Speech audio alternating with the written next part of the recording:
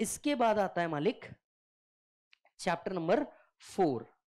इसके अच्छा एक और इसमें है Cobb Douglas Cobb Douglas production function yes इसके बाद यहां पे आता है मालिक कॉप डगलस प्रोडक्शन फंक्शन वो आपको पूछा जाता है कॉप डगलस प्रोडक्शन फंक्शन वो आपको पूछा जाता है दो मिनट रुकिएगा यहां पे एक और चीज पूछी जाती है आपको टाइप ऑफ कॉस्ट यहाँ पे एक और चीज आपको पूछी जाती है टाइप ऑफ कॉस्ट याद होगा तो अकाउंटिंग कॉस्ट था डायरेक्ट कॉस्ट था इनडायरेक्ट कॉस्ट था संक कॉस्ट था इंक्रीमेंटल कॉस्ट था वो चीज आपको पूछी जाती है फिर एक और चीज आपको पूछी जाती है फिक्स्ड कॉस्ट वेरिएबल कॉस्ट फिर आता है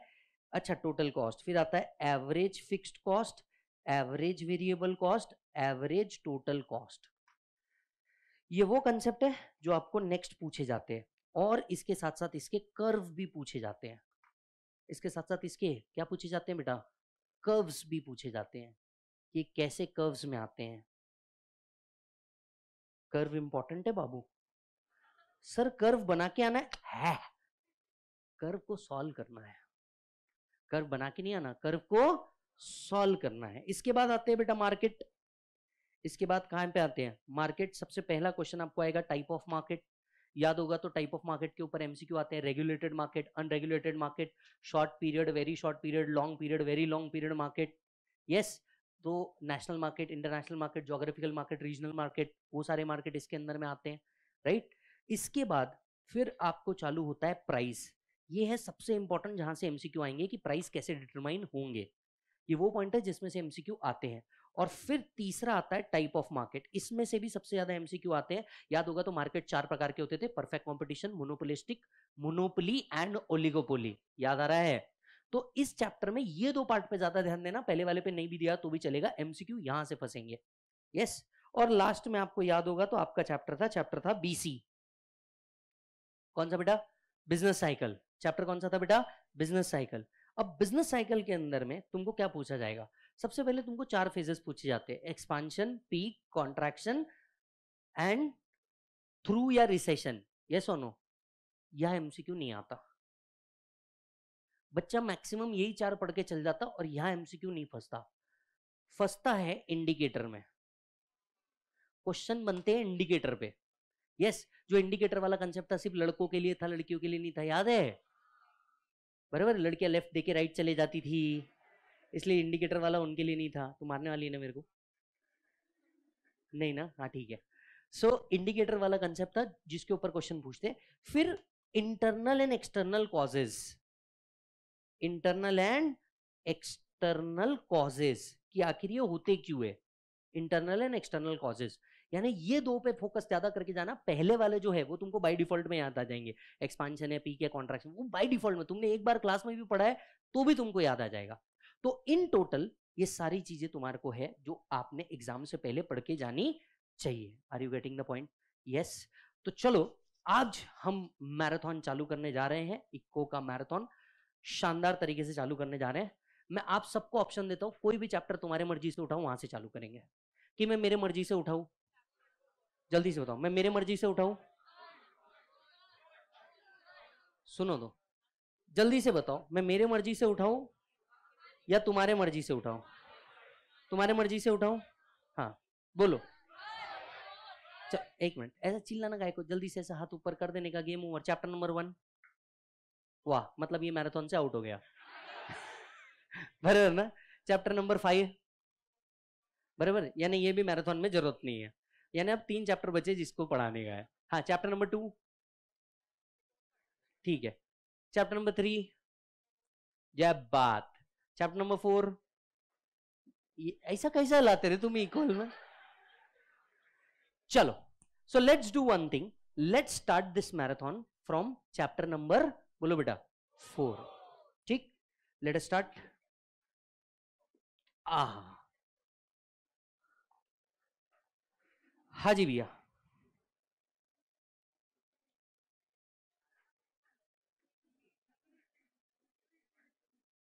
चैप्टर नंबर फोर अब बड़े ध्यान से सुनिए ये जो मैराथन है मैं चैप्टर नंबर फोर से चालू करने जा रहा हूं पढ़ाएंगे हम सभी पढ़ाएंगे हम सभी पर हम चालू करने जा रहे हैं चैप्टर नंबर चार से सुनो चैप्टर नंबर फोर बेटा चैप्टर नंबर फोर किसके ऊपर बेस्ड है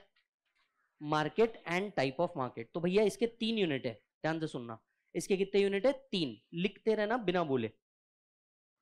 right sir unit number one आपका होता है मार्केट यूनिट नंबर टू आपका होता है बोलो बेटा प्राइस और यूनिट नंबर थ्री आपका होता है बेटा different type of market and price आज के दिन 100 परसेंट फोकस करके जाना मार्केट एंड प्राइस कुछ इधर उधर मत देखना आज के दिन ध्यान लगाए तो इंटर में वो वापस मिलेगी है ना फर्स्ट फ्लोर से थर्ड फर्स्ट फ्लोर से थर्ड फ्लोर पे पहुंच जाओगे है ना फर्स्ट फ्लोर से थर्ड फ्लोर पे पहुंच जाओगे नहीं तो यहां से सीधा ग्राउंड फ्लोर से आउट बराबर ना इतना इतने मौके मिलेंगे नहीं चलिए सरस्वती माता की जय चलो लेट स्टार्ट सबसे पहले बात आई थी बेटा यूनिट नंबर वन की यूनिट नंबर वन आपको बताता है मार्केट मतलब क्या होता है यूनिट नंबर वन बताता है मार्केट मतलब क्या होता है क्या तुम्हें याद है market is a place where buyer and seller bargain for price यानी market is a place where buyer and seller bargain for price तो क्या क्या जरूरी है क्या क्या जरूरी है क्या मार्केट में बायर जरूरी है यस yes. क्या मार्केट में सेलर जरूरी है yes they should bargain for that particular product अच्छा मुझे एक बात बताइए क्या इकोनॉमिक्स में मार्केट मतलब कोई फिक्स प्लेस होता है नहीं so market does not refer to a fix place market does not refer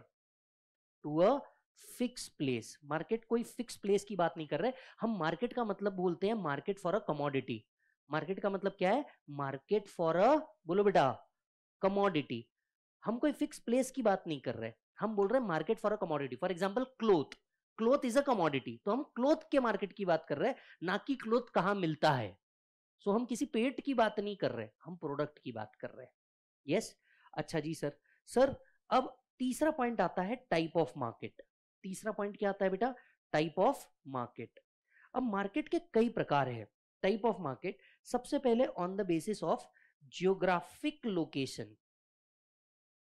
सबसे पहले बनता है जियोग्राफिक लोकेशन के बेसिस पे मार्केट जियोग्राफिक लोकेशन के बेसिस पे मार्केट में सबसे पहले आता है लोकल मार्केट सबसे पहले क्या आता है बेटा लोकल मार्केट अभी लोकल मार्केट मतलब क्या है जो आपके लोकल एरिया या लोकल रीजन के अंदर का मार्केट होता है उसको हम कहते हैं local market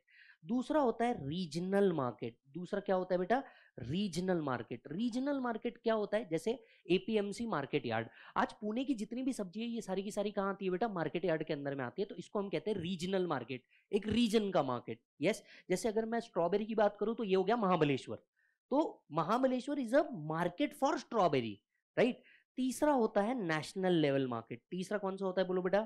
national level market जिसको हम कह सकते हैं इंडिया यस एग्रीकल्चर प्रोडक्ट के लिए इंडिया इज अ मार्केट चौथा है इंटरनेशनल मार्केट चौथा कौन सा है बोलो इंटरनेशनल मार्केट तो जोग्राफिकल लोकेशन के बेसिस पे हमारे पास चार मार्केट है everybody repeat with me local market regional market national market international market logic clear है मालिक सबका ठीक है सर ये जोग्राफिक लोकेशन के बेसिस पे हुआ दूसरा कई मार्केट जो बेस्ड होते हैं वो टाइम बेस्ड होते हैं कैसे बेस्ड होते हैं बेटा टाइम बेस्ड होते हैं पहला होता है वेरी शॉर्ट पीरियड मार्केट पहला कौन सा मार्केट होता है बेटा very short period market for example milk milk का जो मार्केट है ये वेरी शॉर्ट पीरियड मार्केट है या किसी भी पेरिशेबल गुड्स का जो मार्केट है ये वेरी शॉर्ट पीरियड मार्केट है और यहाँ पे यस yes, इनका जो मार्केट होता है इनमें प्राइजेस बहुत ईजिली फ्लक्चुएट होने के चांसेस होते हैं दूसरा होता है शॉर्ट पीरियड मार्केट दूसरा क्या होता है बेटा short period market for example mobile अब अगर आप देखेंगे मोबाइल बहुत इजीली जल्दी जल्दी अपग्रेड होते जाते हैं तो इनका जो मार्केट है किसी एक पर्टिकुलर प्रोडक्ट का ये बहुत जल्दी जल्दी चेंज होता है इसको हम कहते हैं शॉर्ट पीरियड मार्केट फिर आता है बेटा long period market long period market के एग्जाम्पल क्या है sir durable goods for example AC yes AC को दस दस साल कुछ नहीं होता तो इनका जो मार्केट है ये लॉन्ग पीरियड मार्केट होता है और एक होता है वेरी लॉन्ग पीरियड मार्केट एक होता है very long period market very long period market कौन से हो गए sir let's say railway railway के जो कोचेस होते हैं ये बहुत लंबे सालों तक के टिकते हैं एयरलाइन बहुत लंबे सालों तक के टिकती है बिल्डिंग्स बहुत लंबे सालों तक के टिकती है तो इनके जो मार्केट हो गए ये बहुत लॉन्ग पीरियड मार्केट हो गए ये और नो तो टाइम के बेसिस पे भी मार्केट होता है बोलो कौन कौन सा very short period short period long period very long period are you getting the point yes अच्छा जी सर अच्छा जी सर सर इसके बाद में नेचर ऑफ ट्रांजैक्शन के बेसिस पे होता है नेचर ऑफ ट्रांजैक्शन के बेसिस पे भी मार्केट होता है एक होता है स्पॉट मार्केट एक क्या होता है बेटा स्पॉट मार्केट इस स्पॉट मार्केट को एक और नाम से जाना जाता है कैश मार्केट गया कोई प्रोडक्ट लेना था फॉर एग्जाम्पल चॉकलेट लेना था बराबर है आप गए पैसे दिए चॉकलेट ले लिया simply short period market with nature of transaction spot market yes एक होता है कौन सा बेटा बोलो जल्दी से फॉरवर्ड और फ्यूचर फॉरवर्ड और फ्यूचर फॉरवर्ड और फ्यूचर मार्केट क्या होता है सीधे शब्दों में भाई साहब उधारी उधारी आज प्रोडक्ट ले लो पैसा कब देंगे फ्यूचर डेट पे देंगे तो ये हो गया आपका फॉरवर्ड या फ्यूचर मार्केट जिसको हम क्या बोलते हैं भैया क्रेडिट मार्केट भी बोलते हैं इसको अलग शब्दों में क्या कहा जाता है क्रेडिट मार्केट भी कहा जाता है इसके बाद में नेचर ऑफ ट्रांजैक्शन के बाद में आता है रेगुलेशन के बेसिस पे मार्केट ठीक है इसके बाद में क्या आता है रेगुलेशन के बेसिस पे मार्केट पहला होता है कौन सा रेगुलेटेड मार्केट कौन सा होता है बोलो बेटा रेगुलेटेड मार्केट रेगुलेटेड मार्केट कौन सा है बेटा लेट से सेबी सेबी किसको रेगुलेट कर रही है स्टॉक मार्केट को याद आ रहा है क्या तो ये हो गया रेगुलेटेड मार्केट मतलब कोई अथॉरिटी है जो उसको रेगुलेट कर रही है फॉर एग्जाम्पल इंश्योरेंस इंश्योरेंस को कौन रेगुलेट कर रहा है आईआरडीए टेलीकॉम को कौन रेगुलेट कर रहा है ट्राई यस और नो ये हो गया रेगुलेटेड मार्केट दूसरा हो गया बेटा अनरेगुलेटेड मार्केट दूसरा कौन सा हो गया बेटा अनरेगुलेटेड मार्केट अब ये अनरेगुलेटेड मार्केट कौन सा हो गया let's say transport yes transport is completely unregulated कोई अथॉरिटी नहीं है तो अपने हिसाब से आप कुछ भी भाव बोल सकते हो यस yes, अपने हिसाब से कुछ भी भाव बोल सकते हो मान लो रात का अंधेरा है राइट दो लोग हैं एक मित्र और उसकी मित्र आप भाव ज्यादा भी बोल सकते हो यस नो आप भाव ज्यादा भी बोल सकते हो कोई रेगुलेशन नहीं है जो प्राइस को कंडक्ट करे अच्छा जी सर रेगुलेशन के अलावा एक होता है वॉल्यूम के बेसिस का मार्केट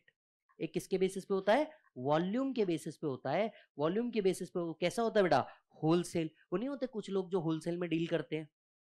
कुछ लोग होते हैं जो काय में डील करते हैं बेटा होलसेल होलसेल मार्केट हो गया यस होलसेल मार्केट हो गया फॉर एग्जाम्पल बेटा प्रेस्टीज फॉर मेल क्लोथ्स आप सभी जानते हैं प्रेस्टीज का जो ग्राउंड फ्लोर है ये मेल क्लोथ्स का होलसेल मार्केट है आप जाओगे बोलोगे शर्ट पसंद आ रहा भाया एक दे दो ना भाया भाया नहीं देंगे आपको क्योंकि मार्केट कौन सा है बेटा होलसेल मार्केट और दूसरा कौन सा मार्केट है बेटा रिटेल मार्केट लक्ष्मी रोड आप लक्ष्मी रोड पे जाओगे रिटेल मार्केट है कोई भी शॉप पे जाओ जाकर के एक शर्ट ले लो नीचे नहीं देगा क्योंकि वो होलसेल मार्केट है वहां जाओगे दे देगा क्योंकि वो रिटेल मार्केट है तो वॉल्यूम के बेसिस पे कितने मार्केट हुए दो एंड लास्ट कंपटीशन याद आ रहा है कंपटीशन के बेसिस पे मार्केट था पहला था perfectly competitive perfectly competitive market दूसरा था इम्परफेक्टली कॉम्पिटेटिव मार्केट दूसरा था इम्परफेक्टली कॉम्पिटेटिव मार्केट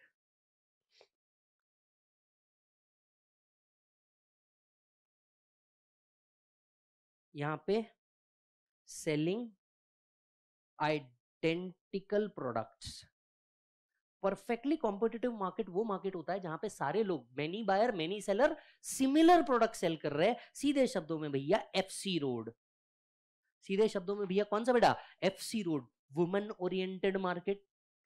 yes और नो वहां पे मेल जा भी रहा है तो क्यों या तो थैली पकड़ने या तो पैसे लेने बात समझ वहां पे जा भी या तो तीसरा आंखों को शांति देने तीन अरे लॉजिक समझना भाई तीन तरह के लोग हैं ना वहां पे बराबर है कि नहीं या तो एक थैली पकड़ने वाले दूसरा पैसे देने वाले और तीसरे कौन दूसरों को खरीदी करते देखने वाले ऐसे हो गए तीन तरीके के मार्केट कितने तरीके का मार्केट हो गए तीन इसको बोलते हैं परफेक्टली कॉम्पिटेटिव मार्केट सर क्या हम प्रेस्टीज में जितनी क्लासेस है इनको भी परफेक्टली कॉम्पिटेटिव बोल सकते हो yes yes. Many buyer many seller selling similar और आइडेंटिकल गुड्स एक होता है इम्परफेक्टली कॉम्पिटेटिव मार्केट एक कौन सा होता है बेटा इम्परफेक्टली कॉम्पिटेटिव मार्केट हम इसको क्या कह सकते हैं हम इसको कह सकते हैं कि भैया इम्परफेक्टली कॉम्पिटेटिव मार्केट के अंदर में जिसको हम ओलिगोपोली मार्केट भी बोल सकते हैं few seller many buyer yes हर एक का अपना एक यूनिक कैरेक्टर है हर एक का अपना एक यूनिक कैरेक्टर है और सबके सब बिल्कुल कैसे बेटा अलग चलो one two three start type of market जल्दी से बोलो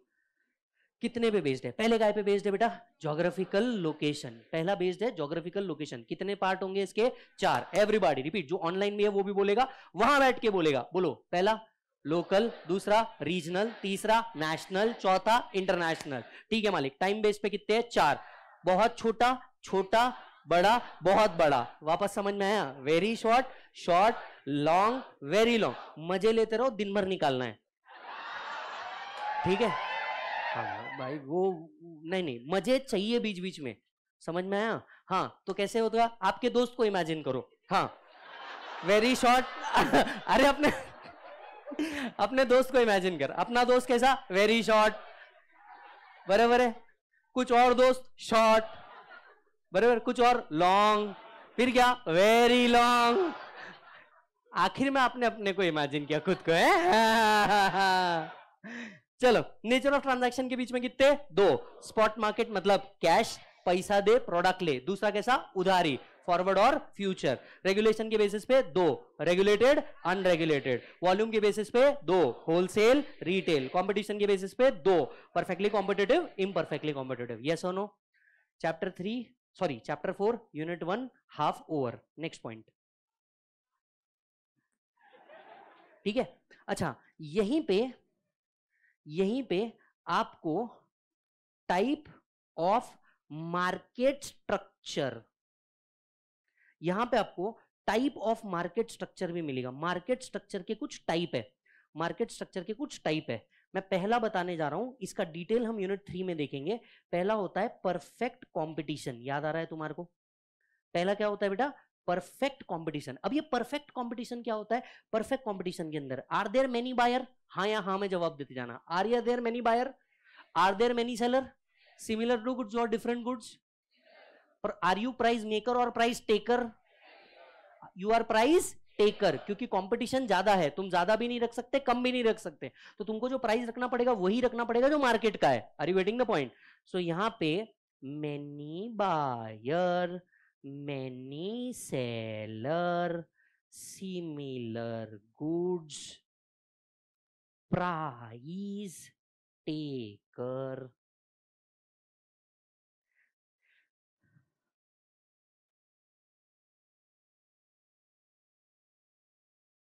ठीक है ये जनरल है यूनिट थ्री जब पढ़ाऊंगा उसमें हम डिटेल में जाएंगे एक एक पॉइंट के ऊपर तो पहले समझेंगे परफेक्ट ये मार्केट का स्ट्रक्चर है मार्केट का टाइप नहीं है ये क्या है बेटा मार्केट का स्ट्रक्चर तो मार्केट किस किस तरीके से फॉर्म होता है पहला तरीका फॉर्म होता है perfect competition many buyer many seller selling similar goods example सोचते जाना तो तुम्हारा माइंड ओपन होते जाएगा क्या मैं यहां पे अगेन एफसी रोड या लक्ष्मी रोड को रख सकता हूं यस एफसी रोड मैंने लोड लिख दिया F road a perfectly competitive market many buyer many seller selling similar goods camp हो सकता है दिल्ली के अंदर में कनॉट प्लेस हो सकता है तो अलग अलग जगह के अंदर में अलग अलग मार्केट हो सकते हैं दूसरी चीज मोनोपोली अच्छा पॉली का मतलब क्या होता है सेलर पॉली का मतलब क्या होता है सेलर और मोनो का मतलब होता है वन तो there is only one seller there is one seller there is many buyer ए बाबू मुशाए जब देने वाला ही एक है तो प्राइस तो वही होगा जो वो बोलेगा है कि नहीं एक अनार सौ बीमार तो अनार देने वाला बताएगा ना अनार कितने का दूंगा बीमार थोड़े ना बताएगा तो they are price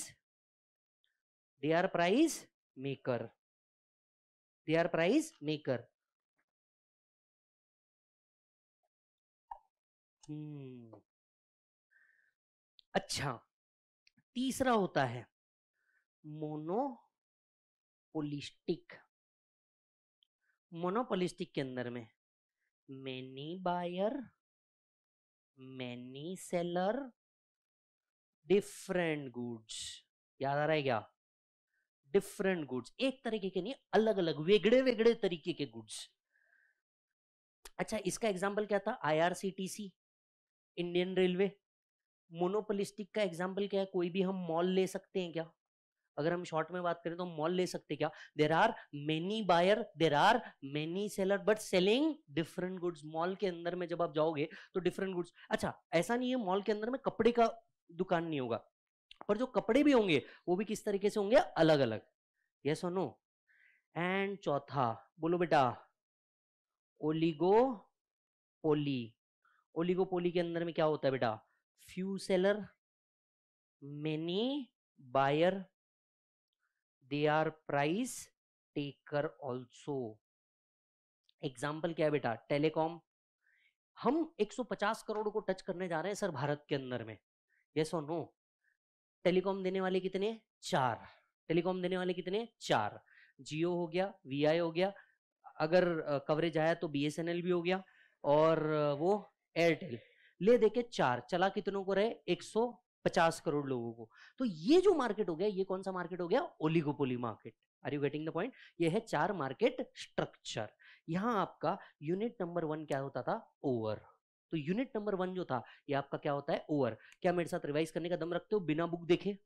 ठीक है चलो what is market market is a place where buyer and seller bargains buyer and seller bargains for price ठीक है अच्छा बताइए can there be many buyer many seller yes market refer to a fix place no market refers to a market for a commodity market के type कितने हैं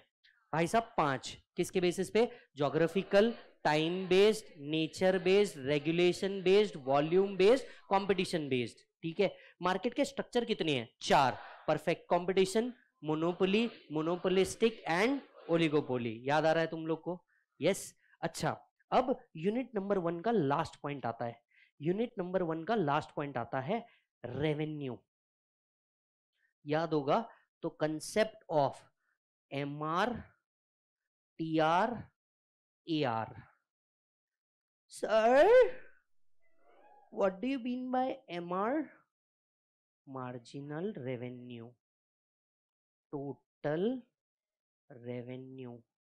average revenue ठीक है देख बेटा प्रोडक्ट बेच के तेको क्या मिलेगा रेवेन्यू ठीक है चल अब तेको याद दिलाता हूँ हम लोगों ने कहीं ना कहीं मार्जिनल यूटिलिटी नाम का चीज जरूर पढ़ा होगा मार्जिनल यूटिलिटी क्या था एक एडिशनल प्रोडक्ट को बेच के जो यूटिलिटी आती है उसको आप क्या बोलते हो बेटा marginal utility and sum of all marginal utility became total utility yes और नो अच्छा मुझे एक बात बता मार्जिनल यूटिलिटी जो है किसी भी प्रोडक्ट की वो ऊपर जाती है या नीचे आती है मार्जिनल यूटिलिटी किसी भी प्रोडक्ट की ऊपर जाती है या नीचे आती है नीचे आती है क्यों क्योंकि जैसे ही आदमी एक एक प्रोडक्ट कंज्यूम करके ते जाता है उससे मिलने वाली जो यूटिलिटी है ये क्या होती है गोज डाउन याद आ रहा है इतना कुछ अब सुन यूटिलिटी वर्ड को रिप्लेस कर रेवेन्यू से मार्जिनल रेवेन्यू एक प्रोडक्ट बेच के जो रेवेन्यू आएगा उसको हम क्या कहेंगे marginal revenue So revenue derived from one unit sale of a commodity is called as marginal revenue. ठीक है ऐसे मैंने 10 प्रोडक्ट सेल किए तो टोटल रेवेन्यू बन सकता है क्या बेटा अच्छा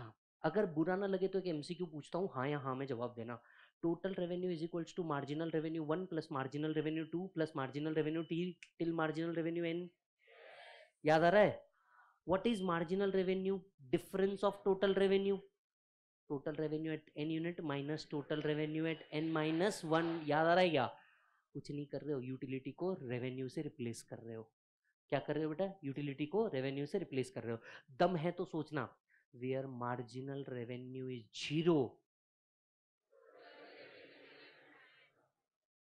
total revenue is maximum क्या मार्जिनल रेवेन्यू निगेटिव भी हो सकता है यस yes! क्योंकि कई बार प्रोडक्ट लॉस में भी सेल करना पड़ता है तो मार्जिनल रेवेन्यू निगेटिव भी पॉसिबल है यस पॉसिबल है पर क्या टोटल रेवेन्यू निगेटिव होगा या डिक्लाइनिंग होगा तो जहां मार्जिनल रेवेन्यू निगेटिव हो जाता है टोटल रेवेन्यू डिक्लाइनिंग हो जाता यस अब एवरेज रेवेन्यू कैसे निकलेगा total revenue divided by number of units क्या निकलेगा बेटा एवरेज रेवेन्यू याद आ रहा है आपको सो so, सबसे पहले हम लिखेंगे एम आर फिर लिखेंगे टी आर फिर लिखेंगे A R marginal revenue it is addition to total revenue by selling one additional unit so it is an addition to total revenue by selling one additional unit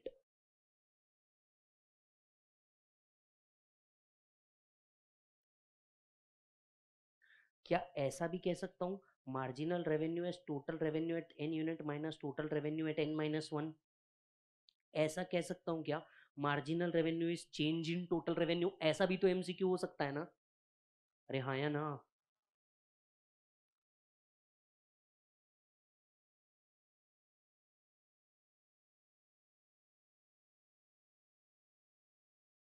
अच्छा can marginal revenue be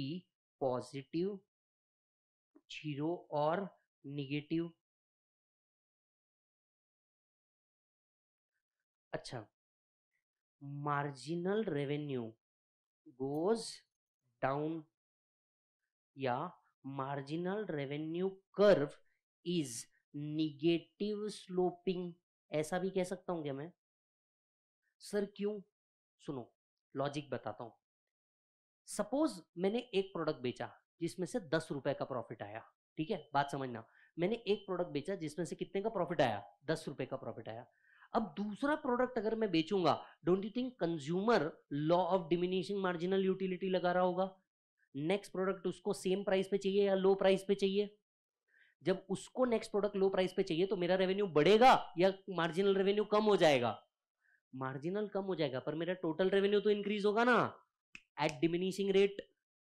yes तो मेरा marginal revenue का जो curve है ये कैसा जाएगा बेटा डाउनवर्ड और इसीलिए ये कैसा स्लोप होगा बेटा निगेटिवली स्लोप्ड इसीलिए कैसा स्लोप्ड होगा बेटा निगेटिवली स्लोप्ड होगा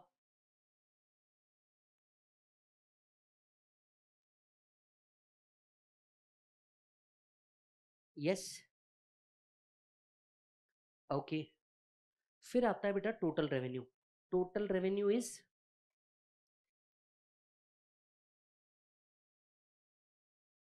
total revenue is equals to P into Q. Sir, what is P? Price, Q, quantity. Total revenue is marginal revenue 1 plus marginal revenue 2 till marginal revenue n. बराबर है ना total revenue increases eight बोलो बेटा diminishing rate आपका total revenue increase होता है but diminishing rate पे increase होता है पूछो ना क्यों पूछो ना क्यों प्यार से पूछो तुम्हारे लिए सगी बीवी को छोड़ के आया मैं पूछो क्यों दूसरा प्रोडक्ट से भी उतना ही रेवेन्यू थोड़े मिलेगा कंज्यूमर बोलेगा ना नेक्स्ट प्रोडक्ट मेरे को सस्ते में दे तो मेरा टोटल रेवेन्यू इंक्रीज होगा but at diminishing rate but at diminishing rate yes और no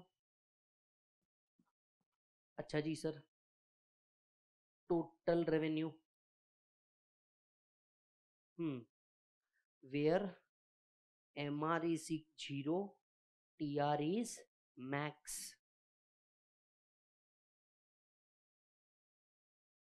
where marginal revenue is zero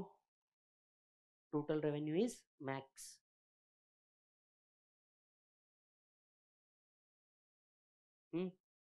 फिर आता है average revenue average revenue is equals to total revenue divided by number of units अच्छा इसको ऐसा लिख सकता हूँ क्या average revenue is equal to P into Q upon Q ये भी एक बार एमसीक्यू में पूछा गया है भाई टोटल रेवेन्यू का फॉर्मूला क्या था टोटल रेवेन्यू का फॉर्मूला क्या था पी इंटू क्यू तो एक बार एमसीक्यू में ऐसा पूछा था कि average revenue is equal to P into Q upon Q और वट एवर तो it should be P into Q upon Q अच्छा आपको बुरा ना लगे तो जी बी सर को बीच में लाके सिर्फ पी लिख दू तो चलेगा क्या सर तुम्हारा एक सांगू का माझा मैथ जरा पक्का है हे काय केला तुम्ही अरे बाळा काहीच नाही केला क्यू आणि क्यू गेला जब दो लोग जिनकी सोच मिलती हुई एक साथ आते तो वो अलग ही हो जाते हैं वो भीड़ में से अलग हो जाते समझ रहे हो तुम वो पूरी भीड़ में से क्या हो जाते अलग तो जो बच गया उसको हम क्या कहते हैं सिंगल पर्सन जो बच गया उसको हम क्या कहते हैं सिंगल पर्सन तो क्या दिखाता है बेटा आपका एवरेज रेवेन्यू क्या शो करता है प्राइस आपका एवरेज रेवेन्यू ही क्या शो करता है प्राइस समझ में आया तो एवरेज रेवेन्यू के ऊपर ये है चार बनने वाले एमसीक्यू ये चार एमसीक्यू बन सकते हैं एवरेज रेवेन्यू पे ये चार एमसीक्यू बन सकते हैं एवरेज रेवेन्यू पे अच्छा ये सबको समझ में आया पक्का मालिक चलिए यहाँ आपका यूनिट वन परफेक्टली ओवर होता है चलो फिर से एक बार थर्ड रिविजन मार्केट मतलब where buyer and seller bargain for where buyer and seller bargain for price बहुत बढ़िया बेटे बेटे बहुत बढ़िया अच्छा मार्केट के टाइप कितने हैं पांच geographical time based nature based regulation based volume based competition based market के स्ट्रक्चर कितने हैं चार perfect competition monopoly monopolistic oligopoly ठीक है कित रेवेन्यूज कितने तरह के जनरेट हो सकते हैं तीन एक प्रोडक्ट बेच के जो आएगा वो मार्जिनल ऐसे सारे मार्जिनल को जोड़ लिए तो total divided by number of units average ठीक है unit one is over let start with unit two मजा आ रहा है क्या मालिक let start with unit two unit two क्या था बेटा प्राइस वाह बेटे वाह मौज कर दी ठीक है पिन नीचे रखो लॉजिक समझेंगे मैराथन ही हुआ तो क्या हुआ लॉजिक समझेंगे हाँ मैं आपसे पूछता हूं किसी भी प्रोडक्ट का प्राइस कैसे डिटरमाइन होता है क्या सेलर डिसाइड करता है अकेले ओ क्या बायर डिसाइड करता है अकेले नहीं यानी मार्केट में जो भी प्राइस डिटरमाइंड होता होगा ये प्राइस डिटरमाइंड होता होगा by interaction of demand and supply तो एनी प्राइस क्या बोला बेटा मैंने एनी प्राइस क्या बोला बेटा मैंने any price is determined by interaction of demand and supply any price is determined by interaction of demand and supply चल मेरे हाथ पे कॉन्सेंट्रेट कर right is sell left is demand ठीक है राइट मतलब you know supply left is demand are you there ये कितने फोकस ये क्या है सप्लाई ये क्या है अगर सप्लाई 500 है डिमांड ही 100 है प्राइस कहां जाएगा ऊपर या नीचे पक्की बात क्योंकि देने वाले ज्यादा है और लेने वाले कम बराबर है तो लेने वाले कम है वो बोल रहा भाई तू दे तो ठीक है नहीं तो किसी और से ले लूंगा बहुत है देने वाले बात समझना देने वाले बहुत है तो सप्लाई ज्यादा है डिमांड कम है प्राइस गिरेगा प्राइस गिरेगा चलो थोड़ा सा उल्टा कर लेते हैं डिमांड बहुत ज्यादा है पर देने वाले कम है प्राइस प्राइस बढ़ेगा क्यों बढ़ेगा डिमांड ज्यादा है पर मिल रहा है क्या उत्ता नहीं चाहिए सबको दे सब नहीं रहे चाहिए सबको दे सब नहीं रहे तो भाव बढ़ेंगे क्या होंगे बेटा भाव बढ़ेंगे तो बेच वही पाएगा जिसकी अफोर्ड कैपेसिबिलिटी हो समझ में आ रही बात तो भैया हर एक जन नहीं ले पाएगा जो अफोर्ड कर सकता है वही ले पाएगा अगर डिमांड ज़्यादा है सप्लाई कम है तो चल सुन मेरे को चैप्टर नंबर टू से मेरे को चैप्टर नंबर टू से लॉ ऑफ डिमांड बता if the price goes up the demand goes पक्की बात लॉ ऑफ सप्लाई बता if the price goes up supply goes up fix है चलो रिवाइज करते हैं law of demand if the price goes down सब demand goes up if the price goes up demand goes down पक्की बात ये उठाया मैंने लॉ ऑफ सप्लाई को रख दिया ये लॉ ऑफ सप्लाई दिख रहा है लॉ ऑफ डिमांड दिख रहा है ठीक है अब आते हैं law of supply law of supply if the price goes up supply goes up याद आ रहा है उल्टा गेम था if the price goes up supply goes up ठीक है ये उठा के मैंने इधर रख दिया लॉ ऑफ डिमांड क्या था price goes up demand goes down law of supply क्या था price goes up supply goes down ठीक है अब इस बहुत अच्छे ध्यान है तुम्हारा फिर एक बार बोल जिनका ध्यान नहीं जिनने गड़बड़ किया वापस से law of demand price goes up demand goes down law of supply अब इस दो कंसेप्ट को पकड़ के हम ध्यान से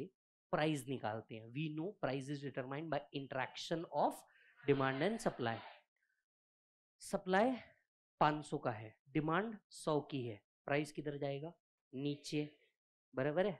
यानी सप्लायर को जब तक भाव नीचे नहीं करता बे, बेचते जमेगा नहीं अब सप्लायर अपना प्राइस रिड्यूस करेगा यहाँ कंज्यूमर के लिए लॉ ऑफ डिमांड आ जाएगा ये बोलेगा प्राइस रिड्यूस हुआ है तो क्वांटिटी डिमांडेड गोज अप लेकिन अब भी डिफरेंस होगा अब भी मार्केट में बिकेगा का प्रोडक्ट नहीं सप्लायर को और नीचे आना पड़ेगा सप्लाई के ऊपर प्रेशर बढ़ेगा प्राइस नीचे आएगा और प्राइस नीचे आया कंज्यूमर के लिए लॉ ऑफ डिमांड बढ़ेगा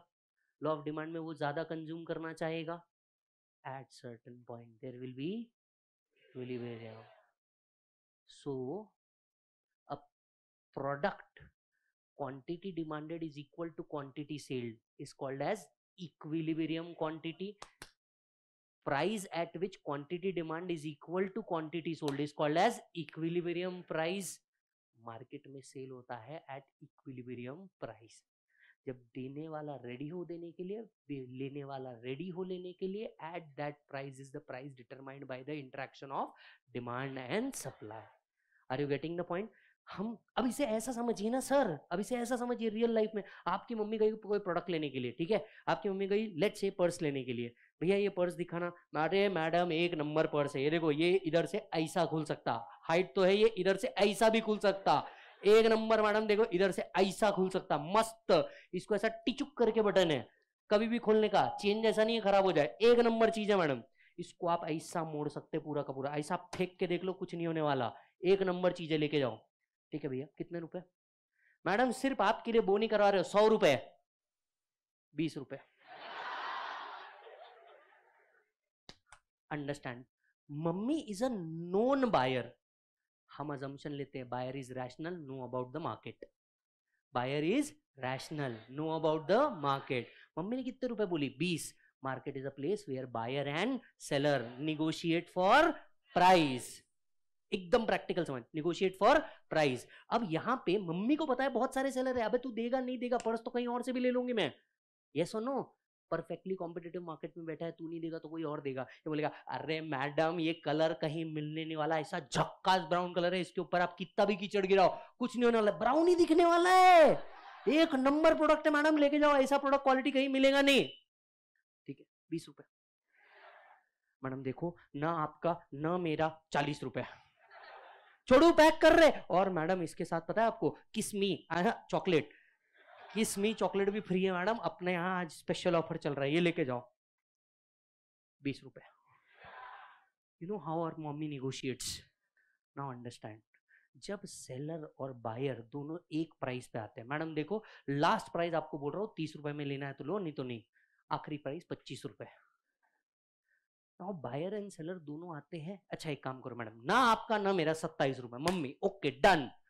नाउ ये जो प्राइस आया यहाँ पे बायर एंड सेलर किधर पहुंचे इक्विलिब्रियम प्राइस के ऊपर and both are ready to take that's how price is determined by the market is called as equilibrium price buyer is ready to buy seller is ready to sell the price is called as as price okay okay में thank you पहला point अब दूसरे point पे आते हैं अगर price को छोड़ के किसी भी अदर फैक्टर के कारण डिमांड ऊपर गई don't you think there will be shift in demand कर प्राइस को छोड़ के शिफ्ट होगा एक्सपांशन कॉन्ट्रैक्शन नहीं क्या होगा शिफ्ट इन डिमांड कर सो so, अगर प्राइस को छोड़ के किसी भी अदर रीजन के कारण डिमांड बढ़ी तो न्यू इक्विलिब्रियम वही रहेगा या इक्विलिब्रियम ऊपर चल जाएगा या शिफ्ट टू राइट और लेफ्ट एज द केस में बी ठीक उसी तरीके से अगर सप्लाई बढ़ा तो new supply curve will be form demand will go up और डाउन हा या ना सिंपल शब्दों में if the price if any factor change other than price the equilibrium quantity और the equilibrium quantity supplied will also shift right और left up और down अब तीसरा और आखिरी पॉइंट सर सोच समझ के बताइए कई प्रोडक्ट ऐसे रहते हैं जिसके प्राइस पल पल में चेंज होते रहते हैं for example stock of a commodity हाँ या ना crude prices stock you know फिर गोल्ड का रेट मार्केट के अंदर में कंटिन्यूसली चेंज होते जा रहा जब ये कंटिन्यूसली चेंज होते जा रहा जब ये क्या होते जा रहा कंटिन्यूसली चेंज होते जा रहा तो इक्विलिब्रियम भी वहीं टिका रहेगा या कंटिन्यूसली शिफ्ट होता रहेगा पूरा गेम ये है इक्विलिब्रियम के साथ क्या होगा स्टेप नंबर वन आपको बताया जा रहा है कभी भी सेल इक्विलिब्रियम पे ही होगा पॉइंट नंबर टू डिमांड बढ़ी supply remain same new equilibrium will be form demand same supply change new equilibrium will be form दोनों simultaneously change equilibrium will shift continuously equilibrium will shift continuously are you getting the point यही आपकी unit two में price determination and equilibrium shifting price determination and equilibrium shifting आइए मेरे साथ लिखिए सबसे पहले सर प्राइस कैसे डिटरमाइन होंगे price is determined by interaction of demand and supply here in after D is equal to demand लिख के रख लेना S is equal to supply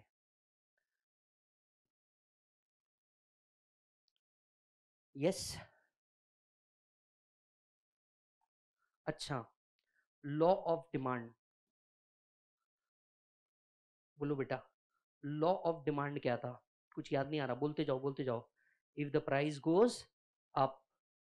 demand goes down law of supply बोलो law of supply बोलो if the price goes up supply goes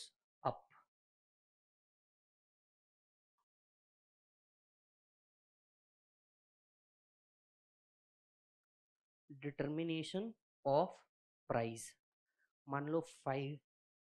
quantity demanded quantity supplied hundred five hundred बोल बेटा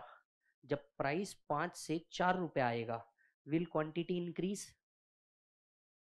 will quantity increase quantity demanded increase हो जाएगी क्यों increase हुई law of demand if the price goes down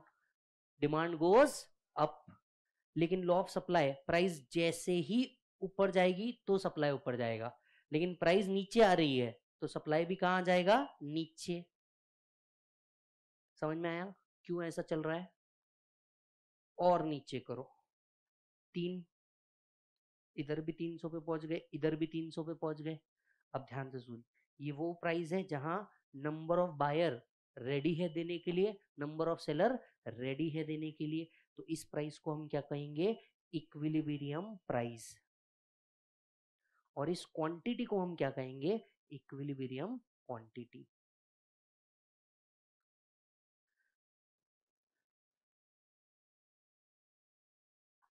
तो don't you think so curve कैसा बनेगा आप तो जानते ही हमारी एक्स कहां रहती है नीचे एंड वाई कहाँ है बेटा ऊपर सुन एक सेकंड के लिए पेन रोक law of demand demand curve upward sloping होता है या डाउनवर्ड स्लोपिंग होता है डाउनवर्ड स्लोपिंग ये हो गया आपका डिमांड कर्व जैसे जैसे प्राइस नीचे जाएगा आपका क्वांटिटी डिमांडेड बढ़ेगा अगर प्राइस नीचे जाएगा तो क्वांटिटी डिमांडेड बढ़ेगा यह हो गया आपका डिमांड कर्व याद होगा तो सप्लाई कर्व जैसे जैसे प्राइस ऊपर जाएगा जैसे जैसे प्राइस ऊपर जाएगा वैसे वैसे क्वांटिटी डिमांडेड क्या होती जाएगी कम या ज्यादा अगर प्राइस ऊपर जाते जाएगा तो क्वांटिटी सप्लाइड कहाँ जाते जाएगा ज्यादा यस yes. अब मुझे एक बात बता ये हो गया सप्लाई कर्व सप्लाई कर्व कैसा रहता था बेटा तो पॉजिटिव डोंट यू थिंक ये जहां एक दूसरे से मिल रहे हैं इस ई पॉइंट को हम क्या कहेंगे इक्विलिब्रियम सो तीन हमारे लिए इक्विलिब्रियम प्राइस हो गया एंड तीन सौ हमारे लिए इक्विलिब्रियम क्वांटिटी हो गया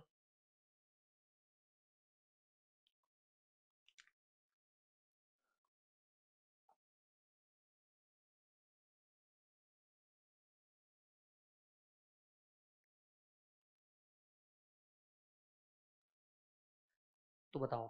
पहला कंसेप्ट प्राइस कैसे डिटरमाइन होता है बेटा interaction of demand and supply कैसे डिटरमाइन होता है बेटा interaction of demand and supply ये क्लियर है मालिक से यश अब आते हैं नेक्स्ट पॉइंट के ऊपर ब्रो नेक्स्ट पॉइंट के ऊपर नेक्स्ट कंसेप्ट है what is the effect of shift in demand oblique supply curve अब वो कहते हैं देखो ये तो तुमने एक प्रोडक्ट के लिए बता दिया कि भैया प्राइस यही रहेगा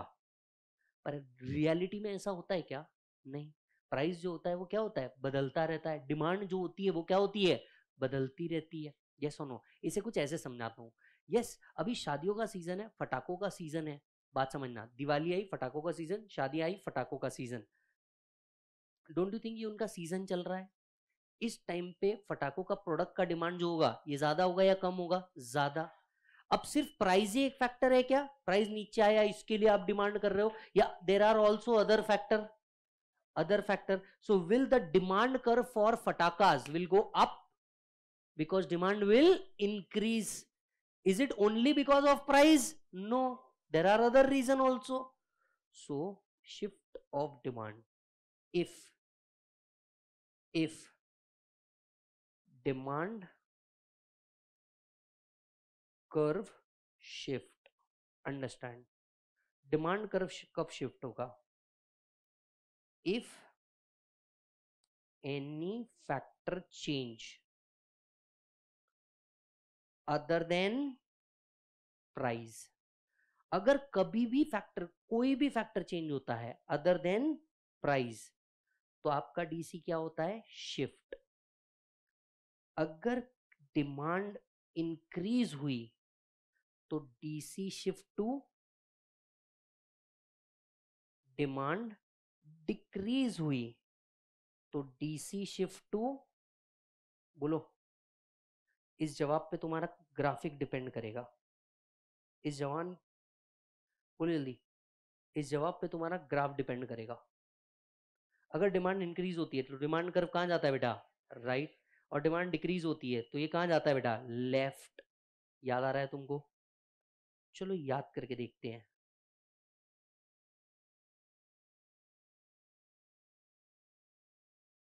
तो अगर यहां जा रहा है तो we called it as increase और यहां जा रहा है we called it as decrease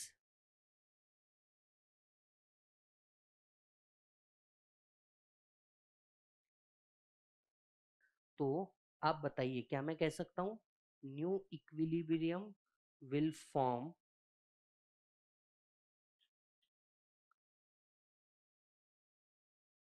it will be higher new equilibrium will form and it will be lower than earlier equilibrium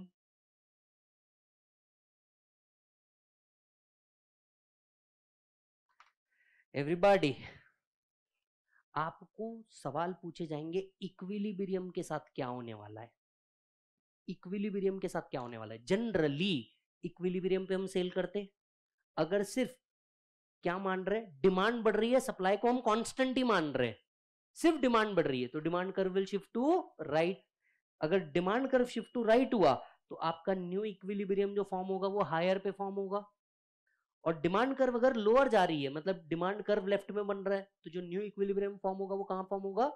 lower side में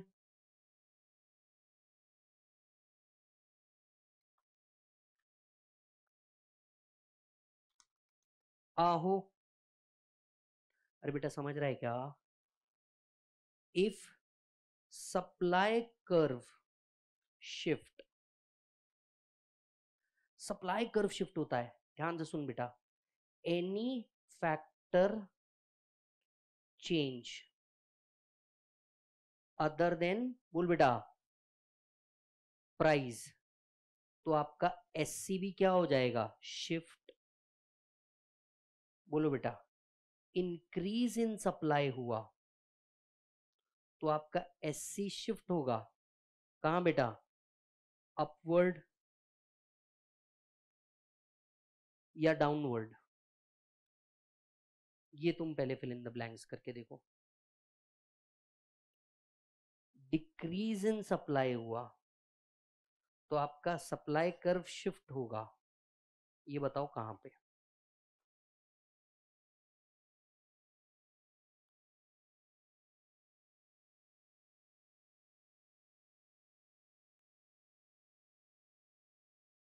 hmm. if there is an increase in supply supply curve shift to bolo right there is a decrease in supply supply curve shift to left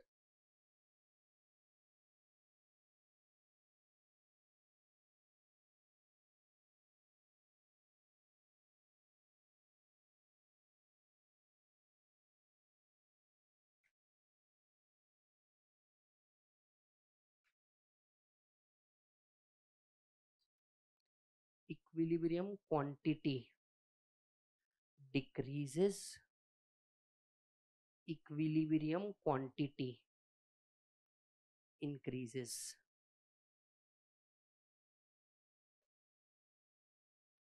equilibrium quantity decreases and increases accordingly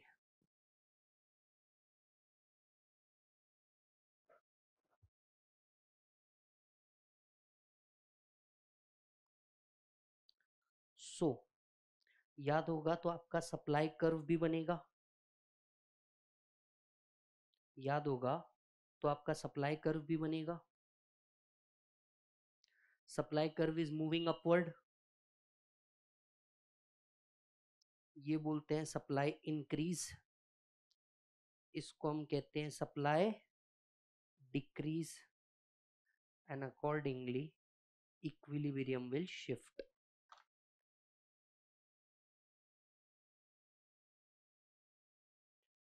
and accordingly equilibrium will shift.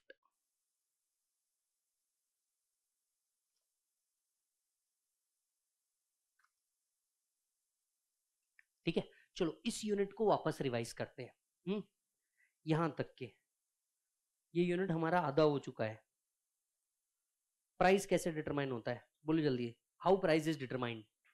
interaction of नहीं नहीं सब लोग नहीं बोल रहे how price is determined law of demand क्या बोलता है if the price goes the demand goes law of supply क्या बोलता है बराबर तो हमने एक चार्ट बनाया पांच रुपए प्राइस था तो क्वांटिटी डिमांडेड सौ रुपए थी बेचने वाले ज्यादा आएंगे क्योंकि प्राइस हायर है जैसे ही प्राइस नीचे लेके जाओगे खरीदने वाले ज्यादा आ जाएंगे बेचने वाले कम हो जाएंगे are you getting the point yes ठीक उसी तरीके से आप प्राइस और ड्रॉप कर दोगे कहीं ना कहीं कुछ लोग क्या आएंगे इक्वलाइज आएंगे और इसी प्राइस को हम कहते हैं इक्वलिब्रियम प्राइस इस क्वांटिटी को हम कहते हैं इक्विलिब्रियम क्वांटिटी तो जनरली कहां सेल होते हैं प्रोडक्ट एट इक्विलिब्रियम यहाँ बायर बेचने के लिए रेडी है सेलर सेल करने के लिए रेडी है इसको हम कहते हैं equilibrium price and equilibrium quantity अब एक और कंसेप्ट आया क्या इक्विलिब्रियम हमेशा सेम रहेगा नहीं डिमांड हमेशा सेम रहेगी नहीं सप्लाई हमेशा सेम रहेगा नहीं यानी there will be shift in demand तो अब नेक्स्ट कंसेप्ट आया what is the effect of shift in demand मान लो सप्लाई सेम रहा डिमांड बढ़ गई तो new demand curve will be form higher और लोअर सप्लाई बढ़ गया new equilibrium quantity will increase और decrease are you getting the point अब आते हैं इस यूनिट के लास्ट पार्ट पे साइमल्टेनियस इंक्रीज एंड डिक्रीज अब हम क्या बोल रहे हैं कुछ प्रोडक्ट ऐसे भी तो हो सकते हैं जिनके प्राइस कंटिन्यूसली सप्लाई और डिमांड दोनों एक साथ ऊपर नीचे जा रहा अब तक हम क्या कह रहे थे या तो सिर्फ डिमांड ऊपर जा रहा या तो सिर्फ सप्लाई ऊपर जा रहा अब हम कह रहे दोनों एक साथ हो रहा simultaneous shift in demand curve और सप्लाई कर्व साइमल्टेनियस शिफ्ट हो रहा है डिमांड कर्व में भी एंड सप्लाई कर्व में भी तो क्या मैं ऐसा कह सकता हूं equilibrium price and equilibrium quantity will also shift कैसा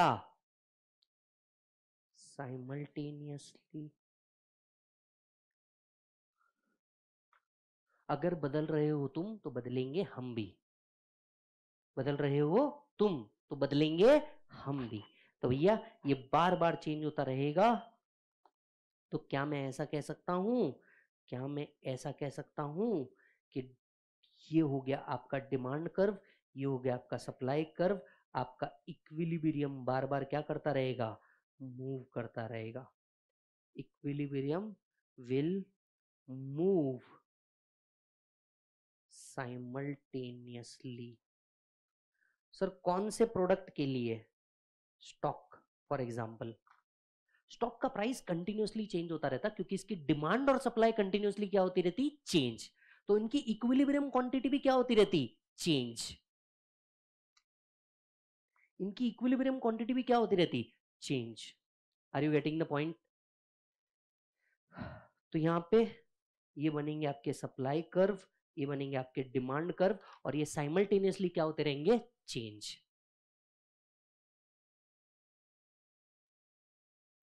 everybody yes or no yes चलो स्टार्ट स्टार्ट स्टार्ट दो यूनिट यहाँ पे आपके खत्म हो गए चैप्टर नंबर फोर के रिवाइज करना चाहेंगे क्या जीरो से मेरे साथ ठीक है चलो जीरो से पेज पलटाओ आओ मेरे साथ जीरो से fourth revision of the same thing market मतलब place where buyer and seller bargain for price bargain for price market means a fix place yes or no market means a fixed place yes or no market means a fixed place or a fixed place or a market means a price a market type of market कितने पहला regular geographical location के basis पे चार local regional national time के basis पे चार दोस्त को याद करने का very short short long very long फिर आता है नेचर के बेसिस पे स्पॉट मार्केट फ्यूचर मार्केट फिर आता है रेगुलेशन के बेसिस पे रेगुलेटेड मार्केट अनरेगुलेटेड मार्केट फिर आता है कंपटीशन के बेसिस पे परफेक्ट कंपटीशन इम्परफेक्ट कंपटीशन याद आ रहा है फिर मार्केट के चार स्ट्रक्चर है बोलो पहला परफेक्ट कंपटीशन दूसरा तीसरा चौथा एक ऐसा मार्केट जिसमें एक सेलर है मैनी बायर है monopoly few seller many buyer many buyer many seller same product many buyer many seller different product पक्की बात अच्छा एक प्रोडक्ट बेच के जो रेवेन्यू आया उसको हम क्या बोलते हैं मार्जिनल रेवेन्यू को मैथमेटिकली बोलो total revenue at N unit minus total revenue at N minus one समझ में आया हाँ what is total revenue sum of all marginal revenue तो भैया इसको ऐसा भी बोल सकता हो total revenue is equal to summation of M R ये भी तो एक एमसीक्यू है ना समीशन ऑफ एम आर ये अपने जीबी भाव की लैंग्वेज में ठीक है मेरे को नहीं पता ये ई e कैसा बनता है पर जैसा भी बनता है ऐसा ही दिखता है समझ में आ गया ना तुमको अच्छा क्या मैं कह सकता हूँ total revenue is M R one plus M R two plus M R three T M R N yes what is average revenue total revenue divided by number of units या average revenue को total revenue को formula के एक और जगह से तोड़ते p into q upon q q q गायब हो जाएंगे तो AR is equal to p यहाँ यूनिट वन खत्म यूनिट टू प्राइस कैसे डिटरमाइन होता है बोल बेटा price is determine by interaction of law of demand बोलता है if the price goes up demand goes if the price goes up supply goes up ये क्या कहता था लॉ ऑफ सप्लाई तो जनरली ऐसा प्राइस जहां पे देने वाला देने को रेडी और लेने वाला लेने को रेडी हो इस प्राइस को क्या बोलते हैं इक्विलिब्रियम प्राइस जनरली मार्केट में प्राइस क्या होगा इक्विलिब्रियम प्राइस लेकिन ये तो तब की बात है जब डिमांड और सप्लाई को हम कांस्टेंट मान रहे पर रियल लाइफ में डिमांड और सप्लाई कांस्टेंट रहते हैं नहीं अगर सप्लाई बड़ा factor other than price other than price के कारण अगर डिमांड बढ़ा तो demand curve will shift to right और it will shift to left new equilibrium कौन quantity will be form yes और नो राइट ठीक उसी तरीके से अगर सप्लाई कर्व सप्लाई भी इंक्रीज हुआ है सप्लाई डिक्रीज हुआ new equilibrium will be form accordingly new equilibrium quantity it will be increase और डिक्रीज यस or no अब तीसरा सवाल आया मान लो कोई ऐसा प्रोडक्ट हो जिसकी डिमांड और सप्लाई कंटिन्यूसली चेंज हो रही है फॉर एग्जाम्पल स्टॉक तो क्या मैं ऐसा कह सकता हूं इनकी equilibrium quantity and equilibrium price will also simultaneously shift समझ में आई बात तो उन्होंने पहले बोला प्राइस कैसे निकालते दूसरा बोला सिर्फ डिमांड बढ़ी सिर्फ सप्लाई बढ़ी तो प्राइस कैसे निकालते तो हम बोलते हैं इक्विलिब्रियम क्वांटिटी नहीं आएगी और उस हिसाब से प्राइस निकलेगा पर प्राइस हमेशा एक ही तरीके से निकलेगा interaction of demand and supply या तो इक्विलिब्रियम क्वांटिटी बढ़ेगी या इक्विलिब्रियम क्वांटिटी कम होगी ठीक है फिर उन्होंने बोला अगर प्राइस दोनों भी कंटिन्यूअसली चेंज हो रहे तो क्या तो हम बोल रहे इक्विलिब्रियम भी कंटिन्यूसली क्या होगा चेंज बट तीनों पॉइंट पे हमारा पॉइंट एक ही है the product price will be interaction of demand and supply सिर्फ equilibrium quantity and equilibrium price according to the transaction क्या होते रहेगा change our base concept lies same the price is determined by interaction of demand and supply are you getting the point दो unit खत्म आते हैं तीसरे unit पे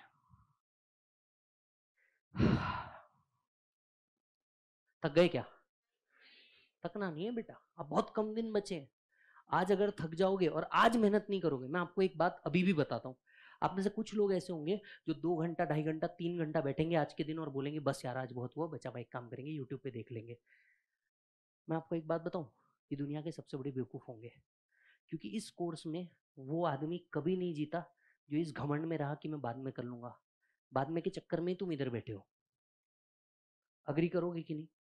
अगर तुमको लगता है तुम एवरेज बच्चे हो छः घंटा टिका के बैठने का क्योंकि ये तुम्हारे नॉलेज का टेस्टिंग नहीं है ये तुम्हारे पेशेंस का टेस्टिंग है पूछो ऐसा क्यों फाउंडेशन में तुमको ले दे के ही छः घंटा बैठना था इंटर में बेटा बारह घंटे बैठना है कोई भी जो बंदा थर्ड फ्लोर पे बैठा है ना हमारे साथ उसको जाकर के पूछने का सुबह साढ़े सात बजे आने का है रात में आठ बजे जाने का है तो ये प्रैक्टिस तुम्हारी फाउंडेशन की नहीं है ये प्रैक्टिस तुम्हारी इंटर की है उधर जाना है तो टिका के बैठने का फेविकॉल लगा के कई पॉइंट ऐसा आएगा जिसमें तुमको बोर होगा पर यही तुम्हारा पेशेंस टेस्टिंग होगा पिछले छः महीने में नहीं पढ़ा आज मौका है लॉजिकली सोच के देख सेल्फ पढ़ने बैठता होता क्या एक घंटा हुआ है इन टोटल एक घंटा एक मिनट में एक बहुत बड़े चैप्टर के दो यूनिट आउट है जिसको हमने मल्टीपल टाइम रिवाइज भी कर लिया और मैं आपको बोलता हूँ शाम तक मेरे साथ टिक गए आज तो मैं आपको पूरा इकोनॉमिक्स फिर एक बार वापस से रिवाइज करवा के दूंगा पर टिकना पड़ेगा उसके लिए तो तुमको वो मैसेज करके बुलाएगी hi baby I am alone can you please come उसको बोलने का बहन आज नहीं बहन आज नहीं आज विज्जू सर का लेक्चर है आज किधर ही नहीं जाना है कंसेप्ट पे फोकस करने का है आज ठीक है मालिक यस जितने बच्चे ऑनलाइन हैं तुमने चुपचाप टिक के बैठने का आज कोई भी वीडियो आए कोई भी लिंक आए इधर उधर जाने का नहीं बुलाती है मगर जाने का नहीं फोकस आता कुतरा सार का अभ्यास ये सोनो चल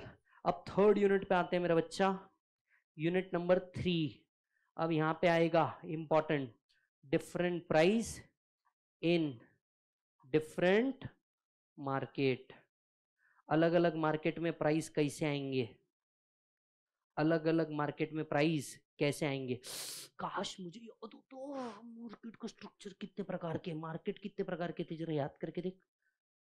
मार्केट कितने प्रकार के थे चार बोल कौन से perfect competition monopoly monopolistic and oligopoly ये चार तरह के मार्केट स्ट्रक्चर थे यहाँ हम पढ़ेंगे डिटेल में और हर चीज में प्राइस कैसे आएगा वो पढ़ेंगे तो सबसे पहले A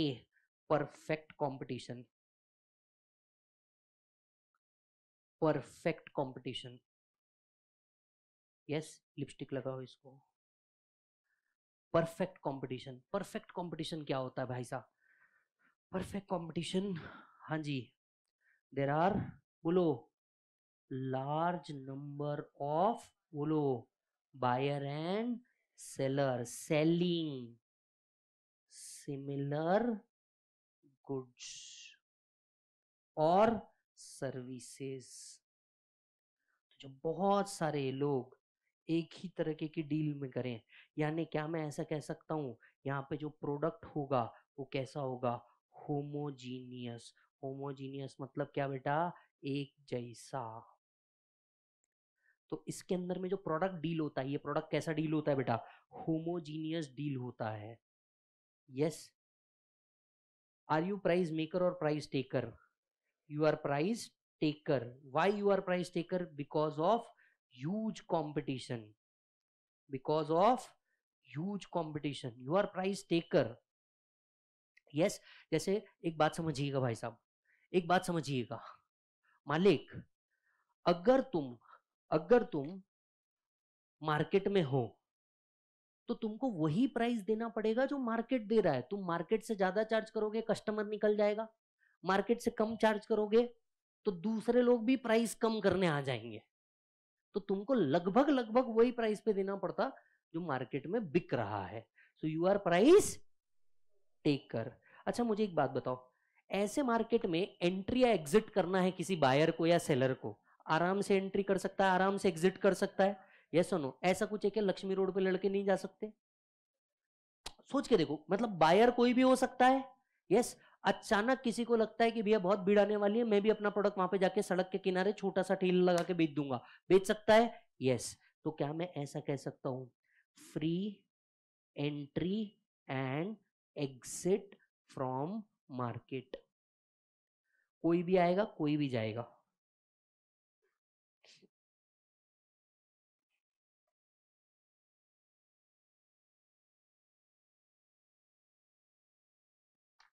नो सेलिंग कॉस्ट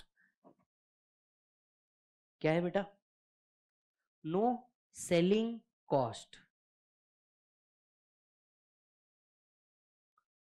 यहां पे सेलिंग के लिए कोई कॉस्ट नहीं है सेलिंग की कॉस्ट मतलब क्या होती है देख कोई भी प्रोडक्ट को बेचना है तो एडवर्टीजमेंट करना पड़ता कोई भी प्रोडक्ट को बेचना है तो क्या करना पड़ता एडवर्टीजमेंट ये बात अलग है कंटेंट में भी दम होना चाहिए सिर्फ मार्केटिंग के भरोसे काम होगा क्या नहीं कंटेंट भी होना चाहिए अब मुझे एक बात बता ऐसे पर्टिकुलर मार्केट के अंदर में सेलिंग की कोई कॉस्ट होती है क्या नहीं क्योंकि उसको भी पता है जो बंदा बेच रहा है उसको भी पता है वैसे ही बहुत सारे लोग मार्केट में आएंगे तो कोई बाजू वाली दुकान में आएगा तो हमारे पास भी एक बार आके ही जाएगा तो ऐसे केस में जो सेलिंग की कॉस्ट होती है एडवर्टीजमेंट ये वो वो बहुत ज्यादा नहीं होती आपको बस परफेक्ट कॉम्पिटिशन में जाकर के खड़े रहना है और कुछ नहीं करना बताइए ऐसे केस में प्राइस क्या होगा अब मेरी बात ध्यान से सुनो और दिमाग में बैठा ले अगर परफेक्ट कॉम्पिटिशन है तो प्राइस हमेशा कौन सा रहेगा equilibrium price price will always be बोलो बेटा equilibrium price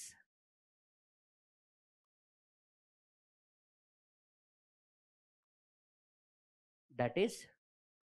price is determined by interaction of बोलो बेटा demand and supply price is determined by interaction of demand and supply तो ये हुआ डिमांड कर्व ये हुआ सप्लाई कर्व इक्विलिब्रियम पे हम लोग क्या करेंगे सेल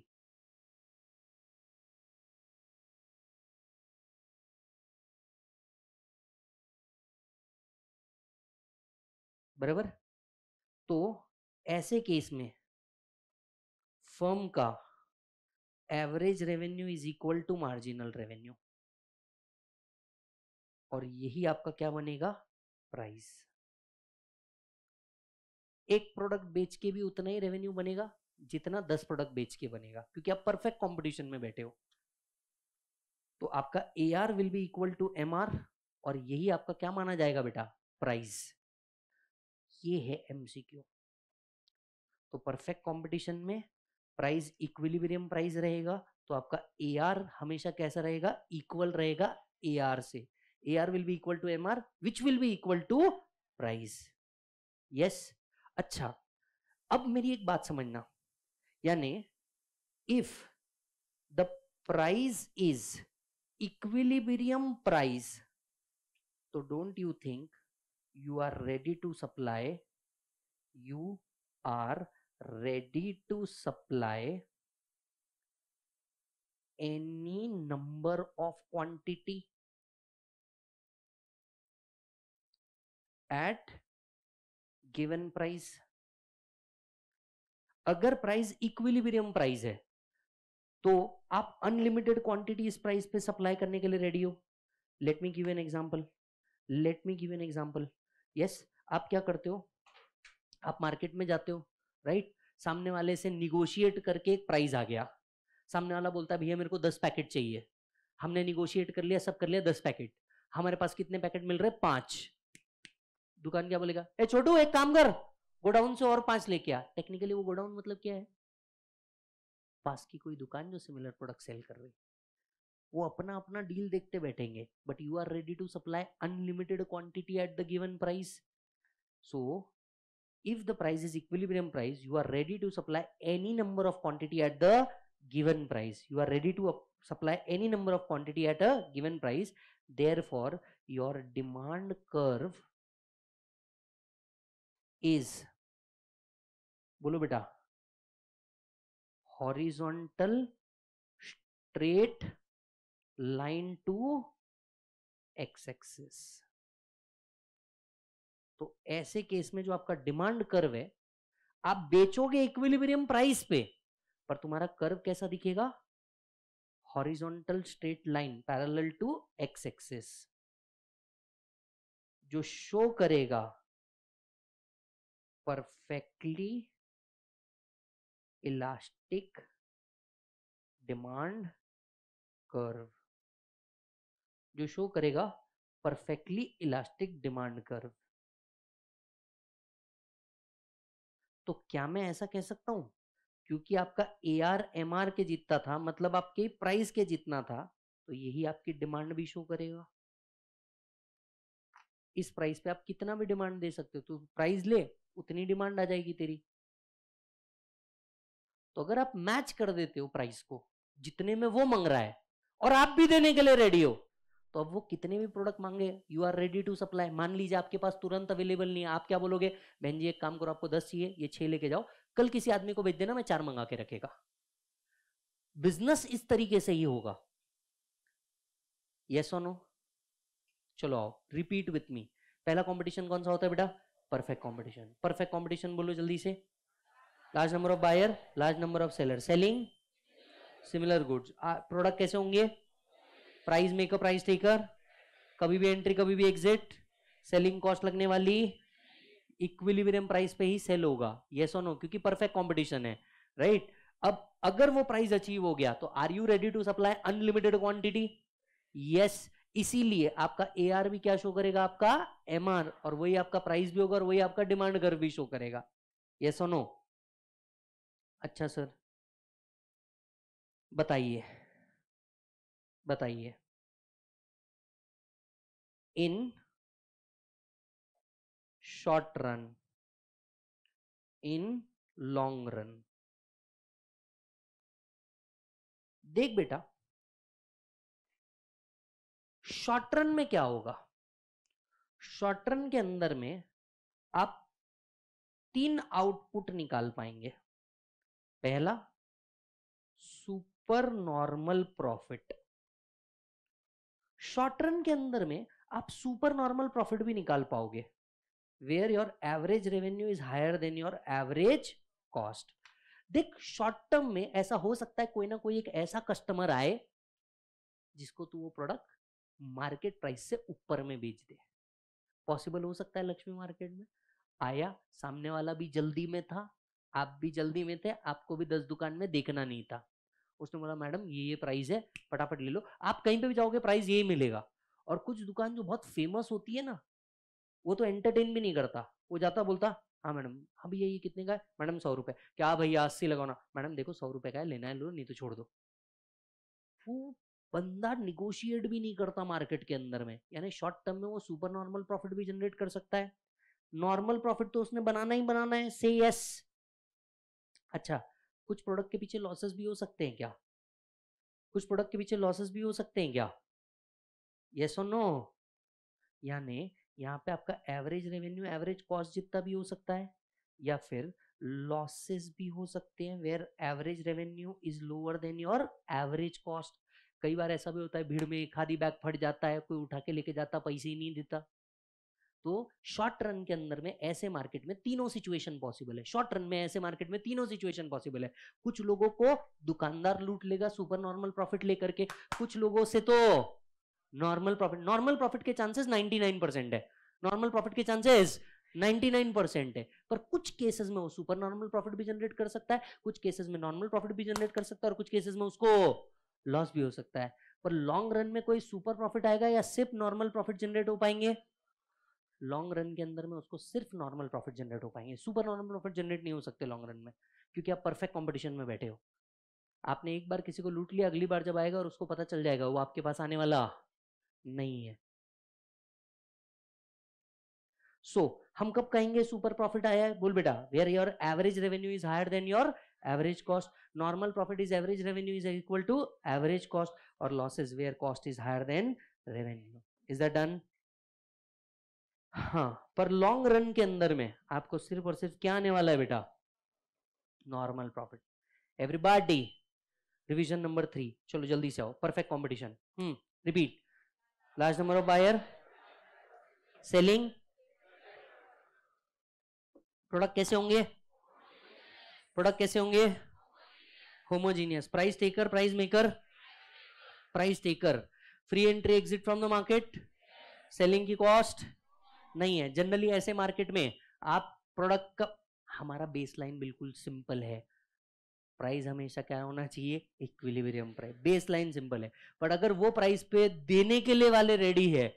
लेने वाले अनलिमिटेड क्वांटिटी ले सकते हैं तुम दे सकते हो अनलिमिटेड क्वांटिटी यस क्योंकि तुमने प्राइस बार्गेन कर चुका है और तुम उतने प्राइस पे कुछ भी दे दोगे तो इसीलिए तुम्हारा जो यहाँ पे कर्व बनता है ये कैसा बनता है horizontal straight line to X axis तो यहाँ पे आपका ए आर क्या बन जाता है M R right short run में आप क्या कर सकते हो तीन आउटपुट है आप सुपर प्रॉफिट भी जनरेट कर सकते हो नॉर्मल प्रॉफिट भी जनरेट कर सकते हो लॉसेस भी आ सकते हैं पर लॉन्ग रन में आप सिर्फ और सिर्फ क्या जनरेट कर पाओगे नॉर्मल प्रॉफिट ये सोनो राइट आपके मन में सवाल उठेगा सर लॉन्ग रन में भी तो हम कुछ लोगों से निकाल पाएंगे बिल्कुल आप निकाल पाओगे कुछ फिर लॉसेस भी होंगे तो उसको एवरेज आउट करके आप सिर्फ क्या करते हो normal profit is uh done that was your perfect competition next part आता है बेटा बोलो monopoly oh my God monopoly बोलते जाओ बोलते जाओ लिपस्टिक लगाओ मोनोपली को मोनोपली मतलब one seller many buyer Indian railway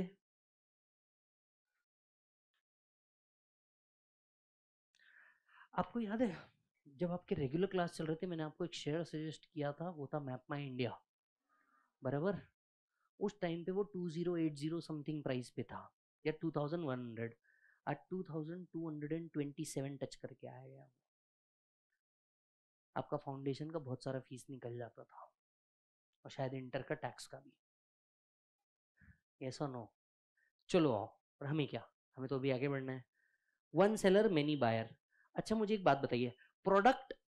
अगर वो अकेला मोनोपोली पे बैठा है तो हर कोई के पास मिलने वाला प्रोडक्ट होगा या यूनिक प्रोडक्ट होगा it will be a unique product और सर्विसेज ऐसा गुड्स या तो यही देता है या ऐसे सर्विसेज सिर्फ वही देते हैं यूनिक गुड्स और सर्विसेज क्या मैं कह सकता हूं you have full control over supply you have full control over supply क्या मैं कह सकता हूँ there is no close substitute जब आप मोनोपली मार्केट में होते हो तो आपके कोई क्लोज सब्सटीट्यूट नहीं होते इनका जो डिमांड कर्व होता है वो डाउनवर्ड स्लोपिंग होता है इनका जो डिमांड कर्व होता है वो डाउनवर्ड स्लोपिंग होता है पूछो ना क्यों मोनोपली बेटा बेचने वाले को घमंड रहेगा इस प्राइस पे चाहिए तो लो नहीं तो जान दो तो इनके प्राइजेस जनरली हाई रहेंगे which makes the demand curve lower तो जब तक के इनके प्राइस नीचे नहीं आते हाई डिमांड नहीं आएगी are you getting the point इसी के लिए डाउनवर्ड स्लोपिंग बेटा जब भी डाउनवर्ड स्लोपिंग होता है हम इसे निगेटिव स्लोपिंग भी तो कह सकते हैं ना और हम इसे कॉन्वेक्स टू ओरिजिन भी तो कह सकते हैं ना यस yes, एक बात दिमाग में फिट कर लो इन तीनों में से कुछ भी आ सकता है जब भी डीसी डाउनवर्ड स्लोपिंग होगा आप इसी को निगेटिव स्लोपिंग भी बोल सकते हो इसी को कॉन्वेक्स भी बोल सकते हो तीनों में से कुछ भी बोल सकते हो ये सोनो अच्छा मुझे एक बात बताओ ऐसे मार्केट में जनरली एंट्री मिलती है क्या no so there are many barriers to new entry there are many barriers to new entry are they price maker और प्राइस टेकर प्राइज मेकर है ही उसके पास ही ऐसा किसी और के पास है नहीं सिर्फ उसी के पास ही है तो वो अपने हिसाब से प्राइस बनाएगा जिसके कारण ही डिमांड कर क्या होता है बेटा डाउनवर्ड स्लोपिंग क्योंकि अगर मैं यूनिक प्रोडक्ट और बना ही मैं ही रहा हूं तो मैं वो प्राइस पे बेचूंगा जो प्राइस मेरे को चाहिए लेने वाला लेगा जिसकी पेइंग कैपेसिटी नहीं है कोई बात नहीं बेटा थैंक यू ये so no for example railway से आप जाके पूछते हो क्या ऐसा कैसा आपने इतना प्राइस क्यों लगाया ऐसा थोड़ी ना होता रेलवे टिकट आप ऐसे बेचोगे क्या रेलवे की टिकट ऐसा थोड़े ना होता आप पूछ भी नहीं सकते मोनोपोली मार्केट है जो प्राइस दिया लेना है ले नहीं तो चुपचाप एस टी महामंडल बराबर है कि नहीं चुपचाप एस टी महामंडल आने का है ये प्राइस देने का नहीं तो चले जाने का अब अब मैं आपको बताऊं सर यहां से नागपुर जाना है एसी टू टायर की टिकट है तीन हजार दो सौ रुपए यही बस की टिकट स्लीपर क्लास की अठारह सौ अब जिसको वहां नहीं मिल रहा उसने इधर जाने तो जाने का अपने अपनी पॉइंट है फिर क्या उल्टी करते हुए जाओ फिर अपना अपना तुम देखो या तो ये प्राइस पे करो या तो तुम देखते बैठो अपना अपना राइट अच्छा सर बोलो सर एक और चीज आती है सोर्स ऑफ मोनोपली आखिर मोनोपली बनता कैसे है हो सकता है आपके पास कोई पेटेंट रजिस्टर्ड हो आप मोनोपली कैसे बनते हैं या तो आपके पास पेटेंट रजिस्टर्ड हो या तो कंट्रोल ओवर मार्केट हो आपका मार्केट में कंट्रोल बहुत ऊपर है तो आपकी मोनोपली बन जाती फिर इकोनॉमीज ऑफ स्केल आपका स्केल ऑफ प्रोडक्शन इतना बड़ा है for example Parle G scale of production ही इतना बड़ा है कि आप बाई डिफॉल्ट में मोनोपली बन जाओगे नेक्स्ट बिजनेस कॉम्बिनेशन बिजनेस का कॉम्बिनेशन ही कुछ ऐसा बना के रखा है कि आप मोनोपली बन जाओगे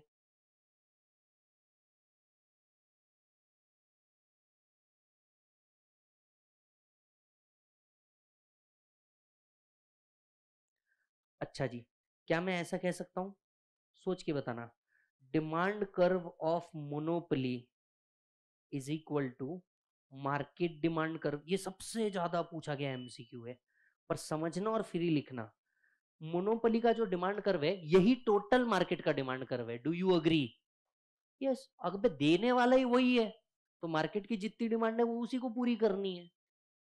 तो मोनोपली का demand curve is equal to market demand curve सबसे ज्यादा पूछा गया एमसीक्यू मोनोपली का demand curve is equal to market का डिमांड कर्व काम खत्म यस मोनोपली का डिमांड कर्व इज मार्केट का डिमांड कर्व तो क्या मैं ऐसा कह सकता हूं क्या मैं ऐसा कह सकता हूं कि इनका average revenue is downward sloping.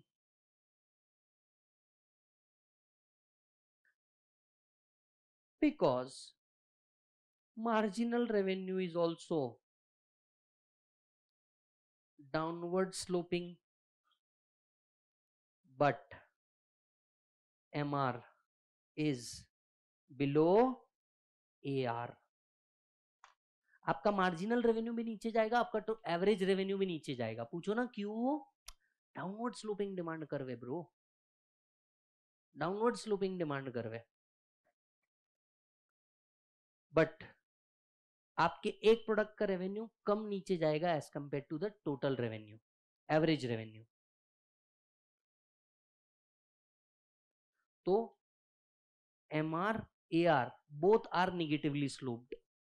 are both are negatively slow. बराबर last point in short run long run short run के अंदर में इज इट पॉसिबल आप सुपर प्रॉफिट जनरेट करें हा या हा सुपर प्रॉफिट जनरेट करें पॉसिबल है यस yes, बिल्कुल पॉसिबल है इज इट पॉसिबल आप नॉर्मल प्रॉफिट जनरेट करें बिल्कुल पॉसिबल है sir your average revenue is equal to your average cost अच्छा आप लॉसेस जनरेट करें ये पॉसिबल है क्या आप लॉसेस जनरेट करें ये पॉसिबल है क्या ये भी पॉसिबल है your average revenue is lower than average cost बेटा मोनोपोली है इसका मतलब ये थोड़ी ना लॉसेज नहीं होगा नहीं तो कभी रेलवे ने तो लॉसेज दिखाना ही नहीं चाहिए पर आप सुनते हो ना रेलवे लॉसेज में था ऐसा नहीं है रिसोर्स अगर नहीं बिके तो वो लॉसेज ही है पर generally they will have profit और सुपर नॉर्मल प्रॉफिट बट ऐसा नहीं बोल सकते कि लॉसेस कभी आएंगे ही नहीं यस और नो मान लीजिए सर रेलवे का एक पर्टिकुलर ट्रेन थी वो कोलैप्स हो गई रिसेंटली बहुत सारी हुई है हाँ तो रेलवे को प्रॉफिट हुआ है ना कई सर रेलवे को प्रॉफिट हुआ ट्रेन गया वो लोगों की जान गई वो सेफ्टी इश्यूज आए वो तो there is losses also generally बोलो बेटा generally there are super normal profit और प्रॉफिट बट हाँ लॉसेस भी हो सकते हैं चांसेस बहुत कम है पर हो सकते हैं चांसेस बहुत कम है बट हो सकते हैं in long run in long run बोलो बेटा क्या सुपर प्रॉफिट आ सकते हैं yes in long run super profit हो सकता है नॉर्मल प्रॉफिट भी हो सकता है क्योंकि आप मोनोपली में बैठे हो सुपर प्रॉफिट लॉन्ग रन में जनरेट हो सकते हैं ये एमसीक्यू में पूछा जाता है can there be super profit in long run in monopoly yes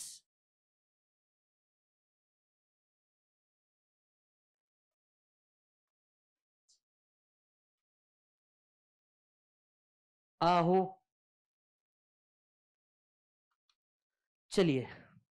अब मुझे एक और बात बता रही is price discrimination possible in monopoly price discrimination is possible in monopoly price discrimination is possible in monopoly पूछो ना क्यों प्राइस किसके कंट्रोल में बेटा वो डिसाइड करेगा ना किसको कितने में देने हैं वो डिसाइड करेगा ना किसको कितने में देने हैं तो क्या प्राइस डिस्क्रिमिनेशन पॉसिबल है एब्सोल्युटली यस क्या प्राइस डिस्क्रिमिनेशन पॉसिबल है एब्सोल्युटली यस आहो बराबर है मालिक शॉ खमो मोनोपली हम्म बोलो बोलो बोलो रुकना नहीं आज के दिन नहीं रुकना बोल one seller many buyer similar product unique product full control over the price कोई आसपास में टिकेगा नहीं फर्म का डिमांड कर क्योंकि बेच अकेले रहे तो डिमांड कर कैसा रहेगा डाउनवर्ड स्लोपिंग इसी को क्या कह सकते हैं निगेटिव स्लोपिंग इसी को क्या कह सकते हैं कॉन्वेक्स टू ओरिजिन वो कॉन्वेक्स बोलते हैं origin is the wrong thing but इसे कॉन्वेक्स शेप्ड भी बोलते हैं यहाँ पे टू ओरिजिन इज रॉन्ग सिर्फ कॉन्वेक्स लिखो ये ज्यादा सही है convex to origin is wrong सिर्फ डाउनवर्ड लिखो ये ज्यादा बेटर है अच्छा जी sir sir sir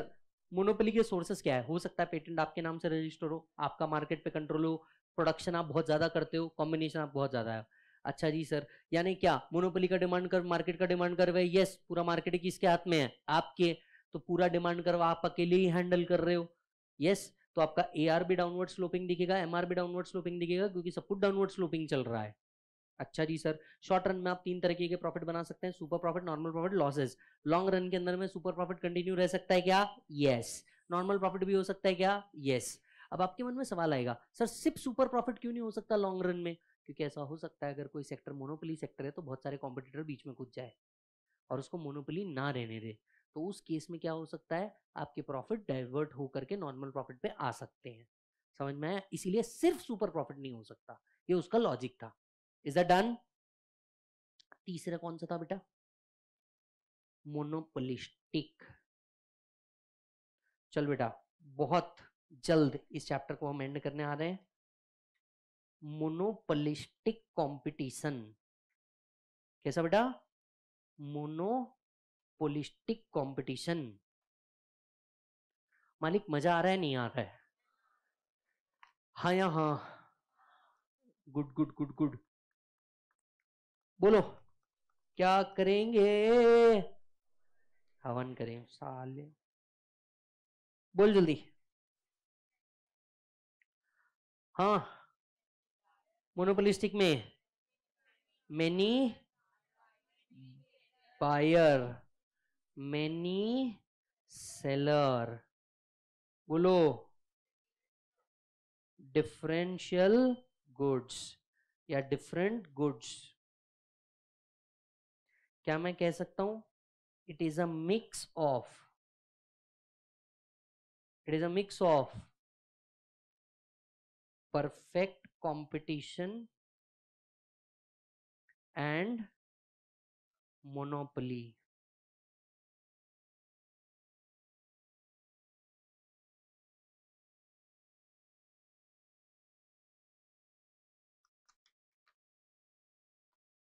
price maker price taker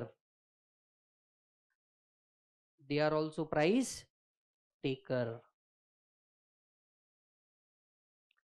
again यहां पे freedom to entry and exit होगा freedom of entry and exit in short run एक minute in short run long run in short run बताइए sir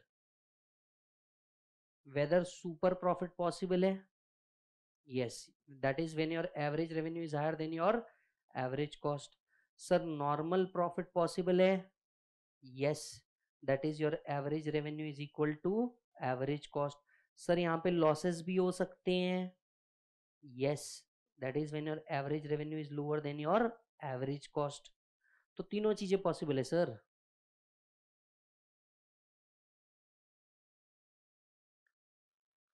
anyone long run में क्या होगा only normal profits long run के अंदर में आप सिर्फ और सिर्फ नॉर्मल प्रॉफिट जनरेट कर सकते हैं काम खत्म that is your average revenue must be equal to your average cost normal profit generate करो काम खत्म करो आओ यानी अब तक मैं एक बात बोलू क्या इस चीज को और छोटा करना है ये लॉन्ग रन और short run cut copy paste perfect competition में डाल देना बराबर है यहाँ सुपर प्रॉफिट नहीं आ रहा सुपर प्रॉफिट सिर्फ एक ही जगह मिला अब तक कहाँ पे बेटा मोनोपोली बराबर लास्ट बोलो oligopoly few seller many buyer few seller many buyer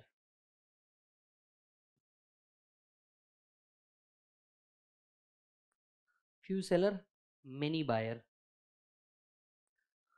product कैसे रह सकते हैं डिफ्रेंशिएटेड और होमोजीनियस दोनों भी हो सकते हैं डिपेंड करता है ना आप टेलीकॉम में प्रोडक्ट होमोजीनियस ही है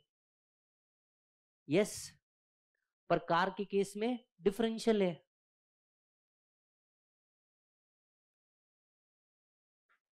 it is a form of imperfect competition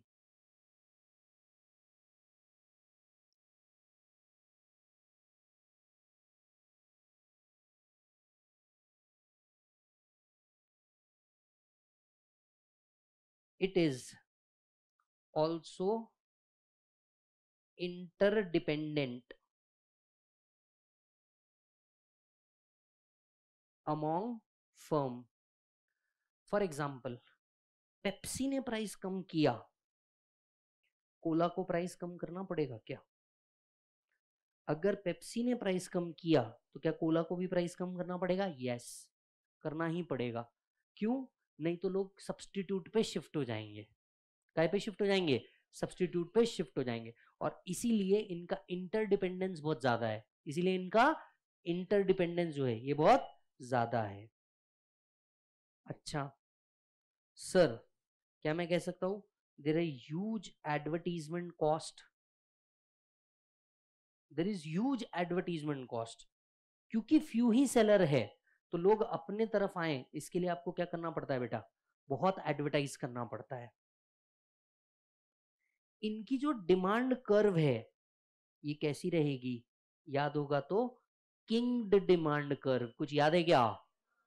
इनकी जो डिमांड कर्व है ये कैसी कर्व होती है बेटा किंगड डिमांड कर अब आप ये पूछेंगे सर ये किंगड कैसी होती है कुछ ऐसी एक पर्टिकुलर प्राइस से ना ऊपर जा सकते ना नीचे आ सकते एक जगह वो स्टिक आ जाती है वही जो मार्केट में चल रही होती है इसके ऊपर का पार्ट इलास्टिक इसके नीचे का part inelastic firm price is kinged to market price firm's price is kinged kinged मतलब एक जगह आके रुक जाता है तो वही प्रोडक्ट पे बेचना होता है जिसपे मार्केट अब इसको ऐसा समझो मान ले पेप्सी ने अपना प्राइस दस रुपए से आठ किया तो कोला को पता है उसके लोग कहा जाएंगे शिफ्ट दो रुपए के चक्कर में तो कोला भी प्राइस नीचे करेगा यानी आप आ गए मार्केट की जगह पे वापस तो आप किंग होते हैं या तो दोनों को मिलके प्राइस बढ़ाना है या तो दोनों को मिलके प्राइस कम करना है पर अगर किसी ने भी किया दूसरा ऑटोमेटिक ये करेगा ही करेगा याद होगा तो जियो ने जब अपना डेटा पैक फ्री कर दिया था Airtel has to do the data pack free ये करना ही पड़ता है यस और नो क्योंकि मार्केट उस तरीके से चल रहा है तो इसके अंदर का जो डिमांड कर्व होता है बोलो बेटा ये कैसा होता है बेटा किंग डिमांड कर इसके अंदर का जो यू नो डिमांड कर्व होता है ये कैसा होता है बेटा kinked demand curve short run के अंदर में आप क्या कर सकते हो सर शॉर्ट रन के अंदर में सुपर प्रॉफिट नॉर्मल प्रॉफिट और अदर प्रॉफिट जनरेट हो सकते हैं यस लॉन्ग रन के अंदर में only normal profit you are again price taker जो मार्केट रखेगा वही आप रखोगे तो इन इन बोलो बेटा short run long run long run के अंदर में आप कौन से प्रॉफिट जनरेट करोगे बेटा नॉर्मल प्रॉफिट यहाँ पे सुपर नॉर्मल भी जनरेट करोगे नॉर्मल भी जनरेट करोगे कई बार क्या आ सकते हैं losses average revenue higher than average cost average revenue is equal to average cost average revenue is lower than average cost गंदे लोग हाँ।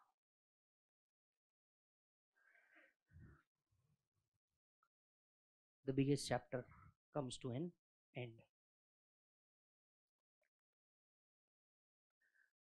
एक बार पलट के देख लो it exactly took one and half hour to complete chapter number four एक बार पलटो मैं तुम्हारा रिकैप करवाता हूं ठीक है ये क्विक रिकैप है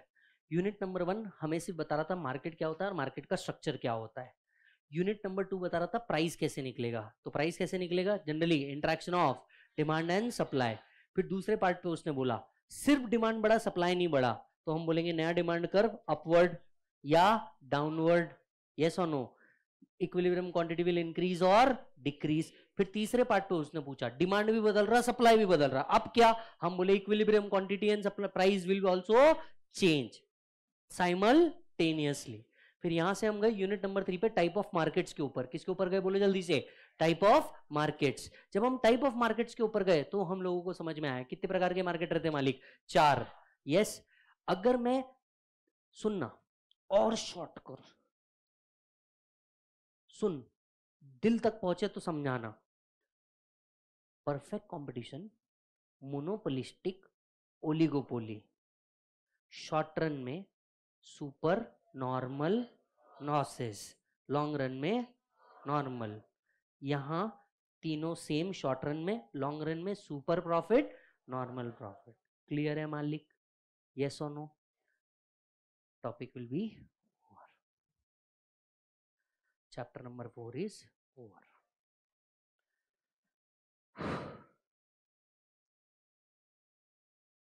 तुम कह रहे थे यार होगा नहीं ऐसे कैसे नहीं होगा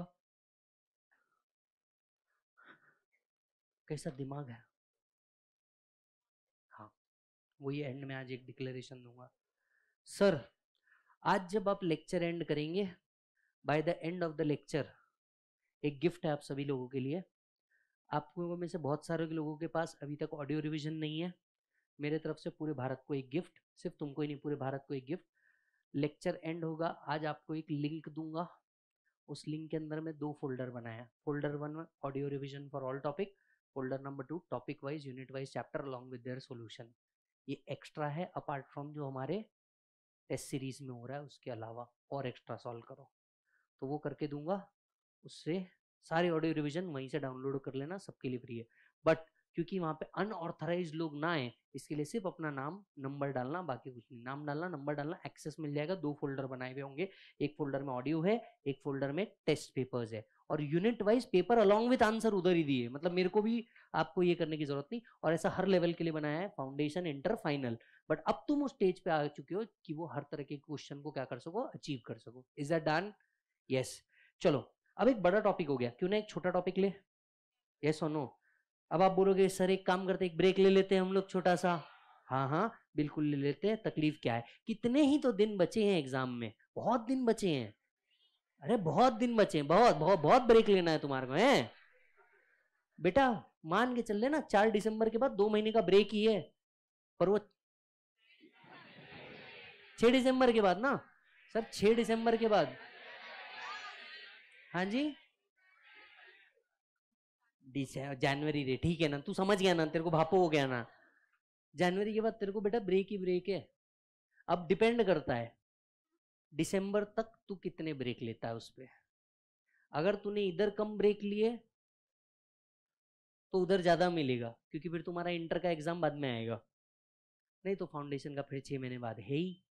पर मैं तुम्हारे को एक और बात याद दिला दू फिर से एक बार सर क्या आप हमारी हाँ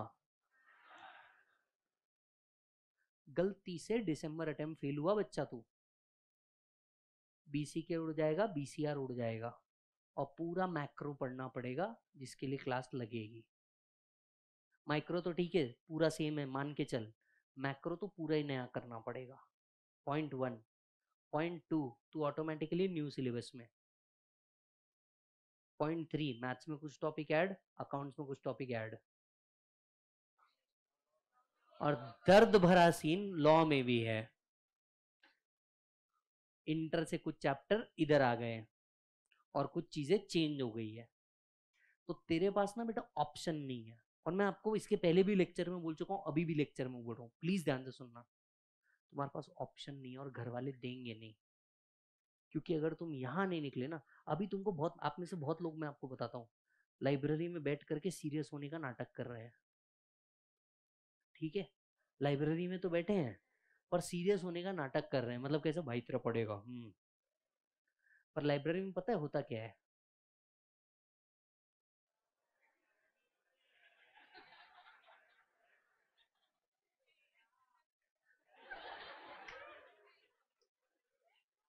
जो जेन्यनली पढ़ रहा है ना बेटा उसके पूरे चांसेस है पास होने के और हो जाओ इंस्टीट्यूट बहुत दर्द देता है मैं तुम्हारे को बता और तुम में से बहुत से लोगों ने ना बेटा अभी तक फेल का रिजल्ट नहीं देखा है फेल का रिजल्ट देखा नहीं और देखो भी मत क्योंकि जिस दिन तुम्हारा रिजल्ट आएगा ना ऐसा दिखेगा ऊपर Institute of Chartered Accountant of India नीचे तुम्हारा नाम और तुम आओगे सीधा नीचे तिल लगाने के इंडिविजुअल सब्जेक्ट्स क्या है पास या फेल गेम ओवर और उधर अगर पी के जगह एफ दिख गया ना मैं ईमानदारी से बता अबे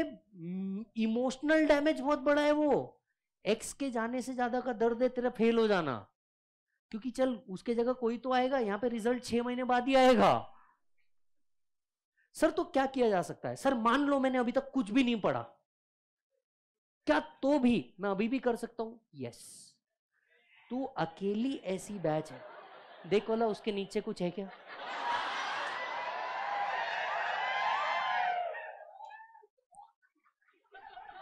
मैंने तेवर नहीं बदले मैंने स्पीड बदली है पढ़ाने की है ना नहीं बेचारा कुछ निकल जाएगा कुछ हो जाएगा बात समझ सुन बेटा धंधे पे ध्यान दे अभी तू क्या करना चाहिए देख तू लास्ट मंथ में है लास्ट मंथ में अभी तेरे मैराथन जैसे ही खत्म हुए तीन से चार दिन में तेरे मैराथन सारे खत्म हो जाते नेक्स्ट एक्टिविटी यू शुड देख फेल हुआ हूँ इसलिए तेरे को अपफ्रंट बता सकता हूँ एक ही चीज करने का बुक उठाने का और सीधे एमसीक्यू एमसीक्यू अब मैक्सिमम बच्चा फाउंडेशन में गलती क्या करता है मैक्सिमम बच्चा एंड तक के सिर्फ कंसेप्ट कंसेप्ट कंसेप्ट ही पढ़ता रहता तुम ये सबसे बड़ी गलती करोगे दूसरी गलती तुम क्या करोगे बैठ के आज बैठते आज तो अकाउंट्स के तीन चार चैप्टर ओवर कर देंगे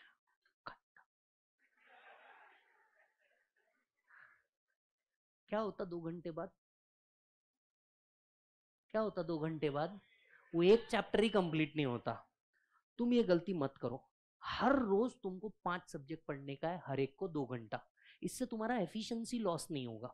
तो दो घंटा है तुम्हारे पास अकाउंट सिर्फ दो घंटा अकाउंट सॉल्व करने का मतलब पहली गलती कंसेप्ट नहीं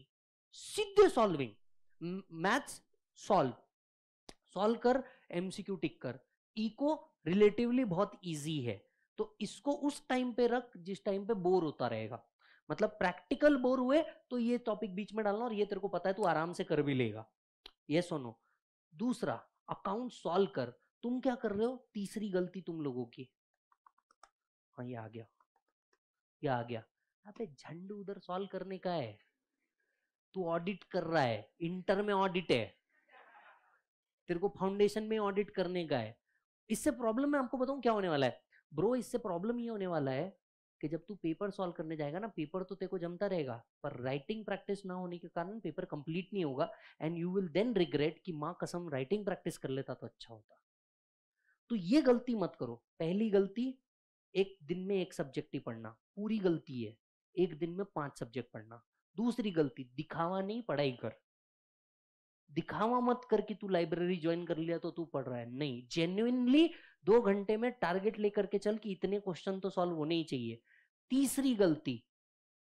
तीसरी गलती कंसेप्ट पढ़ना नहीं अब लास्ट मंथ सिर्फ और सिर्फ सॉल्विंग होनी चाहिए सिर्फ और सिर्फ कहीं अटके तो जाके कंसेप्ट पढ़ चौथी गलती चौथी गलती इस टाइम पे इमोशनल होना क्या होता है क्लास में जब थे तब अलग अलग थे फिर दिल जुड़ा पास में आ गए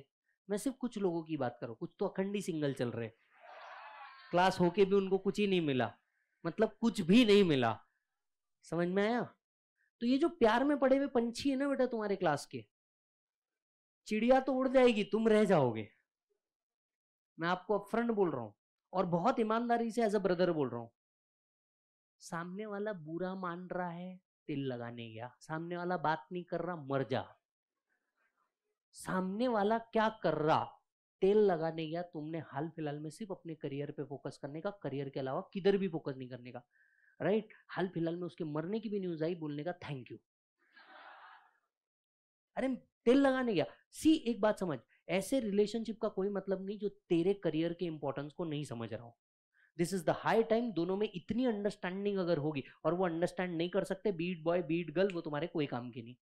वो तुम्हारे कोई काम के नहीं तिल लगाने गया this is the high time सिर्फ और सिर्फ पढ़ाई के ऊपर फोकस करो सॉल्विंग के ऊपर फोकस करो इमोशनल डैमेज गया तिल लेने के लिए पचास बार याद आएगी मैं खुद बोल रहा हूँ मेरा खुद का टाइम था मेरे साथ भी यही हुआ था अब होता क्या है एग्जाम का फ्रस्ट्रेशन इतना रहता था कि एक दूसरे पे निकलता फ्रस्ट्रेशन अरे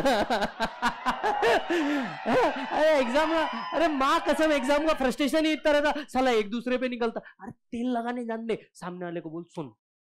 झगड़ा चालू हुआ सुन अभी नहीं रात में बात करते हैं रात में वापस झगड़ा अभी नहीं कल बात करते हैं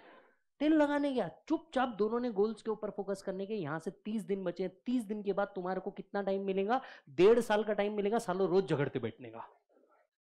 पर अभी ये टाइम नहीं है इमोशनल डैमेज का टाइम नहीं है तुम्हारे मेंटल पीस को एक जगह रखने का घर में फाइनेंशियल इशू आए तिल लगाने गया तू उसका कुछ नहीं कर सकता मम्मी पापा से झगड़ा हो सॉरी बोल के आगे बढ़ जाने का कोई भी अगले तीस दिन तुमसे झगड़ा करने आए मेरी गलती सॉरी समझ में आया अंडरस्टैंड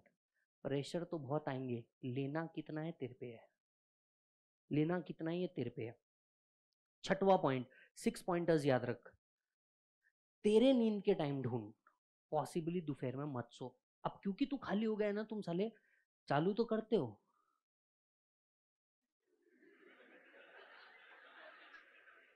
और जो प्यारी प्यारी निंदिया आती है आ, आ, आ गलत दोपहर के टाइम पे तेरे पेपर रहेंगे तो जैसी हैबिट लगाएगा वैसी लग जाएगी दोपहर के टाइम पे अपने आप को जगा के रख उस टाइम पे प्रैक्टिकल सब्जेक्ट उठा उस टाइम पे क्या उठा प्रैक्टिकल सब्जेक्ट उठा सॉल्व कर और ऐसे टॉपिक अभी भी तुम्हारे पास तीस दिन का टाइम है एक और गलती से बता रहा हूं बच जाना एक और गलती कौन सी है हार्ड टॉपिक को हाथ न लगाने की गलती तेरे पास तीस दिन बाकी है हार्ड टॉपिक सबसे पहले उठा अब भी गड़बड़ होगी तो समझ आ जाएगा इजी तो तू वैसे ही कर लेगा तुमने मेरे को चैप्टर नंबर फोर क्यों उठाने बोला इसमें कहीं कुछ याद नहीं आ रहा था अब कैसा सब हो गया ठीक है अब तुम्हारे को भी सेटिस्फेक्शन हाँ चल चैप्टर फोर तो हो गया वन में नहीं भी पढ़ाऊ ना तुम में से एक भी बुरा नहीं मानने वाला क्योंकि वन तुमको भी पता है तुम पंद्रह मिनट में कंप्लीट करोगे हार्ड वाले को पहले उठा के खत्म करने का इससे फायदा ये होता है तुम्हारा जो बहुत बड़ा प्रेशर होता है हाथी जैसा प्रेशर है वो डाउन हो जाता है यस अब अगर मैंने इसके बाद तुम्हारा चैप्टर नंबर थ्री खत्म कर दिया ना तुम्हारा प्रेशर ही खत्म हो जाएगा दिन भर का जो इस आए थे मोटिव से आए थे वो मोटिव पूरा लगेगा तुम्हारे को क्योंकि भैया तुम्हारे जो दो बड़े टॉपिक थे उसको ठोक ठाक के बाजू कर दिया अपन ने अब तुम्हारे को खुद को ईजी लगने लग जाएगा पहले हार्ड उठा लो टाइम बचा है ईजी तो तुमसे वैसे ही हो जाएगा समझ में आई बात तो ये सिक्स पॉइंटर थे जो तुमको एग्जाम से पहले रेडी रखना है अपने लिए ये बेसिक गलती मत करो मैं तुमको गारंटी देता हूँ तुम पास हो सकते हो मतलब मैं आपको एक बात बताता हूँ आप कोई भी क्लासेस लगा लो बीट एकत्वम ऑल्सो किसी टीचर के पास कोई जादू की छड़ी नहीं है यू नो पास हैरी पॉटर नहीं है हम ना ही ना ही ए डी जेड वो है क्या बोलते उसको वो कौन थे हैरी पॉटर के हॉकवर्ड्स के डम्बल डोर कोई कोई हैरी पॉटर एंड डम्बल नहीं है हम लोग और ना तुम हैरी पॉटर और जीतेगा वही जो कंसिस्टेंसी के साथ आगे बढ़ेगा आप में से बहुत लोग मेरे से एक और बात पूछेंगे सर दिन में पढ़ना कि रात में तेरे ऊपर है दोपहर में बस सो मत क्योंकि ये वो टाइम है जो तेरे एग्जाम का टाइम है बाकी तू कुछ भी कर हाल फिलहाल में तीस दिन के लिए सब चीजों से आउट हो जा सब चीज be it social media also out पचास बार मन करेगा कि चल यार ये कर लेते इधर जाके आ जाते उधर जाके आ जाते अपने मन को ही कंट्रोल करना है and that is the main game of success as per अध्याय six of Bhagavad Gita also the main game of success is to control yourself पचास बार मन बोलेगा दोस्त बोलेगा चलना एक काम करते चाय पी के आते लाइब्रेरी से दोनों जन उठे चाय पीने के लिए गए एक घंटा वेस्ट डेढ़ घंटा वेस्ट होता कि नहीं पांच मिनट की चाय के चक्कर में स्ट्रेट से नो दोस्त होगा समझ लेगा और दोस्त नहीं होगा तो तिल लगाने गया इंटर में नए दोस्त बनाएंगे पटे तो टेक नहीं तो राम टेक आए तो वेलकम नहीं आए तो भीड़ कब गेम ओवर समझ में आया दोस्तों की कमी नहीं है डिग्री होंगी पचास आएंगे बराबर है कि नहीं पर दिमाग में ये होना जरूरी है लोग आएंगे लोग जाएंगे सीए तो हम बन के दिखाएंगे तो जो तेरे साथ रहने वाला है ना तेरा दोस्त रहेगा वो आज भी समझ जाएगा कि नहीं कोई बात नहीं इसने नहीं बोल दिया पढ़ने दे इसको इसको नहीं छेड़ने का एक कोना पकड़ो और चुपचाप अपने आप को लॉस्ट कर दो कि भाई मैं लॉस्ट हूँ क्योंकि ये हुआ ना बेटा लोग तुमको देखेंगे और जिस दिन तुम्हारा फेल का रिजल्ट आ गया ना तुमको तुम्हारे ऊपर सेल्फ डाउट हो जाएगा self doubt is the worst thing you can ever have समझ में आया और नहीं तो किसी भी इंटर और फाइनल वाले को पकड़ो या जो फेल हुआ है उसको पकड़ो उसको बोलना कैसा होता तुम्हारे को एक्सप्लेन तक नहीं कर पाएगा कि इसका फीलिंग क्या है अंदर के अंदर घुटता है समझ में आया अंदर के अंदर बहुत घुटता है वो एक्सप्लेन ही नहीं कर पाएगा कि वो क्या रहा है उसके साथ इज दैट डन बेटा चलो अब एक छोटा सा टॉपिक उठाते हैं क्योंकि एक बहुत बड़ा टॉपिक हुआ है चलो फटाफट एक छोटू सा टॉपिक उठाते हैं बिजनेस साइकिल उठाएंगे चलो chapter number five BC chapter number five BC आ जाओ बेटा बीसी बोले तो वाह बेटे वाह बीसी बोले तो बिजनेस साइकिल बहुत ही छोटा सा टॉपिक और फिर हम देंगे लंच ब्रेक है ना बीसी बोले तो बिजनेस साइकिल हम्म बोलो these are these are rhythmic fluctuation. These are rhythmic fluctuation in aggregate economic activity. These are rhythmic fluctuation in aggregate economic activity that an economy experience that an economy experience क्या मैं इसको trade cycle या business cycle भी बोल सकता हूँ also called as बोलो बेटा trade cycle oblique business cycle also called as also called as periodic booms and slumps I said booms periodic booms and slumps. It is natural rise oblique fall in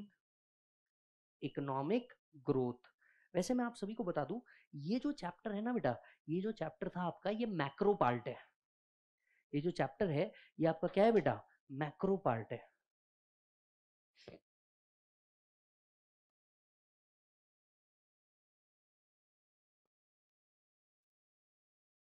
yes इसका curve कैसा होता था याद है कुछ ऐसा इसको हम क्या कहते थे एक्सपांशन इसको क्या कहा जाता था पीक इसको क्या कहा जाता था कॉन्ट्रैक्शन इसको क्या कहा जाता था थ्रू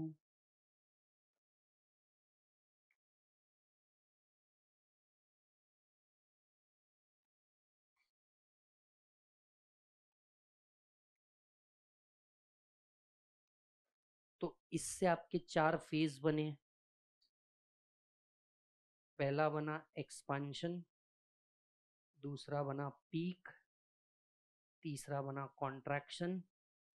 और चौथा बना trough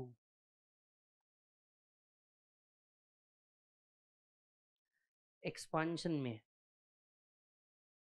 there is a increase in बोलो national output employment demand consumer expenditure तो भैया चार फेज होते हैं पहला फेज होता है एक्सपांशन क्या एक्सपांशन में अभी इंडिया बैठा है भाई साहब आज फिर मार्केट का नया रिकॉर्ड टूट गया बीस हजार पांच सौ पचास मार्केट ने फिर नया रिकॉर्ड कर दिया क्यों तीन स्टेट में जीत के आ गई जो दो हजार चौबीस भी शायद जीते आपको उम्मीद तो थी सिर्फ एक स्टेट की आ गए तीन स्टेट मध्य प्रदेश तो कंफर्म था Rajasthan and Chhattisgarh was a issue technically वो तेलंगाना भी जीते ही है पूछो कैसे सर जितनी सीट थी उसके डबल कर दिया टेक्निकली जीते हाँ इलेक्ट होकर के नहीं आए as a government with clear majority but Telangana में भी उनकी जीती है लॉजिकली क्योंकि उनकी जितनी सीट्स थी सब इंक्रीज हो गई सो so, अगर आप देखोगे जब इकोनॉमिक एक्सपांशन में होती है for example India F market में आ रहा डी मार्केट में आ रहा हर चीज इंक्रीज हो रही लोगों का एम्प्लॉयमेंट इंक्रीज हो रहा नेशनल आउटपुट विपक्ष बोल रहा लोगों को एम्प्लॉयमेंट नहीं है कहाँ दिखा इलेक्शन में आपका एक मुद्दा नहीं चल पाया आपका एक मुद्दा नहीं चल पाया कोई मुद्दा नहीं चल पाया मतलब जाहिर सी बात है it is not about Congress और BJP it is about India is in expansion mode तो हर एक को काम मिल रहा है हर एक को एम्प्लॉयमेंट आ रहा मान लो लोगों के पास एम्प्लॉयमेंट नहीं भी है ये सुनो मान लो लोगों के पास एम्प्लॉयमेंट नहीं भी है तो टी शर्ट के अंदर में हाथ डाल के मोए मोए वीडियो बनाए जा रहे हैं मोए मोए मतलब लोगों के पास कुछ तो है कि नहीं है और कुछ नहीं मतलब बादल बरस बिजली बादल को पानी कुछ तो करके आप कमा रहे हो कि नहीं कमा रहे हो यानी देर इज नो एम्प्लॉयमेंट अगर थोड़ा सा अनएम्प्लॉयमेंट है भी तो वो वॉलेंट्री अनएम्प्लॉयमेंट है वो क्या है बेटा वॉलेंट्री अनएम्प्लॉयमेंट है इज इन्वेस्टमेंट इंक्रीजिंग इन्वेस्टमेंट क्या हो रहा है बेटा इंक्रीज क्या पीपल एंजॉय कर रहे हैं high standard of living people enjoy high standard of living मैंने लिविंग कहा यस पीक पीक को हम क्या कहते हैं बेटा highest point of business cycle peak is highest point of business cycle input are difficult to find input नहीं मिलते for example USA China are on their peak inputs नहीं मिलते दूसरों से मंगाने पड़ते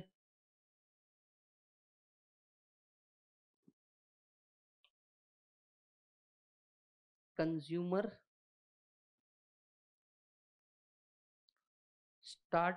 reviewing their expenditure consumer start reviewing their expenditure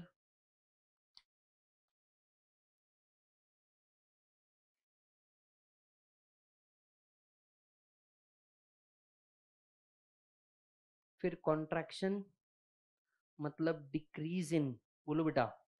demand oblique investment decrease in demand oblique investment producer produce less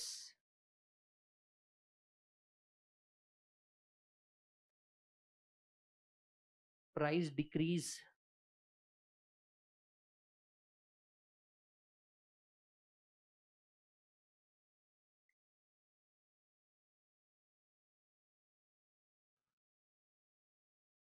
consumer expect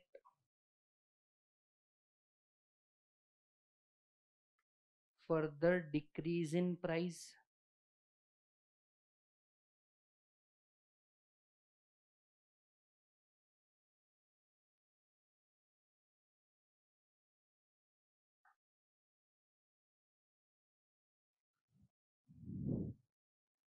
and last आता है बेटा trough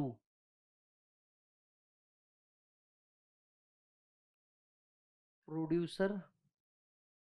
anticipate lower cost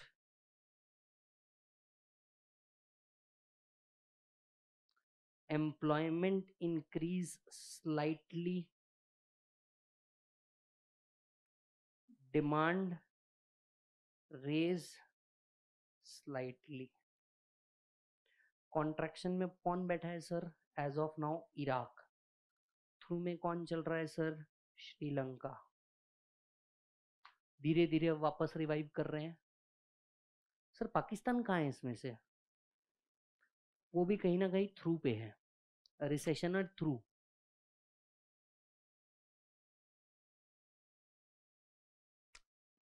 वापस से अगेन बीच में बहुत एक्सट्रीम हो गया था फिर कुछ स्टेप्स लिए वापस से धीरे धीरे ग्रो कर रहे हैं बट हाँ वो है थ्रू में ही जिसको हम रिसेशन का ही पार्ट मानेंगे ओ ये चलो अब इस पे आपको इतने एमसीक्यू नहीं आते जितने इस पे आएंगे इंडिकेटर भैया इंडिकेटर हम्म बोलो इंडिकेटर कितने तरह के इंडिकेटर होते हैं बोलो जल्दी जल्दी एवरीवन तीन होने से पहले पता चले तो लीडिंग होते हुए पता चले तो कोइंसिडेंट और होने के बाद पता चले तो लैगिंग यस और नो पापा ने फोन करके बोला घर आ बात करनी है लीडिंग इंडिकेटर है अपनी लग गई है यस और नो इसी बीच मम्मी का भी आ जाना अभी तो और सुनो मैं और बताती हूं अब आपको पता है और लगेगी कोइंसिडेंट होने के बाद बहन आई क्या हुआ ये इतना शांत क्यों बैठा है लाइन सब होने के बाद उसको पता चलता ओ oh, शिट मैं भी बोल सकती थी पाँच छः पॉइंट यस सो इंडिकेटर कितने मालिक तीन एक दो तीन पहला है लीडिंग दूसरा है कोइंसिडेंट और तीसरा है लैगिंग इंडिकेटर यस मालिक leading indicator leading indicator which change before the economy change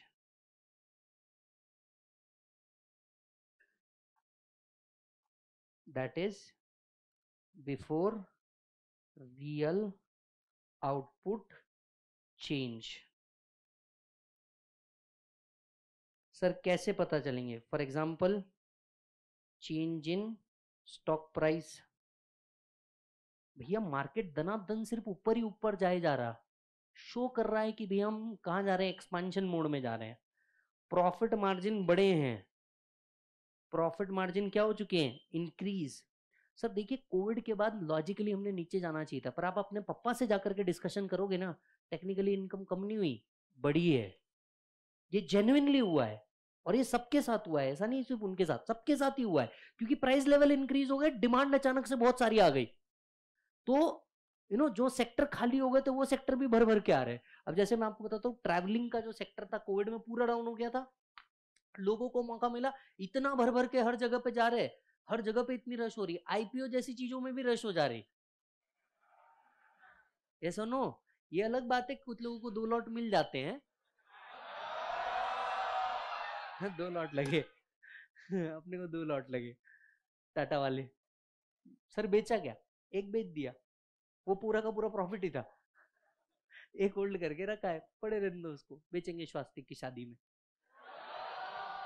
बराबर है कि नहीं उसमें भी उसने लव मैरिज करके आया तो खर्चा बचा टेंशन नहीं भाई तू चल जा लेके आ जा डायरेक्ट टेंशन मत ले खर्चा मत करवाओ और है कि नहीं सर ये मस्त है सर मतलब आप उसको अलाउ करोगे मैंने कौन से मेरे पप्पा की सुनी मैंने नहीं सुनी मैं उससे कहा से एक्सपेक्ट करूँ वो मेरे से सुनेगा ये सुनो भाई का बर्थडे हुआ ठीक है भाई का बर्थडे हुआ पता है क्या बोलता है बोलता है वो पप्पा वो सिक्स फ्लोर पे वो रहती है ना उसको बुलाओ मैं पल्ल मैं पल्लवी को देख रहा पल्लवी मेरे को देख रही बहू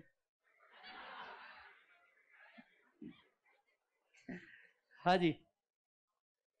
index of consumer increase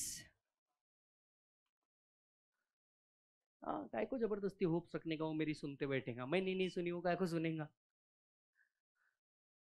lagging indicator sorry coincident indicator बोलो कोइंसिडेंट इंडिकेटर में क्या होने वाला है मालिक which happens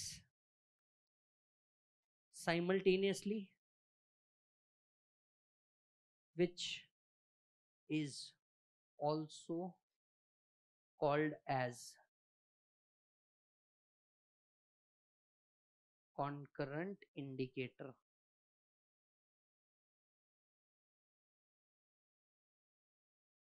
it occur simultaneously with बोलो बेटा business cycle. It occurs simultaneously with business cycle.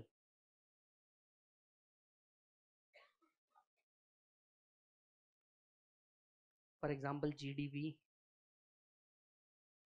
personal income, etc. Lagging indicator, which happens after the event. It shows historic performance.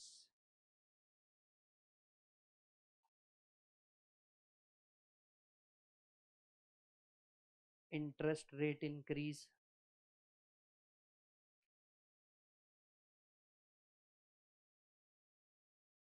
consumer index affected etc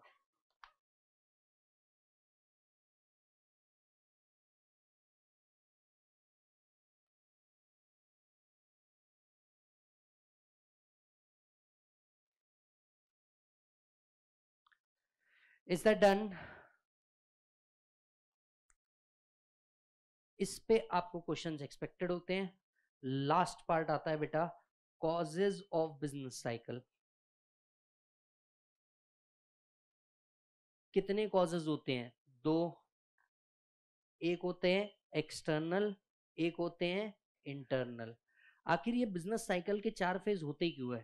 भैया सीधे से बताइए आप खुशी या दुखी किन रीजन की वजह से होते हो दो कुछ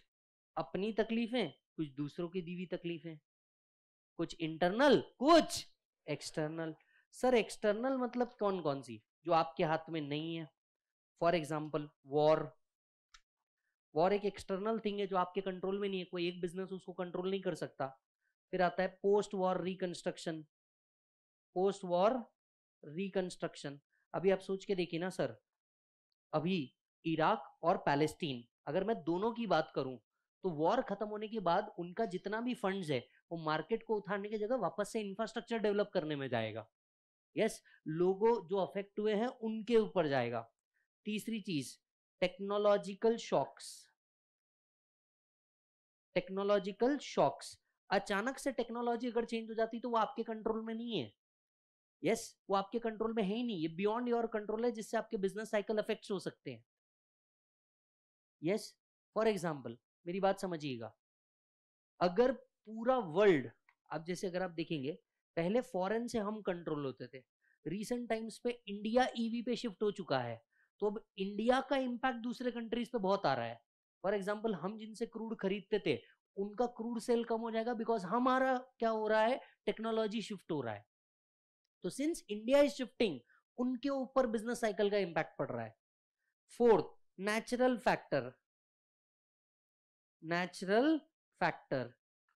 sir flood typhoon earthquake civil war ऐसा कुछ अगर आ जाता है तो नेचुरल फैक्टर पे आपके डिमांड साइकिल चेंज हो जाएंगे अभी कोई बोलते नहीं आता अचानक से अगर नवंबर में बारिश आ गई तो हो सकता है जिन लोगों ने एग्रीकल्चर की खेती किया हो या अदर किया हो उनकी तो फसलें बर्बाद होने के चांसेस है ही ना तो बिजनेस इंपैक्ट हो सकता है नेचुरल फैक्टर्स से भी एंड नेक्स्ट पॉपुलेशन ग्रोथ ये आपके हाथ में किधर है सर आप रुक जाओगे लोग थोड़ी रुक रहे हैं आप रुक जाओगे लोग थोड़ी रुक रहे हैं लोग तो अपना कर ही रहे हैं ना जो उनको करना है तो पॉपुलेशन ग्रोथ अगेन एक प्रॉब्लम है जो आपके बिजनेस को इम्पैक्ट करेगी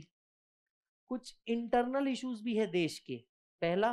चेंज इन डिमांड अगर डिमांड में चेंज हुआ तो बिजनेस साइकिल चेंज होगा फॉर एग्जाम्पल अगर इंडिया की डिमांड बढ़ गई तो हम अचानक से एक्सपांशन में चल जाएंगे as in part of India हमारी डिमांड ही कम हो गई तो हम यू you नो know, नीचे आ जाएंगे देन आता है चेंज इन इनकम सिंपल है सर अगर इनकम बढ़ी तो हम एक्सपांशन या पीक की ओर जाएंगे अगर लोगों की इनकम कम हो गई तो हम कॉन्ट्रैक्शन या रिसेशन में जाएंगे तीसरा है सर तीसरा है sir macro economic policy sir अगर ये फेवरेबल रही तो आपको एक्सपांशन या पीक दिखाएंगे अगर ये इनफेवरेबल रही तो आपको कॉन्ट्रैक्शन या रिसेशन दिखाएंगे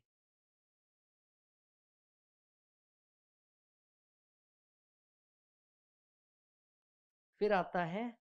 मनी का सप्लाई मनी सप्लाई अगर इंक्रीज हुआ एक्सपांशन या पीक डिक्रीज हुआ कॉन्ट्रैक्शन या रिसेशन फिर other psychological factors other psychological factors as पर पिगू सर पिगू कहते हैं अगर पेसिमिज्म है या ऑप्टिमिज्म है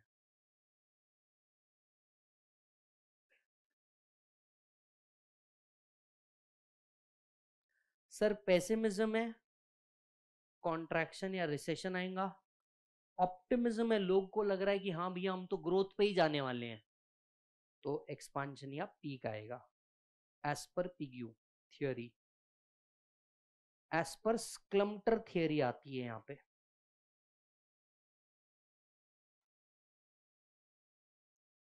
स्क्लमटर कहते हैं न्यू इनोवेशन आएंगे तो एक्सपांशन या पीक देखने को मिलेगा नो इनोवेशन रहेंगे तो आपको कॉन्ट्रैक्शन या रिसेशन देखने को मिलेगा तो एक है पिगू का थेरी दूसरा स्क्लम्टर का थेरी और तीसरा है Nicholas Kaldor theory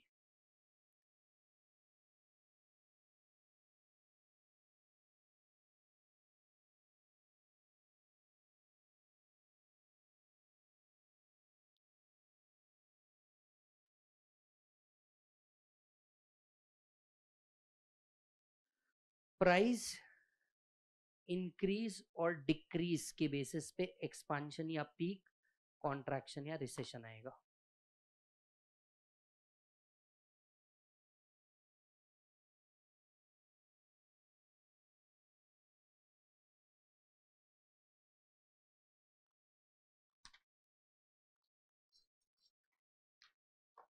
is that done chapter number five is also over chapter number five के तीन पार्ट थे सबसे पहले समझना था व्हाट इज बिजनेस साइकिल फिर समझना था four phases of business cycle फिर समझना था इसके तीन इंडिकेटर और फिर समझना था आखिर ये आते क्यों है internal causes and external causes is that done yes before the break we have concluded with two fifth of your syllabus आते ही सुनो यहाँ से 45 मिनट्स का ब्रेक है yes yes, fifteen we will again meet and will start with chapter number three yes bye बोलो बच्चों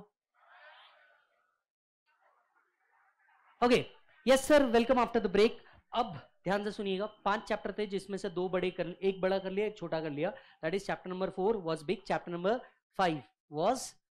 small ठीक है अब हम करने जाने हैं chapter number three yes chapter number three दो बात बोलता है भैया कौन कौन सी पहली बात करता है प्रोडक्शन की और दूसरी बात करता है किसकी बेटा कॉस्ट की ठीक है तो हम लोग सबसे पहले चालू करने जा रहे हैं क्या बेटा प्रोडक्शन ठीक है हम लोग सबसे पहले चालू करने जा रहे हैं क्या बेटा प्रोडक्शन सर प्रोडक्शन मतलब क्या होता है production is a relationship between input and output production is a relationship between input and output इसको हम कहते हैं production yes Sono so production ship is a relationship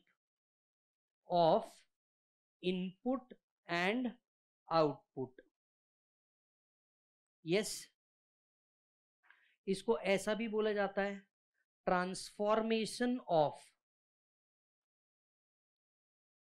resources into finish product transformation of resources into finish product is also called as production production creates utility production क्या बनाती है बेटा utility बनाती है अब utility के टाइप होते हैं एवरीबॉडी याद आ रहा है मालिक यूटिलिटी के क्या थे बेटा टाइप चार तरीके की यूटिलिटी प्रोडक्शन के थ्रू आ सकती है पहला एनीवन फॉर्म यूटिलिटी याद था आपको दूसरा क्या था मालिक प्लेस यूटिलिटी तीसरा यूटिलिटी था टाइम यूटिलिटी और चौथा यूटिलिटी है personal utility so to all people out there production मतलब क्या होता है production is a relationship of input and output input और आउटपुट का जो रिलेशन है इनपुट एंड आउटपुट का जो रिलेशन है उसको हम क्या कहते हैं प्रोडक्शन इनपुट एंड आउटपुट का जो रिलेशन है उसको हम क्या कहते हैं प्रोडक्शन कहते हैं कोई भी प्रोडक्शन से हमको क्या मिलती है यूटिलिटी क्रिएट होती है कितने तरीके की यूटिलिटी है चार पहला है फॉर्म यूटिलिटी फॉर्म यूटिलिटी क्या होता है मालिक converting natural resource into a finish goods is called as form utility yes converting the natural resource into finish goods is called as form utility let me give you a simple example yes आपने log of wood लिया और would को आपने काय में convert कर दिया furniture में कन्वर्ट कर दिया तो आपने नेचुरल रिसोर्स को काय में कन्वर्ट कर दिया कोई यूजेबल प्रोडक्ट में कन्वर्ट कर दिया राइट इसको हम कहेंगे फॉर्म यूटिलिटी इसको हम क्या कहेंगे बेटा form utility yes please write down converting natural resource into finish goods converting natural resource into finish goods इसको हम कहेंगे form utility for example wood into furniture for example wood into furniture आ रहा है तो पहला हुआ फॉर्म यूटिलिटी फॉर्म यूटिलिटी मतलब क्या होता है कोई भी नेचुरल चीज को काय में कन्वर्ट कर देना फिनिश गुड्स के अंदर में कन्वर्ट कर देना इसको हम कहते हैं फॉर्म यूटिलिटी यस नेक्स्ट है बेटा प्लेस यूटिलिटी प्लेस यूटिलिटी का मतलब क्या होता है प्लेस यूटिलिटी का मतलब होता है आप कोई भी प्रोडक्ट को उस प्लेस से उठाओ where it is of no use और लिटिल यूज कन्वर्ट कर दो उस जगह पे या लेकर चल जाओ उस जगह पे where it is of great use let me give an example coal coal को आप कहां से निकालते हो जमीन में लेके आ रहे हो where it is of no use to factory में लेकर के आ रहे हो जिससे क्या हो रहा है बेटा प्रोडक्शन तो कोई भी चीज को वहां से उठाओ where it is of no use वहां लेके चल जाओ where it is of great use इसको हम कहते हैं प्लेस यूटिलिटी इसको हम क्या कहते हैं बेटा place utility so changing the place of resource changing the place of resource आपका वो प्रोजेक्टर चालू करना place of resource where it is of no use to a place of use for example coal to factory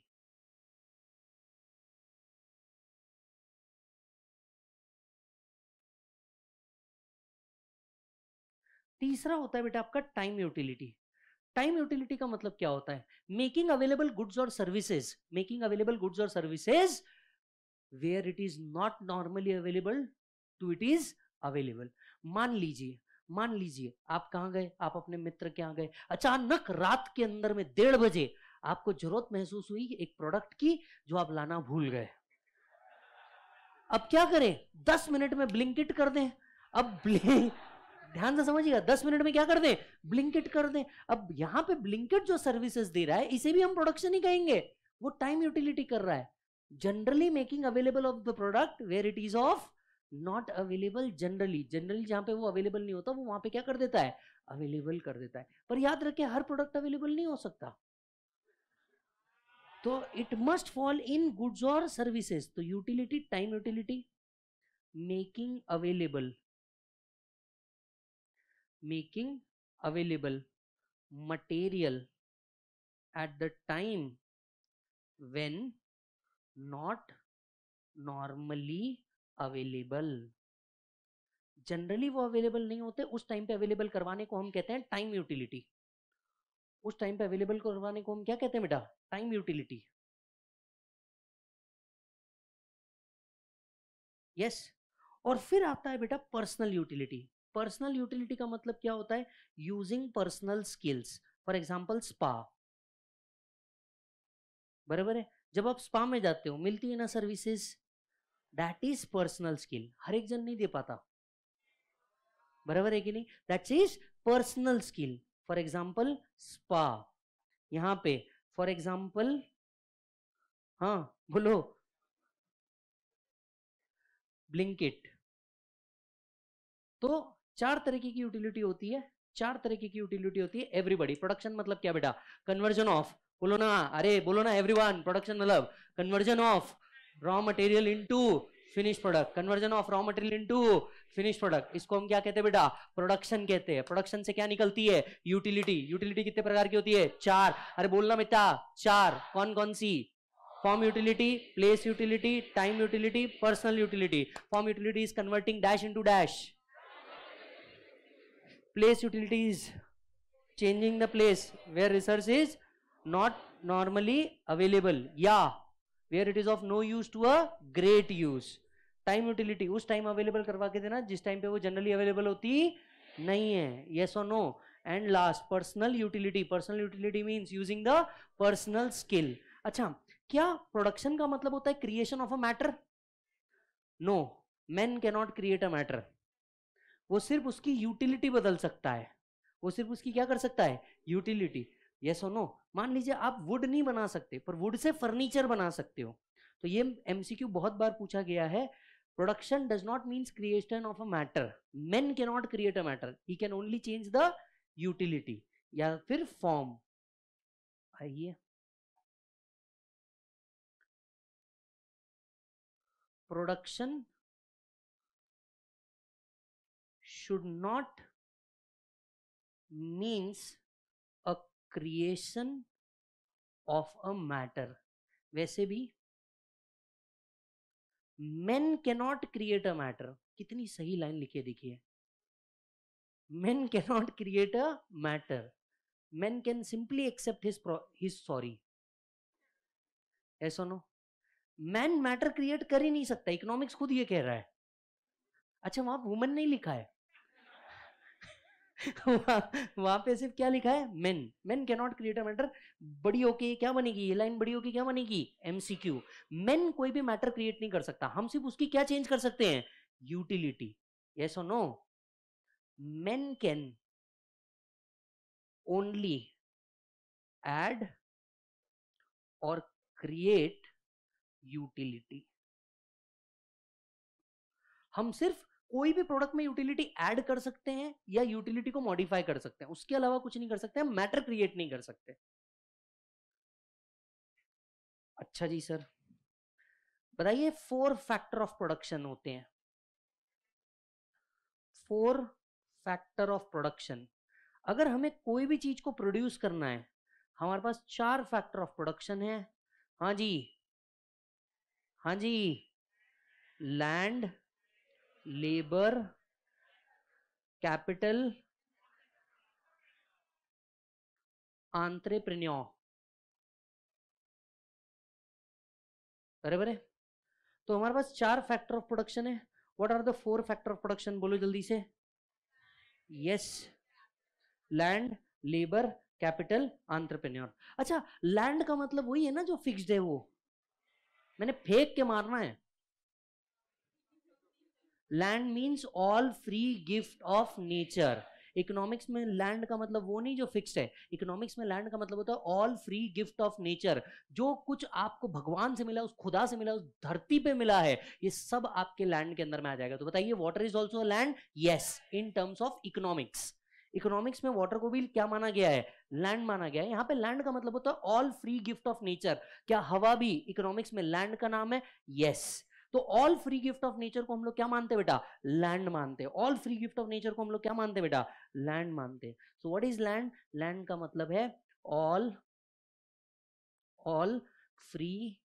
gift of nature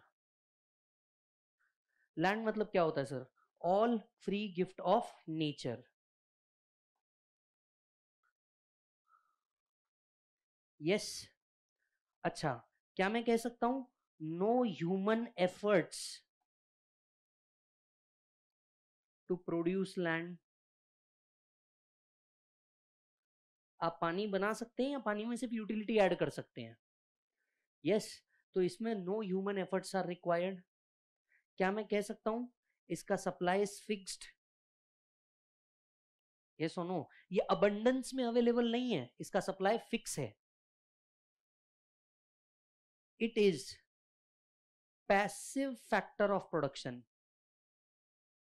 it is passive factor of production sir passive मतलब ये खुद होकर के कुछ produce नहीं करेंगे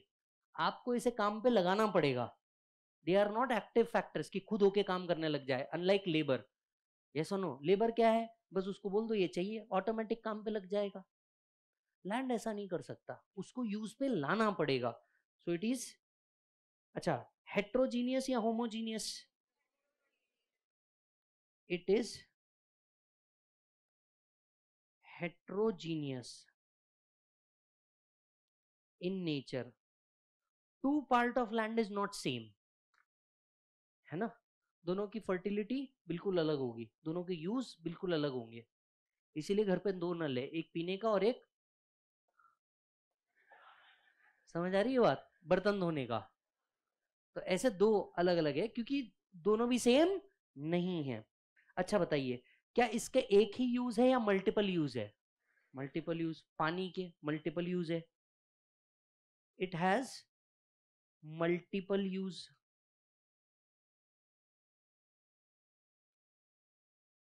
it has multiple use अलग अलग चीजों के लिए आप यूज कर सकते हो है ना next next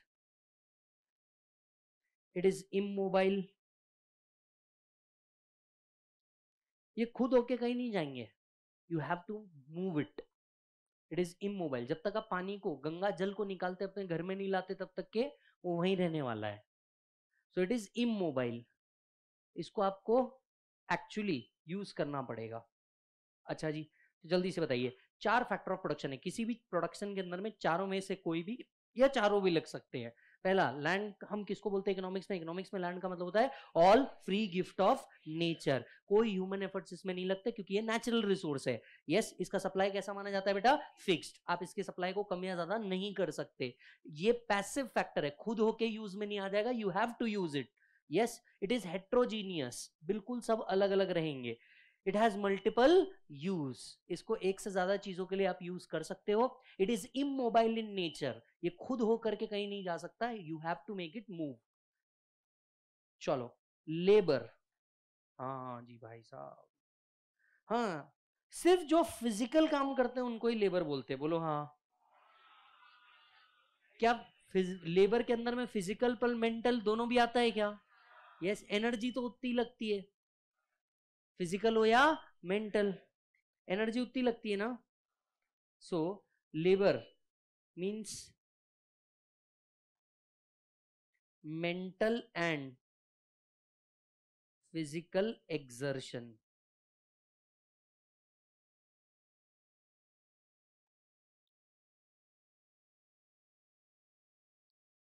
yes yes. अच्छा जी सर सर मुझे बताइए इट इज होमोजीनियस या heterogeneous it is heterogeneous it is heterogeneous आप में से कुछ नालायक मुझे बोल सकते हैं सर ये होमोजीनियस होंगे कैसे इसका इसका और इसका प्रोडक्शन कैपेसिटी सेम है क्या नहीं कैसी बातें कर रहा हर लेबर का प्रोडक्शन कैपेसिटी सेम रहेगा क्या नहीं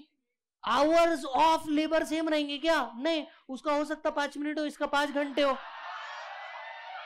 नहीं भाई सबका अलग अलग हो सकता ना सेम थोड़ी ना रहेगा तुम कैसे बोल सकते हो यस सुनो नो तो सबका अलग अलग रहेगा इट इज हेट्रोजीनियस सेम नहीं है सबका प्रोडक्शन कैपेसिटी जो है ये कैसा रहेगा बेटा डिफरेंट अच्छा बताओ ये एक्टिव रहेंगे या पैसिव रहेंगे एक्टिव खुद होके चालू पड़ जाएंगे देखा खुद होके चालू पड़ गए दिस इज एक्टिव फैक्टर अच्छा जी बताइए इनके पास पुअर बार्गेनिंग पावर है या गुड बार्गेनिंग पावर है पुअर बार्गेनिंग पावर कई बिचारे तो बिचारे यू नो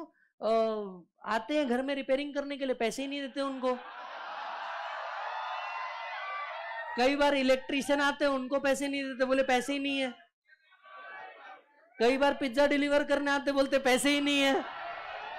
तो क्या होता है तो क्या होता है नहीं मैं ये समझने की कोशिश कर रहा हूं तुम हंस क्यों रहे हो देखा कुछ पॉइंट ऐसे होते हैं जिनको हम सब कॉमन गए हैं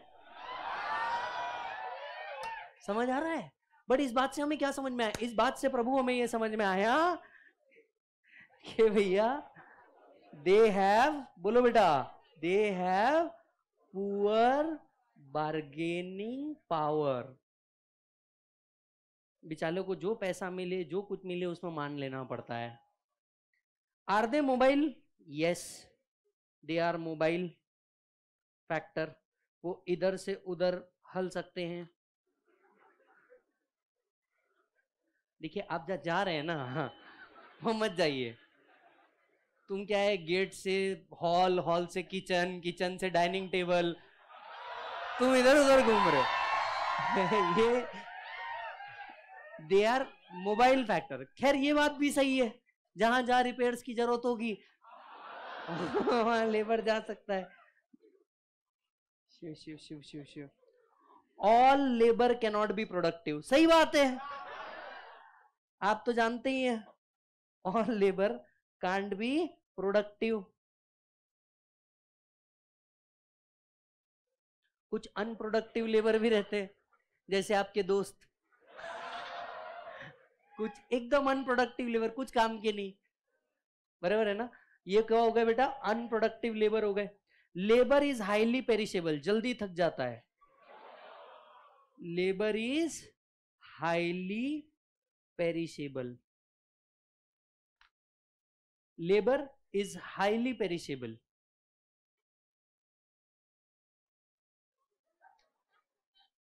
अच्छा बताइए इनका सप्लाई एडजस्ट हो सकता है क्या supply of labour can not be adjusted labour का सप्लाई सर जल्दी से नहीं तुम्हारे को यू नो अचानक दोपहर में सूझेगा चलो अचानक बीच नहीं मिलता अरे भैया लेहर ध्यान से समझना लेबर दिहाड़ी पे वर्क करता है हो सकता है सुबह कहीं और जा चुका होगा वो तो तुम बोलोगे मेरे को अब बीच मांगता ऐसा नहीं होता ऐसा नो जब तुमको याद आए तब नहीं हाँ its supply not be adjusted तुम बोलोगे अचानक से एक काम करो दो लोगों को लेके आओ कैसे आएंगे ऐसा थोड़ी ना होता कहीं से भी आना पॉसिबल नहीं है its supply not be adjusted हाँ labour has choice of hours of work वो अपने हिसाब से सिलेक्ट कर सकता है दिन में या रात में उसको कब काम करना है he has a choice of working उसको कब काम करना है ही कैन सिलेक्ट बराबर है ना ऐसा अचानक से कभी भी that's okay but he can select the hours of labor and hours of pleasure. Is that done चलो वापस से बताइए क्या दोनों भी इम मोबाइल है या दोनों भी मोबाइल है या एक मोबाइल है एक इम मोबाइल है capital is sorry land is ये मोबाइल ये फिक्स्ड है ये सोनो इसका सप्लाई कैसा है फिक्स्ड इसका सप्लाई फिक्स्ड नहीं है yes heterogeneous heterogeneous passive active ठीक है मालिक ये हो गए दो तीसरा आता है कैपिटल ये सुनो capital is a part of wealth of individual ये इंडिविजुअल का वो पार्ट है जो वो वेल्थ के लिए यूज नहीं कर रहा understand there is a difference in wealth and difference is capital wealth no income generation no income generation for example car जो कार अपन लेकर के आ रहे हैं यस yes, जो कार अपन लेकर के आ रहे हैं ये आपका वेल्थ तो है पर आप इसको कैपिटल नहीं बोलोगे क्योंकि कैपिटल से वापस से इनकम जनरेट होती है हम कैपिटल किसी भी चीज को तब कहते हैं जब इससे वापस से इनकम जनरेट हो otherwise it is a wealth but not a capital इसलिए कैपिटल को क्या गया है wealth of a person yes ये वो वेल्थ है जिसको हमने वापस इनकम प्रोडक्शन के लिए काम पे लगाया let me give you an example आपका बैच पढ़ा करके मेरे को अगर लेट से हजार रुपए आए बराबर अब ये हजार रुपए ये हजार रुपए में से मैंने तीन सौ रुपए स्टॉक मार्केट में लगा दिए और बचे हुए सात सौ से कार खरीद ली लॉजिकली सोच के देख this seven hundred is also my wealth that three hundred is also my wealth but ये जो सेवन हंड्रेड है जो मैंने कार में लगा दी ये प्योरली मेरी वेल्थ मानी जाएगी और थ्री हंड्रेड जो मैंने वापस कैपिटलाइजेशन पे लगाए उसको क्या बोलते हैं हम कैपिटल सो कैपिटल में आपका क्या होगा ब्रो कैपिटल में आपका क्या होगा कैपिटल में आपका इनकम जनरेशन होगा फॉर एग्जाम्पल इसे हम कहेंगे इन्वेस्टमेंट तो जो वेल्थ में से आपका इन्वेस्टमेंट है इस पार्ट को हम लोग क्या कहते हैं बेटा capital so what is capital capital is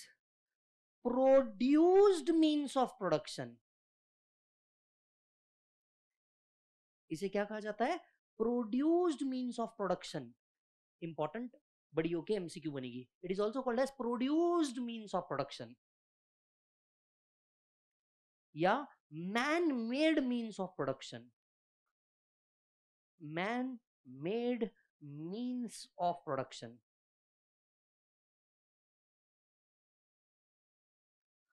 आपके मन में बहुत जोर से उठेगा एक सवाल how capital is formed how capital is formed कुछ याद आ रहा है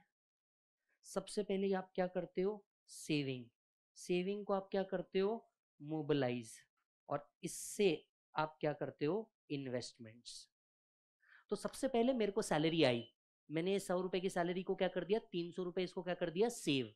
इसको अलग निकाल दिया इस सेविंग से मेरे को दस रुपए डिविडेंड आए तो जो मैंने तीन सौ रुपए मेरे सेविंग से निकाले इसको मैंने मोबालाइज किया इन्वेस्टमेंट के लिए और उससे मेरे को अगेन दस रुपए का डिविडेंड आया दैट इज इन्वेस्टमेंट इनकम तो इसी तरीके से हमारा कैपिटल फॉर्म होता है हमारे को सैलरी आई इसमें से हम कुछ पार्ट क्या कर देते सेव जब बहुत सारी सेविंग हो गई इस सेविंग को हम करते मोबिलाइज और उससे हम वापस से क्या जनरेट करते कैपिटल इन्वेस्टमेंट करके उससे क्या जनरेट करते capital so this is how capital is formed अच्छा फिर हमारे मन में आता है टाइप ऑफ कैपिटल कैपिटल के कितने प्रकार है एनीवन चार एक दो तीन चार चार तरीके के कैपिटल पहला है रियल कैपिटल पहला क्या है बेटा रियल कैपिटल रियल कैपिटल का मतलब क्या होता है physical goods for example building ये आपके रियल कैपिटल हो गए इसीलिए देखिए अकाउंट्स में भी जब आप इसको क्लासिफाई करते हो आप इसको रियल अकाउंट्स लिखते हो ये हो गया आपका रियल कैपिटल दूसरा हो गया ह्यूमन कैपिटल आपके ह्यूमन कैपिटल आपके कौन हो गए बेटा एम्प्लॉय यस तो इकोनॉमिक्स के अंदर में ह्यूमन को भी क्या माना गया है कैपिटल माना गया है तीसरा जिसे छू सकते हो महसूस कर सकते हो टेंजिबल कैपिटल तो हर वो चीज जिसे छू सकते हो महसूस कर सकते हो right this is perceived by senses जिसे छू सकते हो महसूस कर सकते हो ऐसा मस्त टेबल तो ये कौन सा कैपिटल हो गया बेटा टैंजिबल कई बार सिर्फ देखना होता है छू नहीं सकते छूना पॉसिबल नहीं है देख देख के ही कई बार बढ़ सकते हैं फॉर एग्जाम्पल गुडविल ये सुनो कई बार ब्रांड आप बार बार देखते रहो बार बार देखते रहो तो आपको लगता है कि नहीं यार ये बहुत बड़ा ब्रांड है goodwill yes sir why capital is required why capital is required अच्छा मुझे एक बात बताओ आदमी को कैपिटल चाहिए क्यों Repairs एंड रिनोवेशन हमें पैसे की जरूरत क्यों पड़ती है आगे चल के जो असेट्स हमने लिए इसको रिपेयर करें या रिनोवेट करने के लिए हम इसके लिए पैसे लेते हैं या फिर creation of additional facility creation of a additional facility कोई additional facility create करने के लिए भी आप क्या कर सकते हो capital ले सकते हो फॉर एग्जाम्पल एग्जिस्टिंग कार को रिपेयर करने के लिए पैसा लगेगा आपको इसके लिए कैपिटल लगेगा हो सकता है कार ही नहीं की नहीं ले लो creation of an additional facility तो why we need capital we need capital for two thing everybody we need capital for two thing पहला रिपेयर्स एंड रिनोवेशन दूसरा creation of an additional facility are you getting the point yes चलो वापस से everybody यहां तक का जितना पढ़े सब रिकॉल कर रहे हैं रिवीजन नंबर थ्री प्रोडक्शन मतलब क्या बोलते जाओ बोलते जाओ शांत नहीं बैठना बेटा बवाल करना है इनपुट एंड आउटपुट क्या हमें ट्रांसफॉर्म करना है यस yes. किसको रिसोर्सेस को काय में finish product production creates utility कितने प्रकार की यूटिलिटी होती है कौन कौन सी यूटिलिटी बेटा यस yes, उस टाइम पे प्रोडक्ट अवेलेबल करवा के देना जिस टाइम पे वो नॉर्मली अवेलेबल नहीं है कौन सी यूटिलिटी है yes converting raw material into finish goods बहुत बढ़िया पर्सनल स्किल पर्सनल यूटिलिटी चार फैक्टर ऑफ प्रोडक्शन है कौन कौन से can man create a matter can he only add utility yes दो सॉरी एक इमोबाइल फैक्टर बताओ एक मोबाइल फैक्टर बताओ जिसके पास पूरा बार्गेनिंग पावर है दो heterogeneous factor yes one one which is active active factor one which is passive factor good हाँ जी what is capital capital is a part of wealth of individual capital is a capital is a ठीक है wealth से कोई income generate हो सकती है क्या नहीं उस पार्ट ऑफ वेल्थ से जिससे वापस इनकम जनरेट होगी उसे हम क्या कहेंगे कैपिटल क्या कैपिटल को प्रोड्यूस मीन ऑफ प्रोडक्शन भी कहा जाता है क्या इससे man made mean of production भी कहा जाता है यस yes. कैपिटल कैसे फॉर्म होगा सबसे पहले आप क्या करेंगे सेविंग सेविंग को आप क्या करेंगे मोबिलाइज और मोबिलाइज को बाद में आप क्या करेंगे इन्वेस्ट फिर वहां से वापस क्या जनरेट होगा कैपिटल कैपिटल का पर्पज क्या है दो पहला रिपेयर एंड मेंटेनेंस या creation of a new facility तो एग्जिस्टिंग जो लिया उसको रिपेयर करने के लिए या तो नया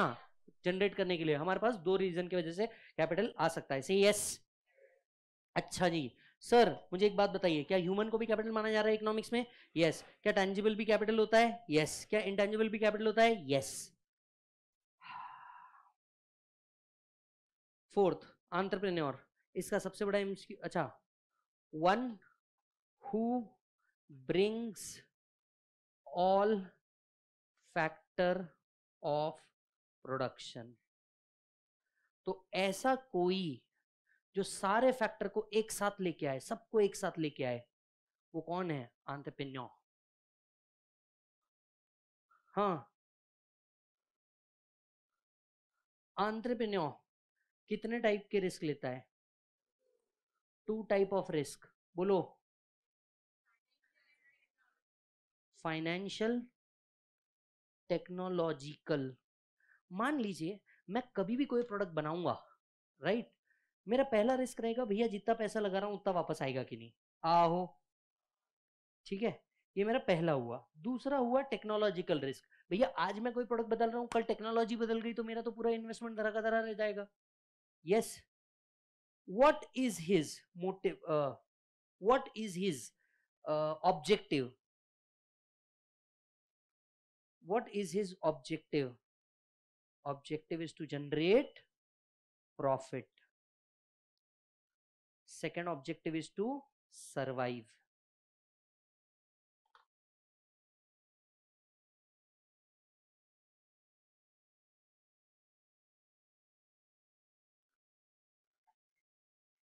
as per computer innovation is the true function of entrepreneur computer कहते हैं आंट्रप्रेन्योर का बड़ा इनोवेशन या आंट्रप्रेन्योर का मेजर फंक्शन ही क्या होता है इनोवेशन फोर टाइम आज दिन एमसीक्यू किसने इनोवेशन के कंसेप्ट को आंट्रप्रेन्योर से जोड़ा computer yes or no so can i say profit is the reward for entrepreneur profit is the reward for bolo aisa kon kehta hai frank Knight Frank Knight का कहना है भैया entrepreneur को इतनी उठा पटक करके क्या मिलती है प्रॉफिट इतनी उठा पटक करके उसको क्या मिलती है बेटा प्रॉफिट प्रॉफिट के अलावा उसको कुछ नहीं मिलता ये सोनो चलिए तो ये है चार फैक्टर ऑफ प्रोडक्शन कुछ और चीजें कुछ और चीजें objective of business and problems in achieving objective her business को इन शॉर्ट प्रोड्यूस करने के कुछ ऑब्जेक्टिव होते हैं ऑब्जेक्टिव ऑफ बिजनेस और problems in achieving the objective problems in achieving the objective her production करने के कुछ ऑब्जेक्टिव होते हैं और इन प्रोडक्शन करने में कुछ प्रॉब्लम्स आती है यस yes, एक बच्चा पूछ रहा है सर एनिमल देखी कि नहीं बेटा धंधे पे ध्यान दे दे है ना एनिमल तेरे को प्रॉफिट नहीं देगा लेकिन अगर तू इधर टिका रहा तो एनिमल जितना प्रोड्यूस कर पाएगा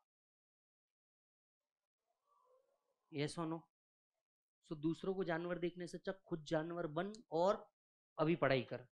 बाकी मैं तेरे को मेरे बारे में जो कुछ जानना है मैंने देखी कि नहीं कब देखी फिर मेरे को कौन सा सीन बहुत अच्छा लगा वो वाला अच्छा लगा क्या मैं तेरे को सब शांति में बताऊंगा तू पहले अभी ध्यान दे पे ध्यान दे ऐसा this is not the right time this is not the right time हाँ जी सबसे पहला ऑब्जेक्टिव क्या होता है बेटा ऑर्गेनिक ऑब्जेक्टिव किसी भी बिजनेस को करने का सबसे पहला ऑब्जेक्टिव होता है organise organic objective any one organic objective is to survive in the business धंधे का सबसे बड़ा उसूल है धंधे में टिके रहना धंधे का सबसे बड़ा उसूल ही यही है कि धंधे में टिके रहना survival is the main objective yes अगर आप सर्वाइव कर पा रहे हैं स्टे अलाइव आप बिजनेस में जिंदा रह पा रहे हैं कोई बात नहीं हो सकता है फॉर द टाइमिंग आपको लॉस हो रहा हो but in long run you may generate profit yes or आप कोई भी बड़े बिजनेस देख लीजिए सर आप कोई भी बड़े बिजनेस देख लीजिए in the first year coca cola could be able to sell only eighty products आज वर्ल्ड वाइड सेल कर रहे हैं कि नहीं ये or तो first objective is to survive and then to generate the profit second big objective any one second big objective economic objective second big objective is बोलो बेटा कौन सा objective economic objective economic objective is what to generate profit business का दूसरा objective होता है या production करने का दूसरा ऑब्जेक्टिव होता है इकोनॉमिक ऑब्जेक्टिव जिसमें से आप क्या निकालो बेटा प्रॉफिट अब यहां पे कुछ पॉइंट है एक अकाउंटिंग प्रॉफिट और दूसरा आपका इकोनॉमिक प्रॉफिट याद आ रहा है ये वो पॉइंट है जो आपको एमसीक्यू में पूछता है देख आज के दिन में जितनी चीजें लिखा रहा हूं ना ये सारी no if no but only cut to cut MCQ and exam oriented approach पे यस yes, बाकी के सारे आप लोग ने अगर मेरे से पढ़ा है तो आपको ऑलरेडी हमने बहुत डिटेल्ड में नोट्स बनाए हुए हैं इसके ऊपर सारे पॉइंट को डिस्कस करते हुए आज मेरा ऑब्जेक्टिव ये है कि हम हर चीज को एक बार रिफ्रेश करें कि यहाँ ये था यहाँ ये था और शॉर्ट में तू पांच लाइन पढ़ेगा उससे सिंपल है ये एक लाइन में पढ़ ले कि ये ऑब्जेक्टिव का मीनिंग ये था अकाउंटिंग में we consider in accounts we consider implicit cost जबकि इकोनॉमिक्स में we consider implicit and explicit cost yes sorry यहां पे थोड़ा सा अपडेट है यहां पे एक्सप्लीसिट होना चाहिए in accounts we only consider explicit cost whereas in economics we consider implicit and explicit cost explicit cost का मतलब क्या होता है out of pocket cost for example wages yes accounts में हम लोग क्या करते हैं हम सिर्फ वही कॉस्ट रिकॉर्ड करते हैं जो एक्चुअली हमने खर्चा करी यस सुनो नो जो एक्चुअली हमने क्या करी खर्चा करी हम उसी को कहते हैं एक्सप्लिसिट कॉस्ट जबकि इकोनॉमिक्स के अंदर में हम implicit as well as explicit cost को भी कंसिडर करते हैं अब इम्प्लीसिट कॉस्ट का मतलब क्या होता है opportunity cost explicit cost out of pocket cost implicit cost is opportunity cost अब आप ये पूछेंगे ये अपॉर्चुनिटी कॉस्ट मतलब क्या होता है सी अंडरस्टैंड इकोनॉमिक्स क्या बोलता है जरा ध्यान से सुनिएगा मान लीजिए मेरे पास एक लाख रुपए I had one lakh rupees in my pocket now this one lakh if I invest in F D I get six percent return but if I invested in business I get five percent return you tell me in both the cases I am generating profit only but economically I might loss accounts में आपको सिर्फ पांच percent मिल रहा था जबकि अगर मैं business ना भी करूं इतना रिस्क ना भी लू तो भी मेरे को छह परसेंट तो बड़े शांति से मिल रहा था तो मेरा इकोनॉमिक डिसीजन क्या होना चाहिए मेरा इकोनॉमिक डिसीजन क्या होना चाहिए टू तो डू द बिजनेस और to put the money in F D FD आज लोग स्टॉक मार्केट में पैसा क्यों डाल के बैठे हैं क्योंकि उनको समझ में आ रहा है उनका अपॉर्चुनिटी कॉस्ट बढ़ा है पूछो ना कैसे आपको क्या लग रहा है मार्केट अचानक से इतना ऊपर क्यों जा रहा है बीजेपी जीती इसलिए नहीं बीजेपी तो कल जीती है उसके पहले ही आपका मार्केट बहुत ऊपर चला गया बीस हजार के मार्क को हमने क्रॉस कर दिया अब ऐसा क्या हो गया भैया आप बैंक में पैसा रखोगे सेविंग अकाउंट में you are getting three percent as return जबकि अगर तुमने रिलायंस के शेयर भी लेकर के रख दिया तो you get nine to ten percent return तो लोगों ने अपने यू नो सेविंग अकाउंट से पैसा निकाल के कहाँ डाल दिया स्टॉक मार्केट में डाल दिया वो बोले भाई मेरे को टेक्निकली अगर मैं बैंक में पैसा रखू तीन परसेंट का रिटर्न आ रहा और मैं रिलायंस में रखू मेरे को नौ परसेंट का रिटर्न आ रहा है इवेंचुअली मेरा रेवेन्यू लॉस हो रहा है अगर मैं कहाँ रख दू सेविंग्स में तो लोगों ने अपने सारे इन्वेस्टमेंट्स को म्यूचुअल फंड में मूव किया स्टॉक मार्केट में मूव किया जिसके कारण मार्केट में पैसा आया are you getting the point तो लोग जब भी कोई डिसीजन लेते हैं फाइनेंशियल डिसीजन लेते हैं वो अपनी अपॉर्चुनिटी कॉस्ट को जरूर देखते हैं कि मैं ये छोड़ दू तो मेरे को क्या मिलेगा यस yes, तो मेरे को क्या मिल सकता है और उस हिसाब से अपने डिसीजन लिए जाते हैं उस हिसाब से अपने डिसीजन क्या किए जाते हैं लिए जाते हैं hence accounting profit will be more than बोलो बेटा इकोनॉमिक प्रॉफिट ये एमसीक्यू है accounting profit will always be more than economic profit क्यों क्योंकि इकोनॉमिक्स में हम क्या कंसिडर कर रहे हैं इम्प्लीसिट कॉस्ट भी कंसिडर कर रहे हैं हम उसको भी कॉस्ट ही मान रहे हैं तो अकाउंट्स का जो प्रॉफिट है आपके इकोनॉमिक्स के प्रॉफिट से हमेशा ऊपर रहेगा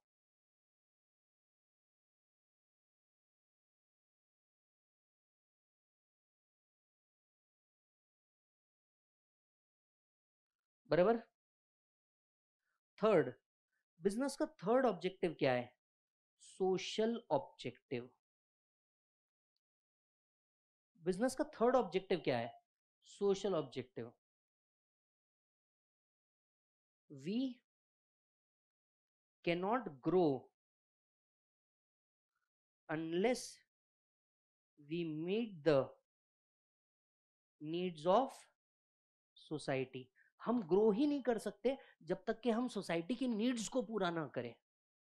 सिंपल सा बात बताइए बॉस सिंपल सा बात बताइए आज आप ये मैराथन देख रहे हो इसके चार्जेस लिए आपसे क्लास के थे वो अलग बात है मैराथन के चार्जेस आए आप लोगों से नहीं but still every teacher is working on that why there is social objective पढ़ाना वॉज अ डिफरेंट थिंग आज बच्चे का बीस दिन पहले एग्जाम है उसको एक दिन में पूरा चैप्टर रिवाइज करके देना is a social objective he needs it and we have to do it आज आप देखिएगा सर आपको पता है कि नहीं ऊपर आप देखिएगा yes group one group two sir more than 1400 students has believed us face to face see inter advertisement तो हमने क्या ही दिखी है आप सोच करके देखो ना हमने क्या किया हमने कुछ बताया कि हमारे पास ये है वो है सब दुनियादारी है कुछ भी नहीं हम एक ही बात बोलते हैं हमारे पास कंसेप्ट है लेना है ले ले अब आप देखो क्या रीजन है सर वर्चुअल चल रहा है मतलब फेस टू फेस में 1200 बैठने के अलावा 200 बच्चा वर्चुअल के अंदर में बैठा है और पढ़ रहा है वो कहीं नहीं जा रहा उसको रीजन पता है क्या है at the end of the day who can meet our social needs and business इसी पे चलता है कि boss are we able to give them what they need if you are able to give them what we need the answer is simple the business will work and this is one of the social objective which you will do yes अब आपको you know audio revision मिलेंगे या test paper मिलेंगे क्या है ये simply social objective है बच्चे को इसकी जरूरत है ये देना है काम खत्म मैं उसको दुनियादारी नहीं भी दिखाऊं पर उसको उसके काम की चीज दिखाऊं मेरा काम हो जाएगा फोर्थ ऑब्जेक्टिव फोर्थ ऑब्जेक्टिव क्या है ह्यूमन ऑब्जेक्टिव नेक्स्ट ऑब्जेक्टिव कौन सा बेटा human objective fair deals with employee her organisation her organisation has to treat the employee better to give them favourable working conditions to give them favourable working conditions अभी एक reason बताइए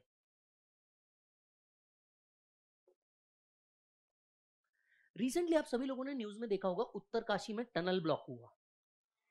yes yes? अब चाहते अगर organisation से profit oriented organisation होता वो शायद मरने के लिए छोड़ देता या देखता भी नहीं कि बचे कि नहीं बट एटलीस्ट जो ऑर्गेनाइजेशन थी इंडियन गवर्नमेंट थी उन्होंने क्या किया पूरा का पूरा ट्राई किया वहां पे पूरे जितने बीस बाईस दिन जितने लगे मेहनत करके लोगों को फॉरेन से बुला करके यू नो सारी खुदाई करके वहां पे फूड पहुंचाना ये पहुंचाना एटसेट्रा एटसेट्रा सारी चीज करी what was that human objective आपके बिजनेस में जो लोग आपके साथ जुड़े हैं इनको फेयर ट्रीटमेंट देना गुड वर्किंग कंडीशन देना ये बिजनेस के ऑब्जेक्टिव्स में आता है क्योंकि ह्यूमन ही नहीं रहेंगे तो ऑर्गेनाइजेशन या मशीन्स पे चलेगा क्या and fifth national objective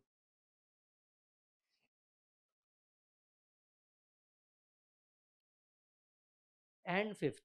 national objective in inequality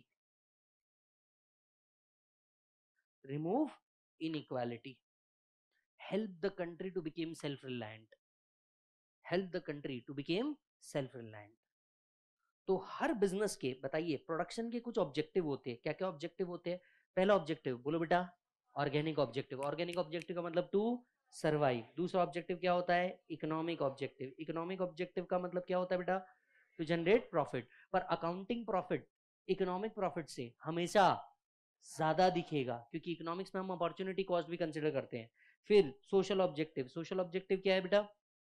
to meet the needs of society फिर कौन सा ऑब्जेक्टिव था बेटा human objective fair deal with the employee and last में आता है नेशनल ऑब्जेक्टिव रिमूविंग इनइक्वालिटी पर इसको अचीव करने में कुछ प्रॉब्लम आती है प्रॉब्लम्स आती है इसको अचीव करने में ये वो पार्ट है जो थ्योरी तो है इसमें से लगा तो एक आध एमसीक्यू लगेगा नहीं तो नहीं लगेगा यस yes, इसी पर ये आपके बहुत सारे पेजेस खा जाता है आप मॉड्यूल देखो आप नोट्स देखो ये वाला जो पार्ट है ना आपका बहुत सारे पेजेस खा जाता है लेकिन इसमें से बहुत ज्यादा आउटपुट नहीं आता है एमसीक्यू के पॉइंट पे तो ये वो पॉइंट है जहां पे आप यू नो अपने आप को न्यूट्रलाइज कर सकते हो या एंड में पढ़ सकते हो ये वो पॉइंट है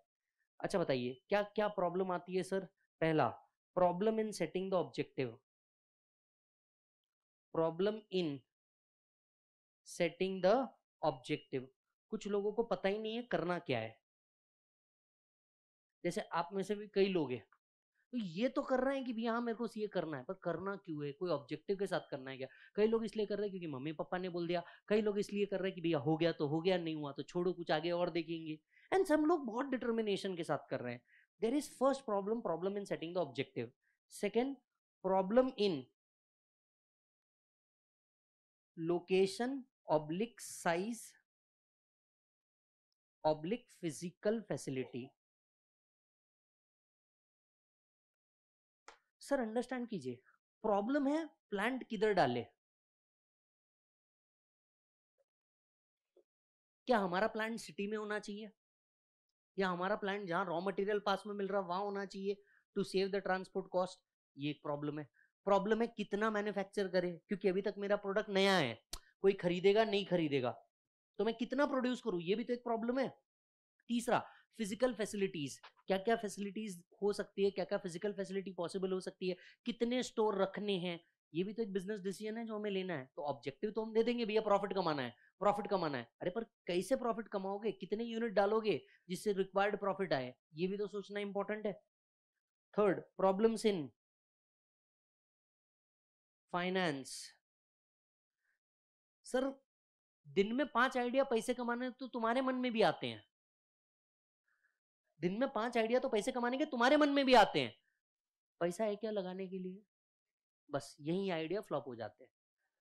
समझ में आया तो पचास आइडिया तो तुम्हारे मन में भी आते हैं वहां लाइब्रेरी में बच्चा बैठा बैठा सोच रहा है मैं ये बन ये सारे फालतू लोग है मैं बनेगा ना पच्चीस दिन में पैसा डबल हाउ बेटा वो सब ठीक है ये तो बाद में होगा ना पहले लगा तो सही है हाँ? ना और मैं ऐसा करूँगा पूरा मौत हम्म। सोचते बहुत कुछ है बेटा इतना आसान होता तो सब कर लेते समझ में आया इतना आसान होता तो सब कर लेते आप में से कई लोग तो ये भी सोचा भाई अपन भी टीचिंग करेंगे मेरी फीस इतनी नंबर ऑफ स्टूडेंट इतने तो टीचर का इनकम इतना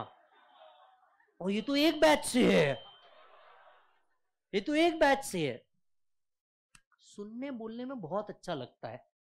सुनने बोलने में बहुत अच्छा लगता है यहाँ आके जब खड़े रह करके ना किसी को एक घंटे तक के एंटरटेन करना है तब समझ में आता है कि ये जितना इजी टास्क दिख रहा है ना ये उतना इजी टास्क नहीं है at the end of the day ये दर्द करता है किसी से बात करने की इच्छा नहीं होती क्योंकि तुम दिन भर इतना बात कर चुके होते हो किसी से बात करने की इच्छा नहीं होती ये दुख रहा होता है ये दुख रहा होता है पेड़ दुख रहा होता है at the end of the day उस टाइम निकलना पड़ेगा क्योंकि सात बजे का लेक्चर है तो तेरे को तो पहले पहुंचना पड़ेगा उस टाइम निकलना पड़ेगा जब बच्चा सोया रहेगा उस टाइम पे जाओगे जब बच्चा सोया रहेगा then there are lot of things कुछ पाने के लिए कुछ नहीं बहुत कुछ खोना पड़ता है समझ में आ रहा है तो सुनने समझने को बहुत अच्छी बात है अवेलेबिलिटी तो होना कुछ देने की हिम्मत तो होना कि हाँ चल अपन भी देंगे this next problem in relation to organization structure sir organisation का स्ट्रक्चर क्या रखें क्योंकि देखिए ये डिसीजन एक बहुत बड़ा डिसीजन है टैक्स एंगल से इंडिविजुअल का टैक्स रेट कम है फर्म का टैक्स रेट ज़्यादा है कंपनी का टैक्स रेट ज़्यादा है तो ऑर्गेनाइजेशन का स्ट्रक्चर क्या होना चाहिए एच बनाए क्या बनाए ये भी एक प्रॉब्लम है and last problem relating to marketing problem relating to marketing कई बार ऐसा होता है कि प्रोडक्ट बहुत अच्छा है पर वो प्रोडक्ट मार्केट में आ ही नहीं पाता क्योंकि उसका मार्केटिंग ही नहीं हुआ है उस तरीके से ये और नो तो ये भी एक प्रॉब्लम है कई बार आपने जो मार्केट किया वो टारगेटेड ऑडियंस को किया ही नहीं आपने जो मार्केट किया वो टारगेटेड ऑडियंस को किया ही नहीं अब जैसे मेरे को एक बात बताओ हमने ये क्या रख दिया मैराथन रख दिया मैराथन तीन दिन पहले डिसाइड हुआ हमने रख दिया एक तो भी पोस्टर देखा कि आपने हमारे सोशल मीडिया पे कि हाँ हम लोग ये मैराथन लेके आ रहे हैं द आंसर इज नो क्योंकि अगर ये कर देते ना तो हमारे इस क्लास के बच्चों को बैठने की जगह नहीं रहती बाहर वाले तो कन्फर्म ही आते हैं समझ में आ रही बात क्योंकि हम ही ले रहे अकेले तो वो आ जाते और उस टाइम पे बैठने की जगह ही नहीं रहती हमने बोला भैया जिसने जिसकी जिम्मेदारी थी पहले उसको तो कर दो बाद में यूट्यूब पे डाल ही देंगे तो अंडरस्टैंड कीजिएगा कई बार मार्केटिंग एक प्रॉब्लम बन जाता है ऑर्गेनाइजेशन के लिए कि मार्केट कर दिया तो आ तो जाएंगे हैंडल करने की कैपेसिटी तो ना जगह कहाँ है ऊपर फुल उधर फुल इधर फुल जगह ही नहीं रहेगी आप सर्व कैसे करोगे getting so marketing is also an objective तो ये वो पार्ट है अच्छा ध्यान से सुनना ये वो पार्ट है जिसको आपसे पढ़ लो इनमें से एक आध एमसीक्यू आ गया तो आ गया नहीं तो इस पार्ट पे एमसीक्यू नहीं आने वाला are you getting the point चलो अब आते हैं प्रोडक्शन फंक्शन पे अब आते हैं किस पे बेटा production function production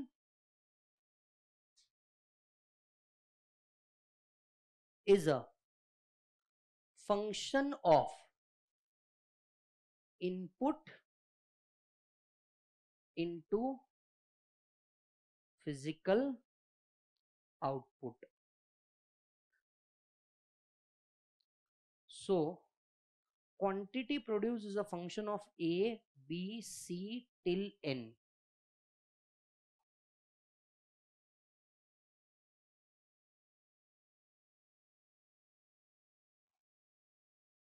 हाँ जी भैया प्रोडक्शन फंक्शन प्रोडक्शन फंक्शन बताओ भैया प्रोडक्शन फंक्शन क्या है इधर देखो दो मिनट में समझाता हूँ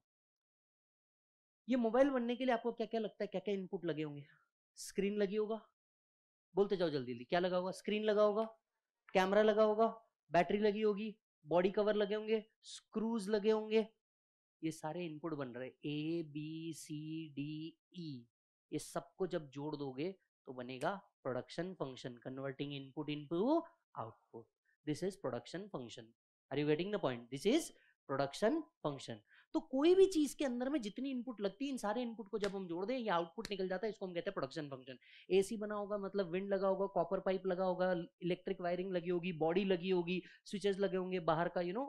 डिजिटल डिस्प्ले लगा होगा ये सब बन गए इनपुट आप सब इनको जोड़ दो क्या बन जाएगा बेटा आउटपुट अच्छा जी सर सर यहाँ हम कुछ अजम्पन लेते हैं यहाँ हम लोग क्या लेते हैं कुछ अजम्पन पहला टेक्नोलॉजी रिमेन बोलो बेटा same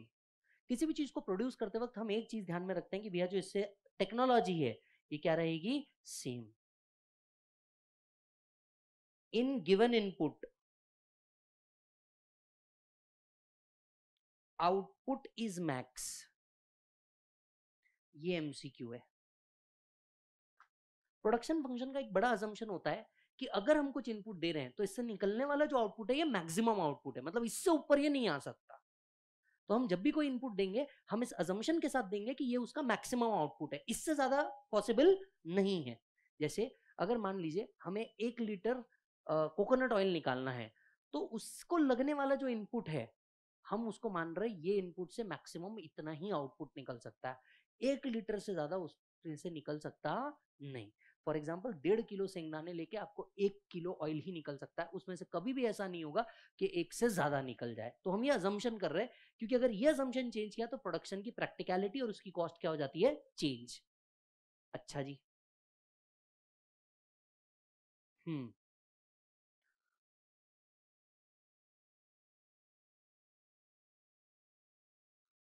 production function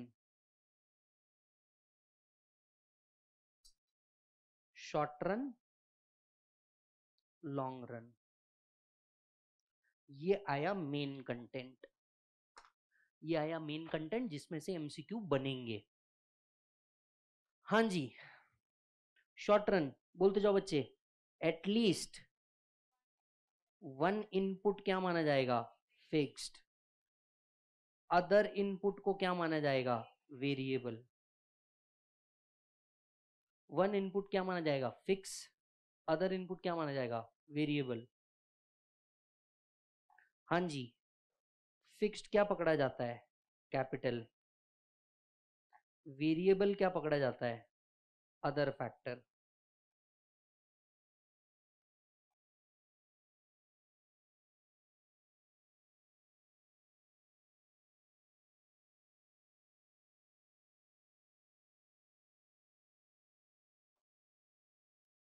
short run या लॉन्ग रन टाइम पे डिपेंड करता है क्या it does not depend upon बोलो टाइम शॉर्ट रन या लॉन्ग रन टाइम पे डिपेंडेंट नहीं है it is dependent upon it is dependent upon बोलो it is dependent upon output आप कितना आउटपुट प्रोड्यूस कर सकते हो उस पर डिपेंड करता है लॉन्ग रन में ऑल फैक्टर क्या माने जाएंगे variable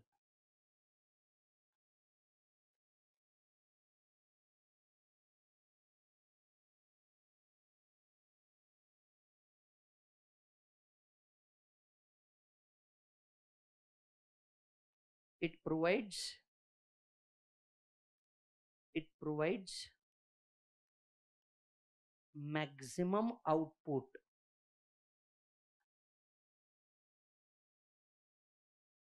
that can be achieved it provides maximum output that can be achieved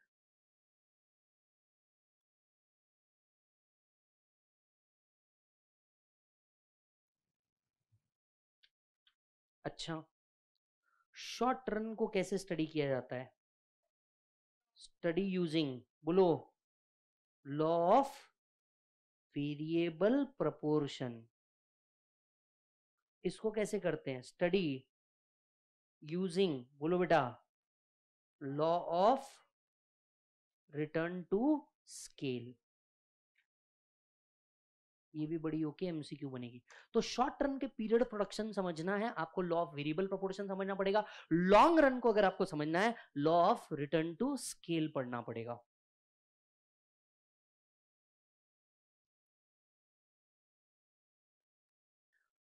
भाई जी डन दो मिनट हाथ रोक लो अब सुनते जाओ वापस से हाथ रोक लो जरा हाथ को ऐसे ऐसे ऐसे ऐसे करो बहुत देर से लिख रहे हो जो बोल रहा हूँ करते जाओ बिंदास है ना हम्म सर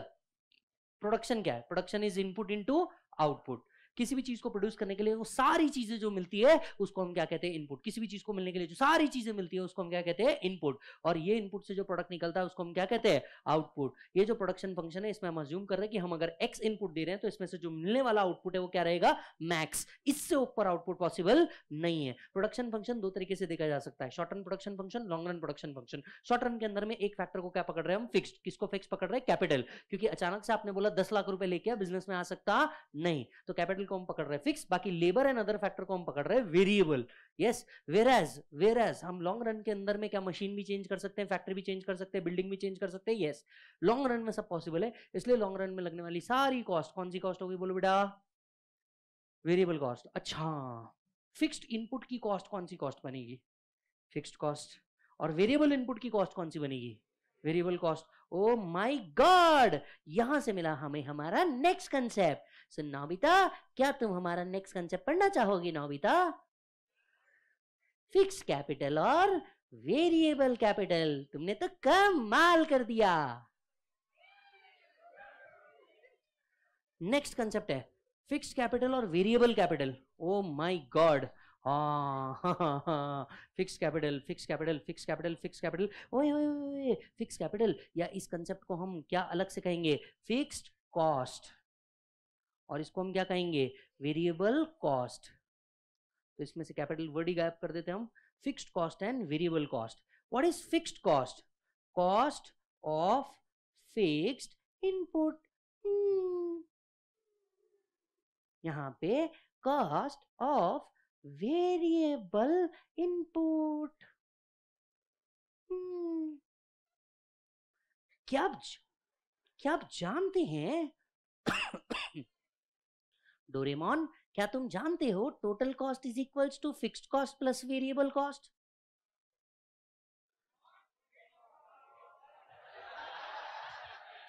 सुनियो तुम इतने लेट आए हो चलो टोटल कॉस्ट हाँ बेटे total cost total cost is equal to बोलना बेटे total cost is equal to fix cost plus variable cost total cost is equal to fix total cost is equal to fix cost plus variable cost ए धन पे आया क्या ओ my God magic धंधे पे धंधे हाँ फिक्स्ड कॉस्ट वेरिएबल कॉस्ट ऐसी कितनी कॉस्ट होती है दो तो cost of fixed input is called as fixed cost cost of variable input is called as variable cost fixed cost हाँ जी बच्चे fixed cost do not change fixed cost do not change वो surname की तरह है fixed cost do not change but variable cost change with bolo na variable cost change with output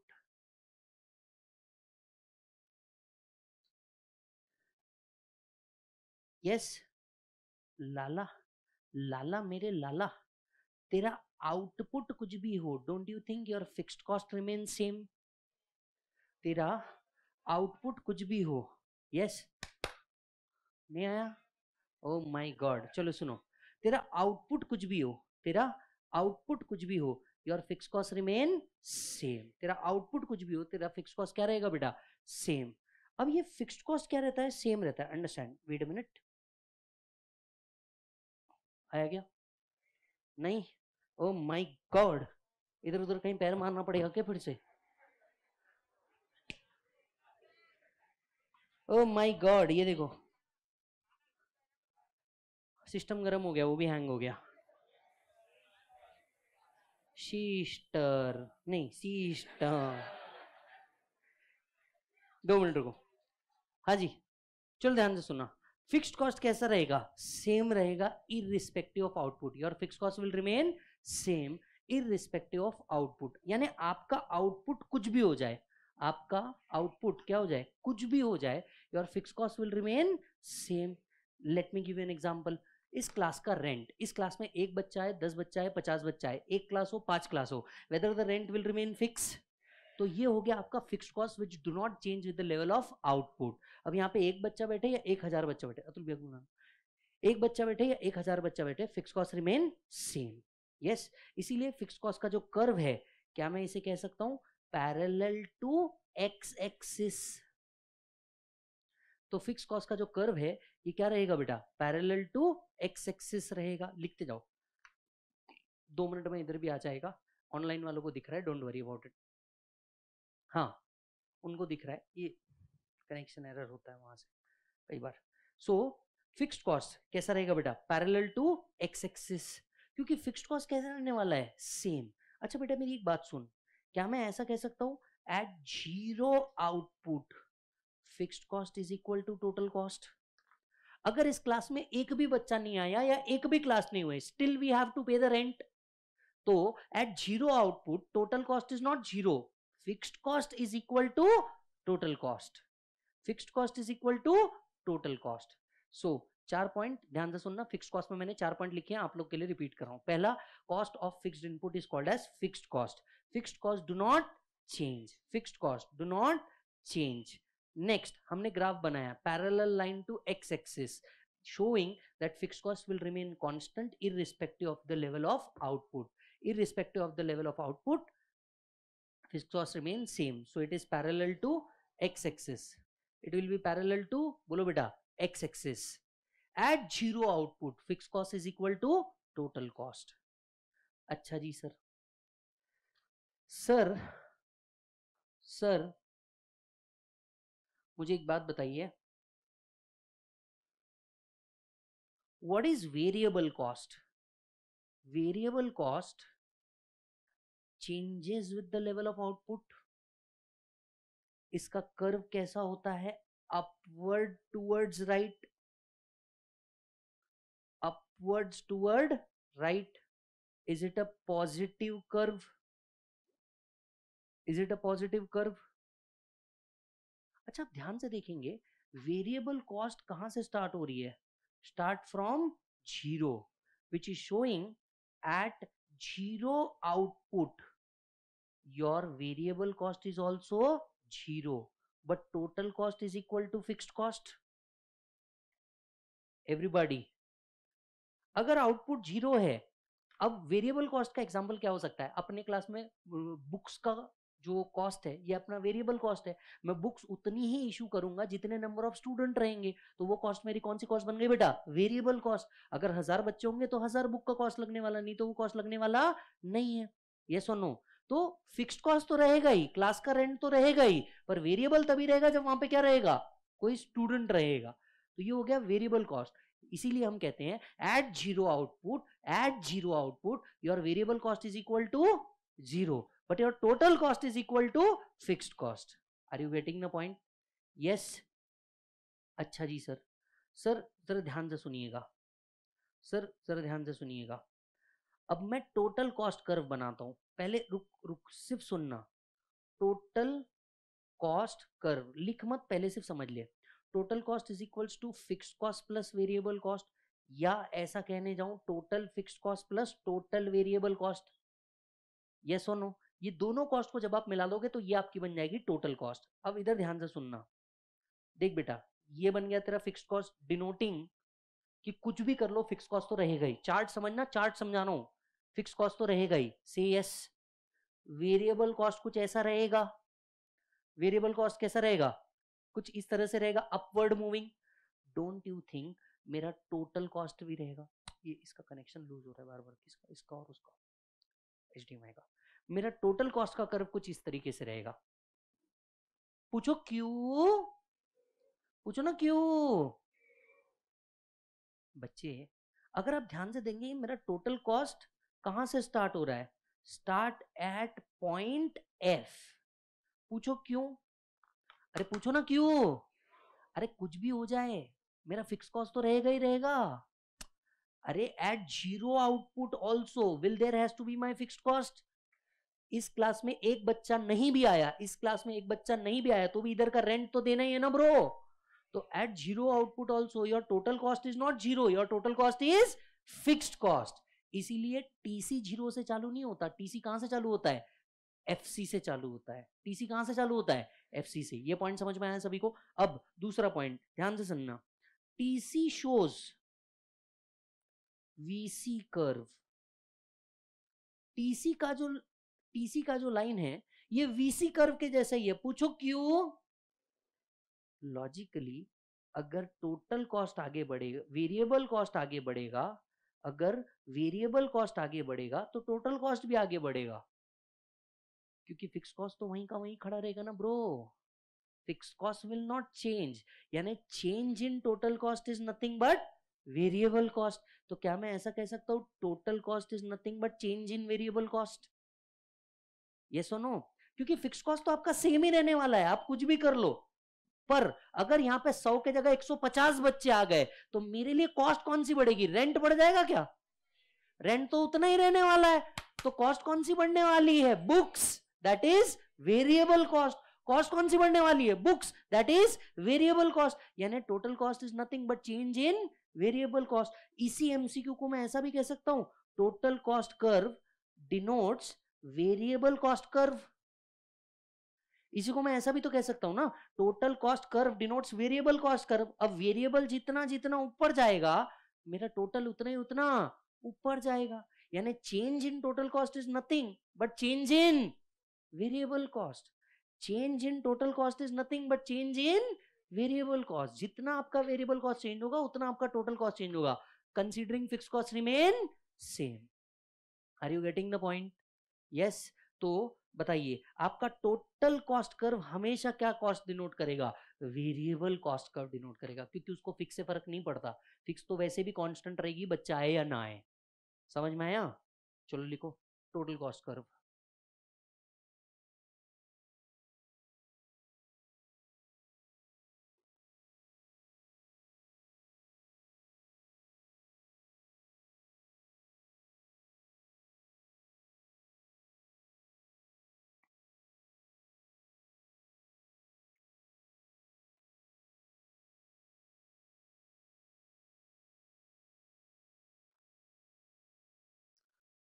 so it start at point f total cost shows variable cost curve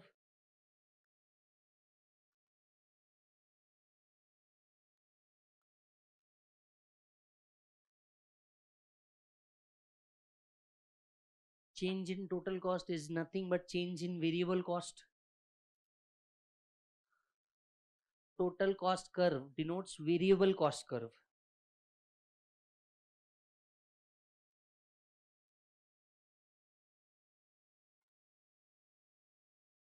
total cost curve denotes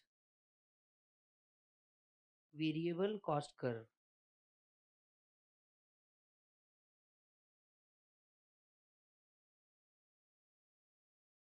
Is that done?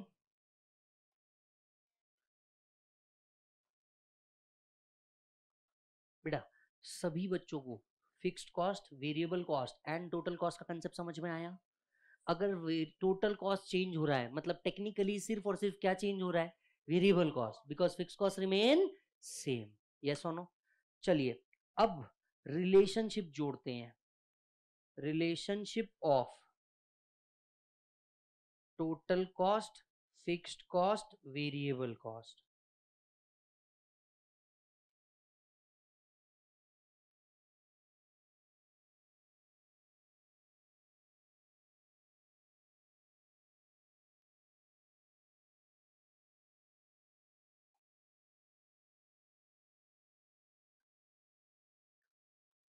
क्या मैं कह सकता हूं total cost is equal to total fix cost plus total variable cost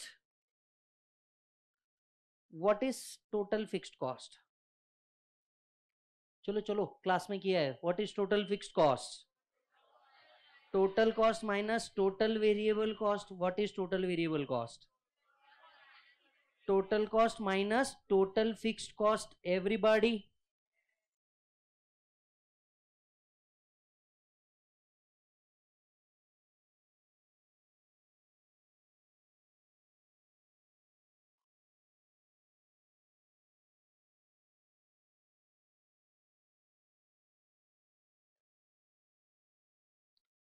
आहो चलिए हाँ जी देख पूरा चैप्टर कहां से कहां घूमा पहले ये समझाता हूं तेरे को थर्ड रिवीजन चैप्टर कहां से कहां घूम रहा है चैप्टर लेंदी है इजी है सिर्फ देख लेंदी बहुत है इसलिए मैं तेरे को थर्ड टाइम घुमा रहा हूं वापस सुन सबसे पहले हमने ये समझा पलट पलट पलट बैठे मत रहे पलट पेज पलट सबसे पहले हम लोगों ने देखा कि भैया प्रोडक्शन मतलब क्या होता है production is input and output फिर हमने देखा प्रोडक्शन में चार तरीके की यूटिलिटी इन्वॉल्व होती है form utility place utility time utility personal utility फिर हम आगे बढ़े कोई भी प्रोडक्शन करने के लिए चार फैक्टर ऑफ प्रोडक्शन है लैंड लेबर कैपिटल आंट्रप्रेन्योर उसके फीचर पढ़ने के बाद हमने समझा बिजनेस के कुछ ऑब्जेक्टिव है लेकिन इन ऑब्जेक्टिव को अचीव करने में क्या थी कुछ problem not so important point next point production function production is a function of input and output जब बहुत सारे इनपुट जोड़ोगे तो आउटपुट मिल जाएगा फिर हमने समझा शॉर्ट रन में और लॉन्ग रन में प्रोडक्शन फंक्शन अलग अलग होते हैं यस शॉर्ट रन के अंदर में एक इनपुट फिक्स पकड़ना है बचे हुए इनपुट वेरिएबल पकड़ना है लॉन्ग रन के अंदर में सारे के सारे इनपुट वेरिएबल पकड़े जाएंगे यस और नो जो फिक्स होता है वो कैपिटल होता है अदर सारे के सारे क्या होते हैं वेरिएबल फिर हमने समझा के फिक्स्ड इनपुट की जो कॉस्ट होती है इसको हम कौन सी कॉस्ट बोलते हैं फिक्स्ड कॉस्ट वेरिएबल इनपुट की जो कॉस्ट होती है उसको कौन सी कॉस्ट बोलते हैं वेरिएबल कॉस्ट और जब इन दोनों की कॉस्ट को मिल जाओगे तो आपको प्रोडक्शन का कॉस्ट मिलेगा दैट इज टोटल कॉस्ट फिर हमने इसका ग्राफ भी समझा कि fix cost will remain constant parallel to X axis variable cost is upward moving और टोटल कॉस्ट फिक्स कॉस्ट के ऊपर जाएगा क्योंकि इन दोनों को जोड़ो तो क्या मिलेगा टोटल कॉस्ट एवरीबॉडी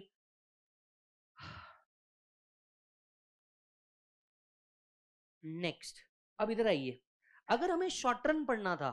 लास्ट के दो कंसेप्ट इस यूनिट के अगर हमें शॉर्ट रन पढ़ना था तो हमें क्या पढ़ना था लॉ ऑफ वेरिएबल प्रोपोर्शन इधर आओ give the next heading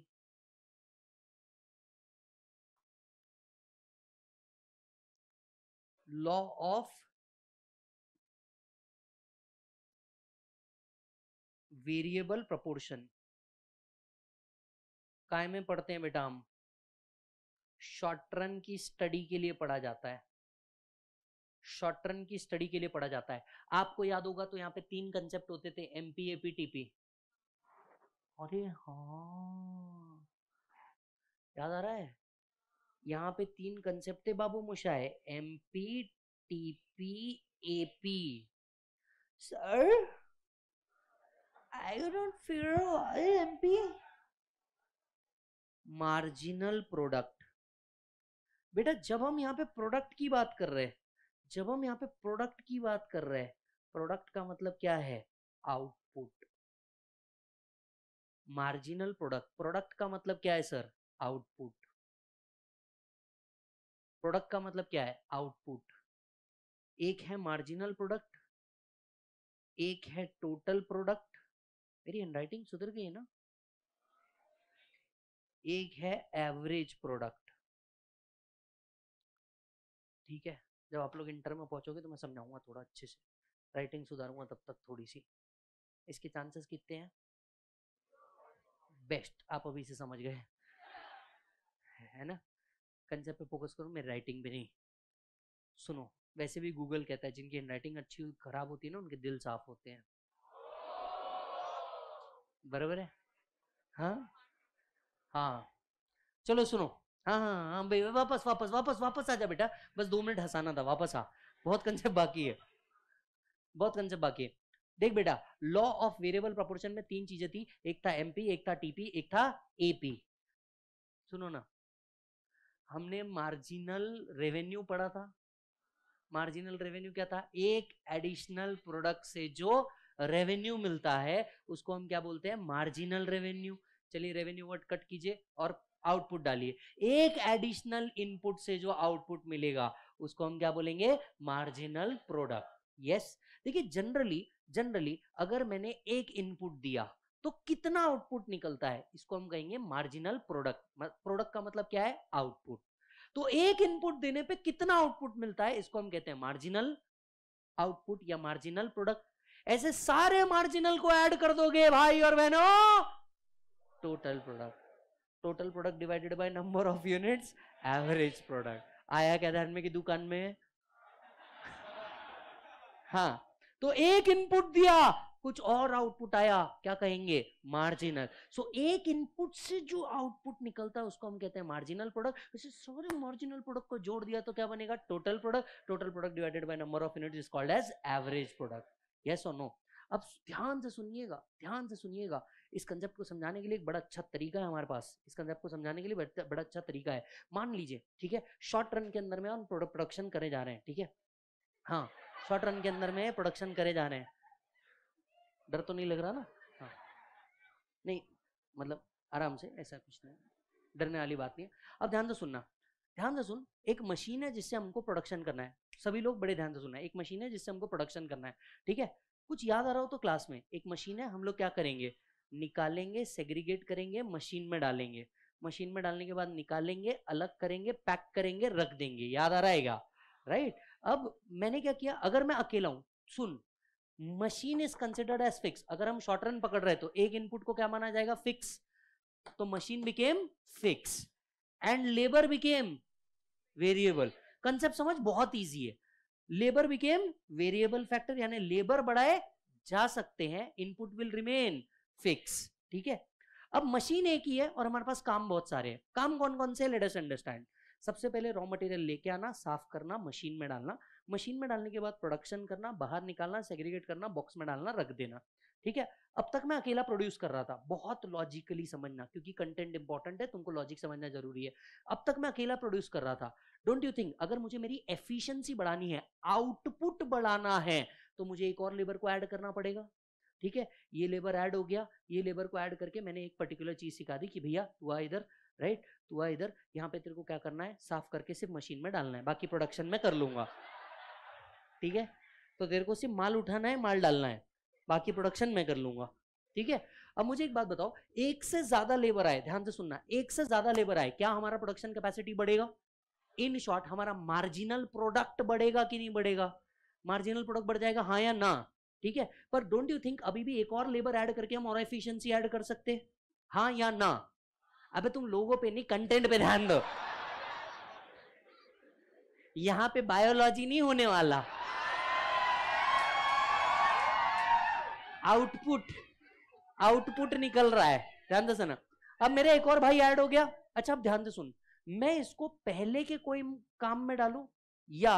and के काम में डालू वो ज्यादा सेंसिबल होगा क्योंकि सुन हम दोनों को ऑलरेडी प्रोडक्शन का कुछ नॉलेज होगा तो डोंट यू थिंक हमारा प्रोडक्शन एक्सपीरियंस यहाँ काम आएगा और जो नया बंदा आया इसको हम बोल सकते कि भाई तू एक काम कर पैक कर रख पैक कर रख यस नाउ अंडरस्टैंड कीजिएगा जैसे जैसे जैसे जैसे मशीन रिमेन फिक्स पर लेबर बढ़ रहे हैं don't you think marginal product क्योंकि नंबर ऑफ प्रोडक्ट अब ज्यादा प्रोड्यूस होंगे marginal product will go up क्योंकि एमपी ऊपर जा रहा है टीपी भी कहां जाएगा ऊपर बराबर एपी भी कहां जाएगा ऊपर एक पॉइंट ऐसा होगा जहां पे हम मैक्सिमम लेबर आ चुके होंगे सपोज कर लो ये हम तीन ही मैक्सिमम लेबर है राइट हम तीन मैक्सिमम लेबर है अब इसके बाद तीनों मिलकर के बहुत अच्छे से काम कर रहे हैं पर ये भाई बोलता है सर मतलब जाए चाहे तीचा सोबत एक्टिवेट करती है माजा अब मुझे एक बात बताओ हम तीनों में से बराबर कुछ गलत बोला क्या मैंने नहीं ना अभी ये बोलता है कि सर वो मेरे को जाना पड़ेगा मेरे को बहुत जोर से जाना पड़ेगा मैं बोलता हूँ ठीक है डोंट यू थिंक मैं बोलता हूँ देख ऐसा हो सकता है कि हम में से तीनों में से किसी को इमरजेंसी आ जाए या whatever is the thing हम लोग क्या करते हैं एक और लेबर को ऐड कर देते हैं अब जो चौथा लेबर है वो इफेक्टिवली कुछ प्रोड्यूस कर रहा है क्या नहीं पर कॉस्ट तो मेरी लग रही है कि नहीं लग रही है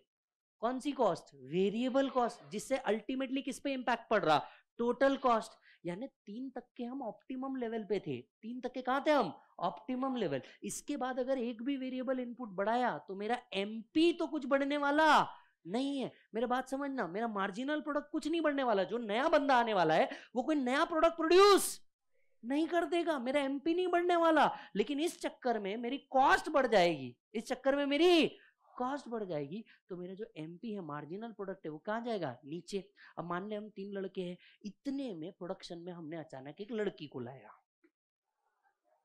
अब ये पॉसिबिलिटी है ना तीनों में से एक का तो ध्यान भटकेगा या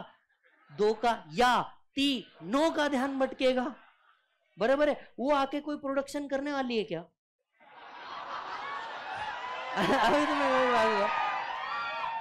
वो आके कोई प्रोडक्शन करने तू आके कोई प्रोडक्शन करने वाली क्या नहीं इसको तो हमने अरे तुम गलत जा रहे हो धंधे पे ध्यान दो अरे तुम धंधे पे ध्यान दो वो आके जो एक्स्ट्रा लेबर है तुम वो लड़की के ऊपर ध्यान मत दो द पॉइंट इज वो आके कोई एक्स्ट्रा प्रोडक्शन करने वाली है क्या आंसर इज नो वो आके कोई नया प्रोडक्शन करने नहीं वाली बट बट बट आएगी तो बोलेगी नहीं क्या मैं आई हूं पैसे तो चाहिए अरे अरे ये तो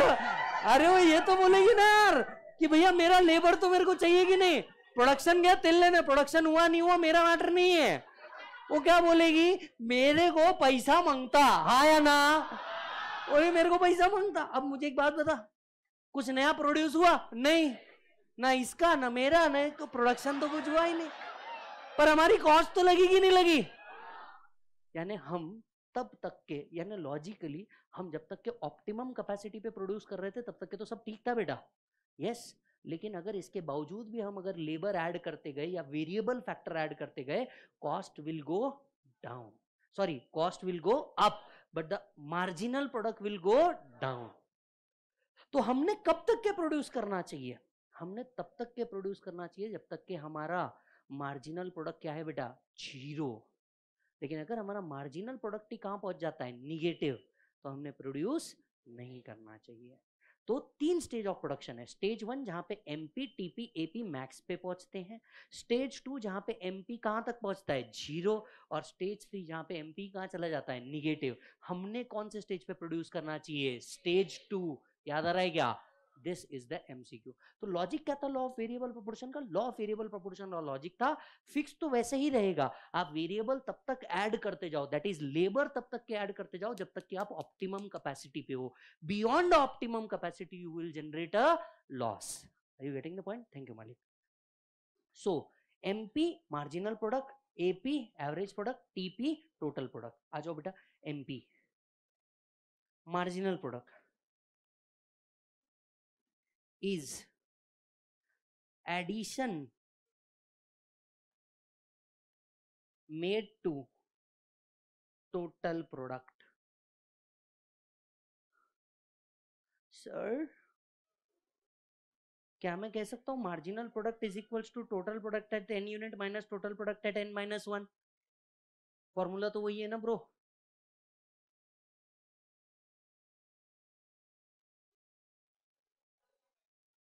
या मार्जिनल प्रोडक्ट को मैं ऐसा भी कह सकता हूँ change in total product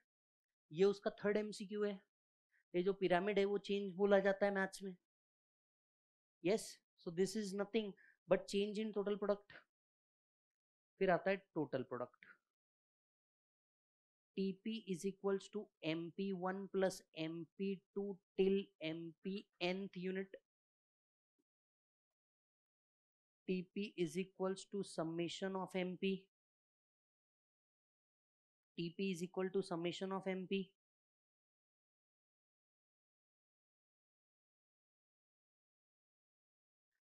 TP means output per unit of time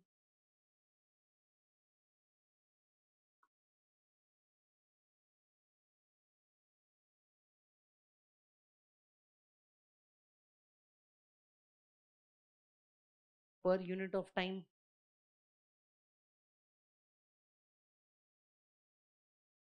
yes yes. क्या मैं कह सकता हूं TP increase when VP increase जब वेरिएबल प्रोडक्ट इंक्रीज करोगे तो टीपी भी इंक्रीज हो जाएगा अरे हाँ या हाँ average product is equals to total product divided by quantity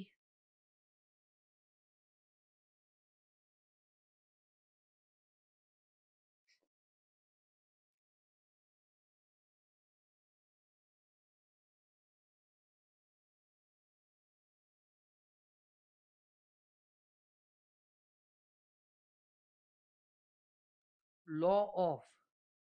variable proportion examine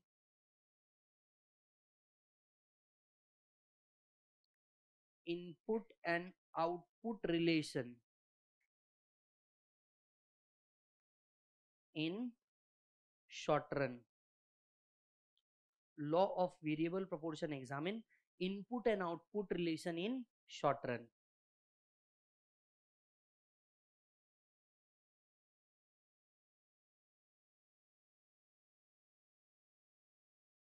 examine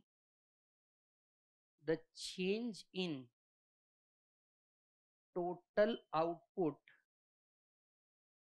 by changing one unit of input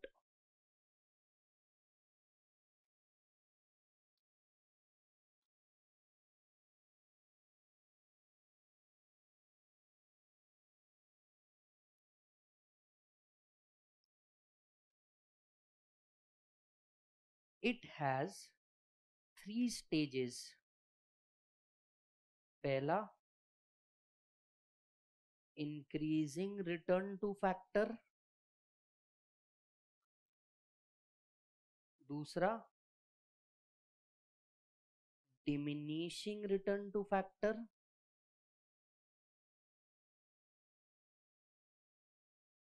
तीसरा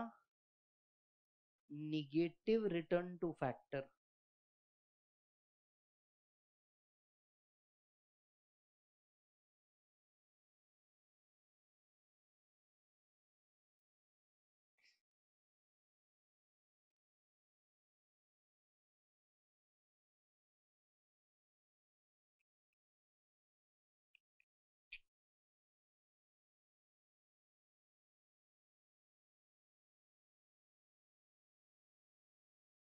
MP reach max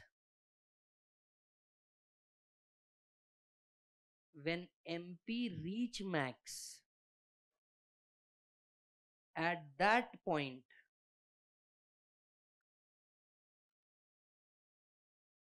TP is called as anyone point of inflection ये MCQ है when mp reaches the max at that point tp is called as point of inflection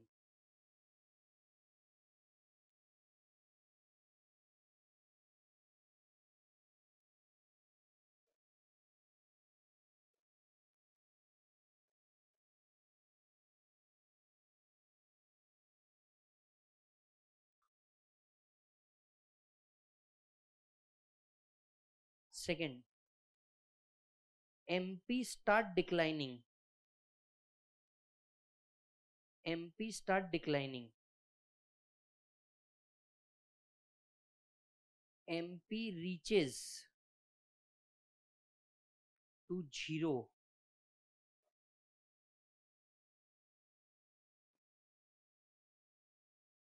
when mp is zero tp is max and this is the point of anyone saturation ये है MCQ जहां आपका M P zero हो जाता है वहां आपका TP maximum हो जाता है और उस पॉइंट को कहा जाता है point of saturation negative return excess of variable factor MP becomes negative TP start declining AP is above MP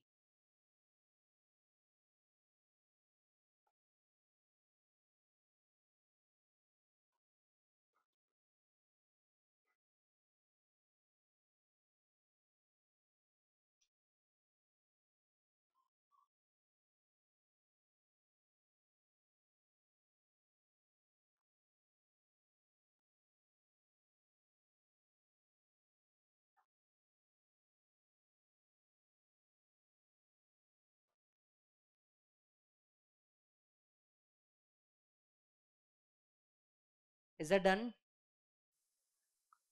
चलिए आपको अगर याद होगा तो एक इस तरीके का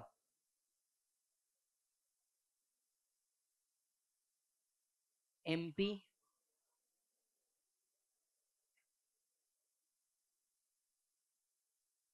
एपी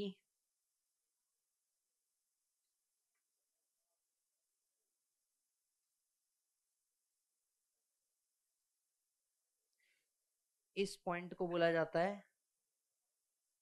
पॉइंट ऑफ सेचुरेशन इस पॉइंट को कहा जाता है पॉइंट ऑफ इन्फ्लेक्शन ये है आपका स्टेज वन ये है आपका स्टेज टू ये आपका stage three stage two is the best stage of production. Stage 2 is the best stage of production.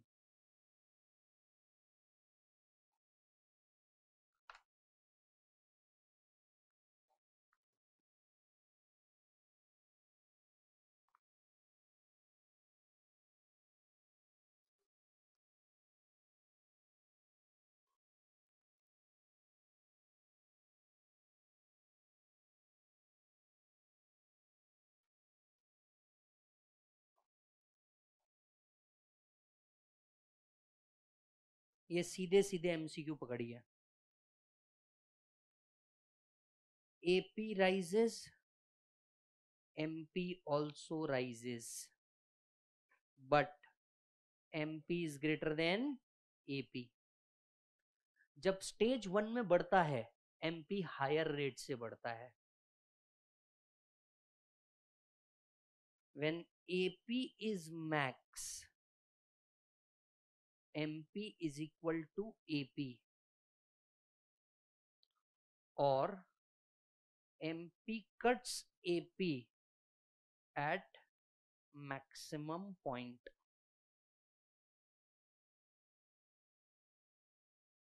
AP fall, MP fall, but AP is above MP. अगर average product fall होगा marginal product भी fall हो जाएगा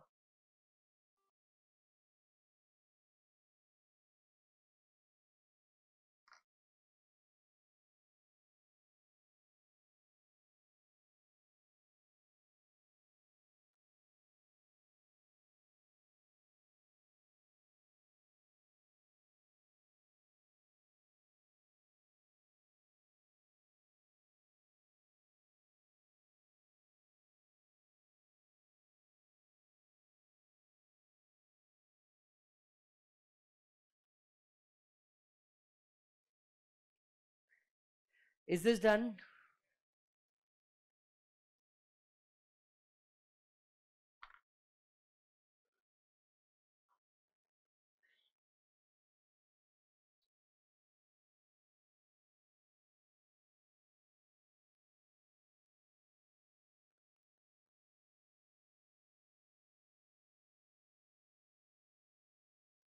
I think it's done.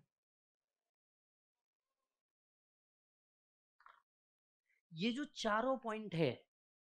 ये आपको सबसे ज्यादा पूछे जाएंगे इस कंसेप्ट में लगभग रट लेना ये जो चारों पॉइंट है यही सबसे ज्यादा पूछे जाएंगे एमसीक्यू में लगभग रट लेना this was law of variable proportion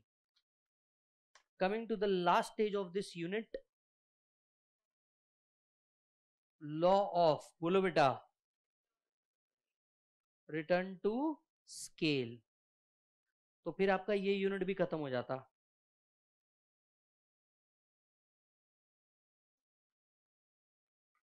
law of return to scale कहां पढ़ा जाता है बोलो बेटा long term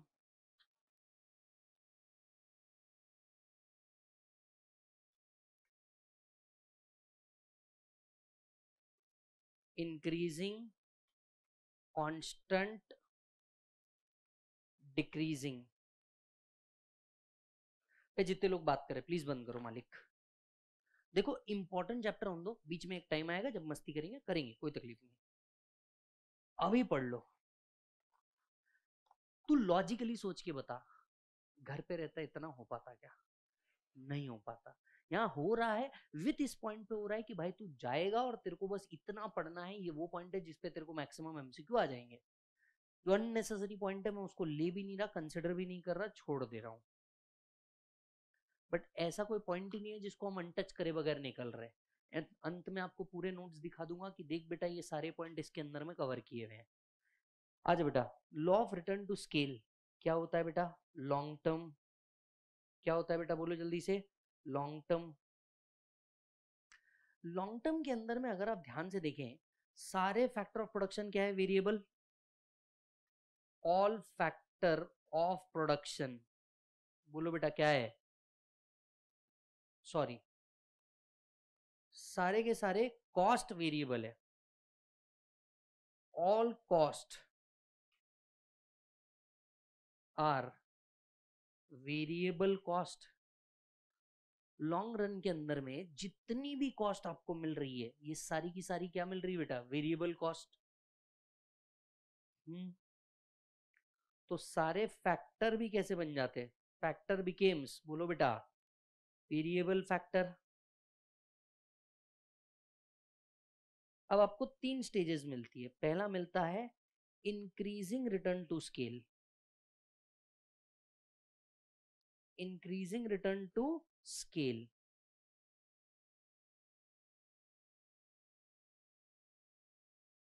पहला आता है बेटा इंक्रीजिंग रिटर्न टू स्केल अब ये इंक्रीजिंग रिटर्न टू स्केल क्या होता है ये वो पीरियड होता है जहां पे आप इनपुट तो कम देते हो लेकिन इससे मिलने वाला जो आउटपुट होता है वो बहुत ज्यादा होता है जैसे if input increase by ten percent output increase by twenty percent इसको हम कहते हैं इंक्रीजिंग रिटर्न टू स्केल कि आप इनपुट तो कम दे रहे हो लेकिन इससे मिलने वाला जो आउटपुट है ये बहुत बड़ा है इससे मिलने वाला जो आउटपुट है ये क्या है बेटा बहुत बड़ा है तो कई बार आपको ऐसा होता है कि कम मेहनत पर आउटपुट ज्यादा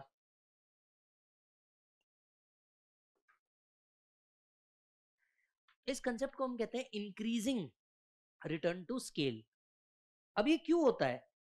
this happens because this happens because बोलो इंटरनल एंड एक्सटर्नल इकोनॉमीज़ ये क्यों होता है इंटरनल एंड एक्सटर्नल इकोनॉमीज के कारण होता है अब आप नोट्स में आगे जा करके देखोगे अब आप नोट्स में आगे जाके देखोगे तो आपको बताया इंटरनल इकोनॉमीज क्या क्या होती है एक्सटर्नल इकोनॉमीज क्या क्या होती है एग्जाम पॉइंट ऑफ व्यू से काम की नहीं है फिर भी एक बार बस पढ़ के चल जाना यस इंटरनल इकोनॉमीज में क्या क्या आता है एक्सटर्नल इकोनॉमीज में क्या क्या आता है वो बात बताई हुई है अच्छा जी sir here output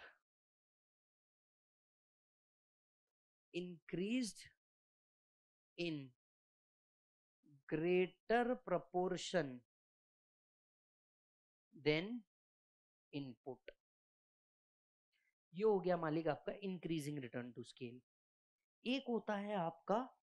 constant return to scale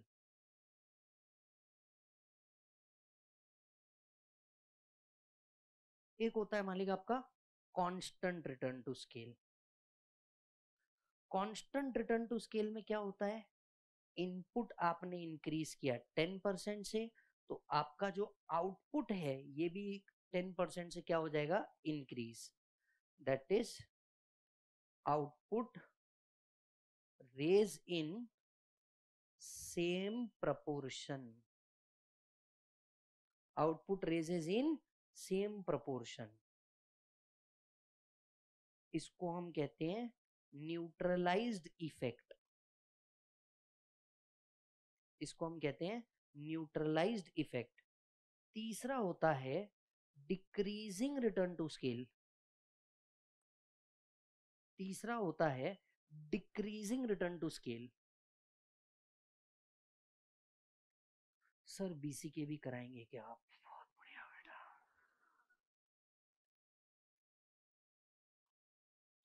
बेटा बीसीके का जो मैराथन है वो कल हो गया है ना आरजे ने करवा दिया कल आने वाला कल मैथ्स और उसके बाद अकाउंट्स ऐसे और दो महा मैराथन से आप लोगों के तो हमारे यूट्यूब चैनल पे आपको मिल जाएंगे decreasing return to scale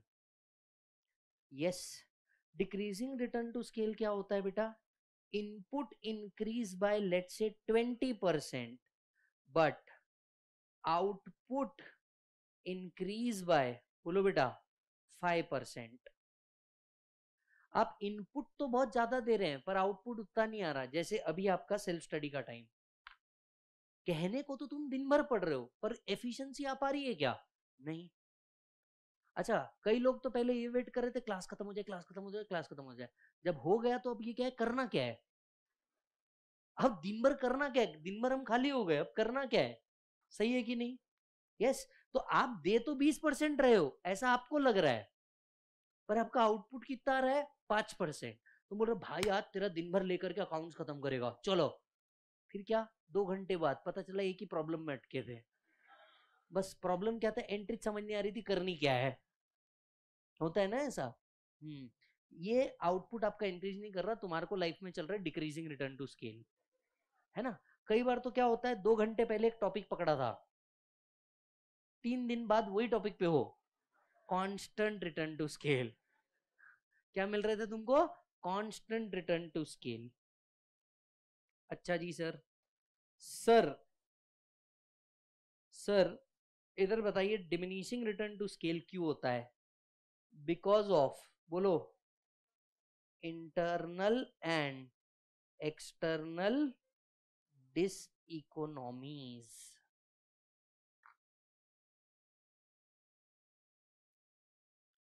because of internal and external diseconomies.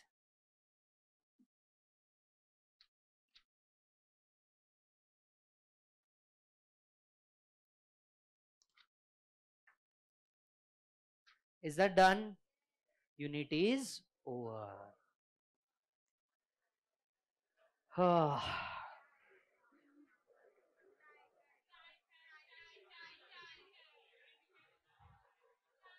बिल्कुल बोलना भी मत ब्रेक दो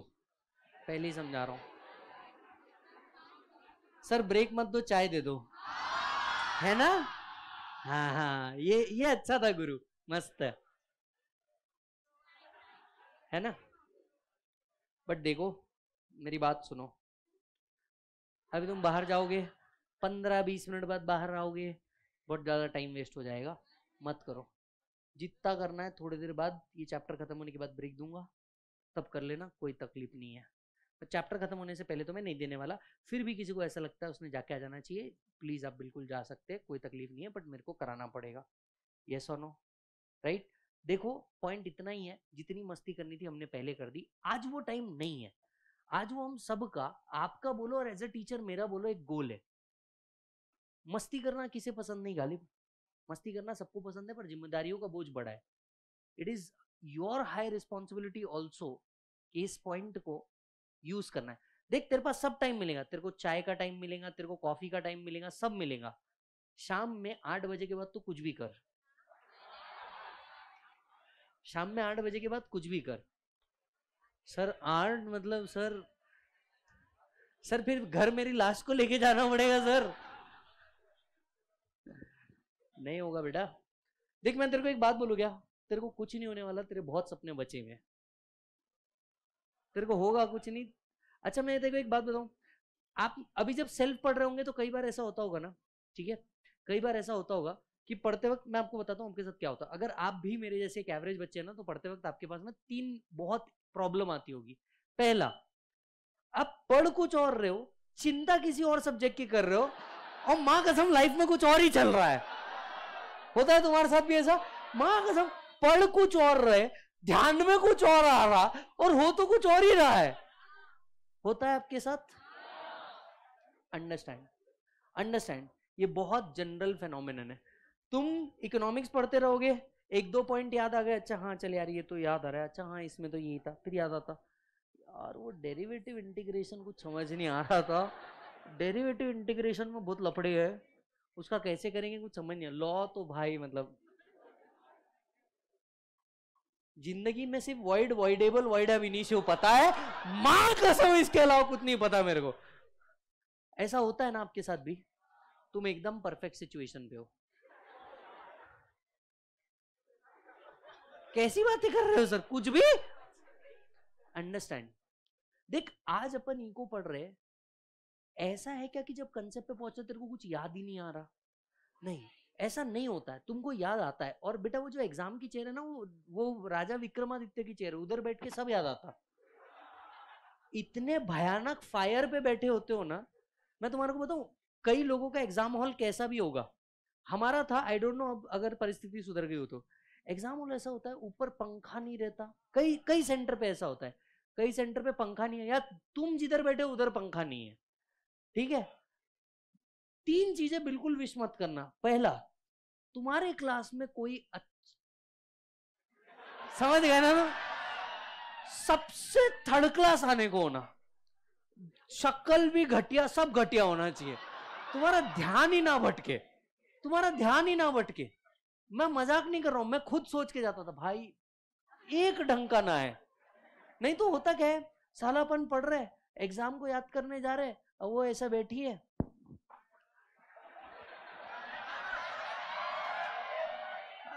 एग्जाम गया तेल लेने के लिए पांच मिनट दस मिनट इधर ही खत्म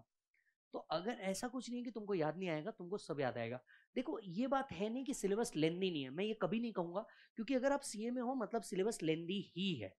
मतलब ऐसा है ही नहीं लेंदी नहीं है सिलेबस लेंदी ही है बट एक बात समझ जब तुझे इतनी बड़ी जिम्मेदारी मिलेगी अथॉरिटी मिलेगी ऐसी नहीं मिलेगी और मैं देखो जेनुनली बोल रहा हूँ फाउंडेशन ना जेनुनली अगर ये पूरा पेन आपका सी सिलेबस है ना फाउंडेशन इसके सिर्फ इधर टिप पे है इतना ही है फाउंडेशन में जितना तुम्हारा पूरा इको है ना उतना तुम्हारा इंटर में सिर्फ एक चैप्टर है पीजीबीपी है मैं पढ़ाऊंगा मेरे को मालूम है पूरा ये जितना तुम पढ़ रहे हो ना ये सब मिक्स कर लो इतना तुम्हारा एक ही चैप्टर बनता पीजीबीपी इंटर के एक सब्जेक्ट का एक टॉपिक जो सी पचास मार्क के लिए और जेन्यनली ऐसा है और तुम किसी भी सीनियर को पूछो ना उसको पता ही रहेगा वो डेफिनेटली मेरे क्लास में रहेगा उसको पूछने का वो तुमको बाय डिफॉल्ट में वैसा बोलेगा क्योंकि देख ये पूरा गेम ना पेशेंस का है and just imagine just imagine तुमने पिछले ना छः महीने अपने लिटरली ऐसी तैसी कराई है मैं आपको बताता हूँ कैसे तुम्हारे सारे दोस्त पूरी नवरात्रि एंजॉय किया तुमने नहीं किया बैकलॉग ही बहुत था ठीक है मन था तो दिवाली एंजॉय नहीं कर पाए पढ़ना था इतने सारे सेक्रीफाइस में अब जब तुम एंड पे आए हो ना बिल्कुल एंड पे मतलब अब सिर्फ बीस पच्चीस दिन बाकी है और तुम्हारा एग्जाम है यहाँ लूज आउट मत करो क्योंकि पता है क्या तुम जब जब यहाँ लूज आउट करोगे ना तब तक तुमको एग्जाम के बाद बहुत पछतावा होगा बिलीव अरे मैं खुद भटका हूं इसलिए पता है एग्जाम से पंद्रह दिन पहले भटक गया नहीं भटकना चाहिए था आज भी दर्द होता है सर अब क्यों दर्द होता है भाई क्यों छह महीने का रेवेन्यू लॉस था मेरा वो तो मिली नहीं रेवेन्यू भी नहीं मिला वो तो मिली नहीं मिली रेवेन्यू भी नहीं मिला सर बाद में बहुत क्योंकि देख असली तकलीफ ये नहीं है कि तेरे को वापस पढ़ना पड़ेगा असली तकलीफ ये है कि अगली बार भी जब तू बुक खोलेगा ना ऐसा सामने देख को समझ में आएगा तेरे को ये कंसेप्ट ये है कई बार तो तेरे को क्वेश्चन देख के पता रहेगा इसका आंसर सी है क्वेश्चन देख के तेरे को समझ में आ जाएगा इसका आंसर सी है बट बिलीव मी ये जितनी भी मेहनत है ना वो सिर्फ और सिर्फ पांच मिनट के मूवमेंट के लिए और वो पांच मिनट का मूवमेंट का एहसास मैं दिलाऊँ तुमको पांच मिनट का मूवमेंट वो ये मूवमेंट है कि जिस दिन तुमने रिजल्ट के ऊपर क्लिक किया और रिजल्ट आया पास तो अगले पाँच मिनट तक के तुमने सिर्फ अपने मम्मी पापा और दादी को ऑब्जर्व करना दादा को ऑब्जर्व करना ये जो मूवमेंट है ये वो मूवमेंट है जिसके लिए इधर दस घंटे बैठे हो जेन्युनली ये वो मोमेंट है क्योंकि जिस टाइम याद होगा तो ट्वेल्थ के रिजल्ट पे अचानक से अपनी मम्मी का चालू हो गया था ना वो सिस्टम रोना धोना ये वो सर वहां हुआ हो या नहीं हो सीए में जरूर हो जाएगा क्योंकि तुम अब तक के इस पॉइंट पे हो तुम्हारे घर मैं तुम्हारे को बताता हूँ क्योंकि तुम बहुत छोटे हो जेन्युनली तुमको ऐसा लग रहा है तुम बड़े हो गए तुम एक ही सब्जेक्ट में बड़े हुए हो अब तक हाँ मतलब थोड़े डीप में पहुंचे उसके नॉलेज के फिर भी अभी फुल नॉलेज नहीं आया ठीक है सर नहीं नहीं कुछ को तो आ गया है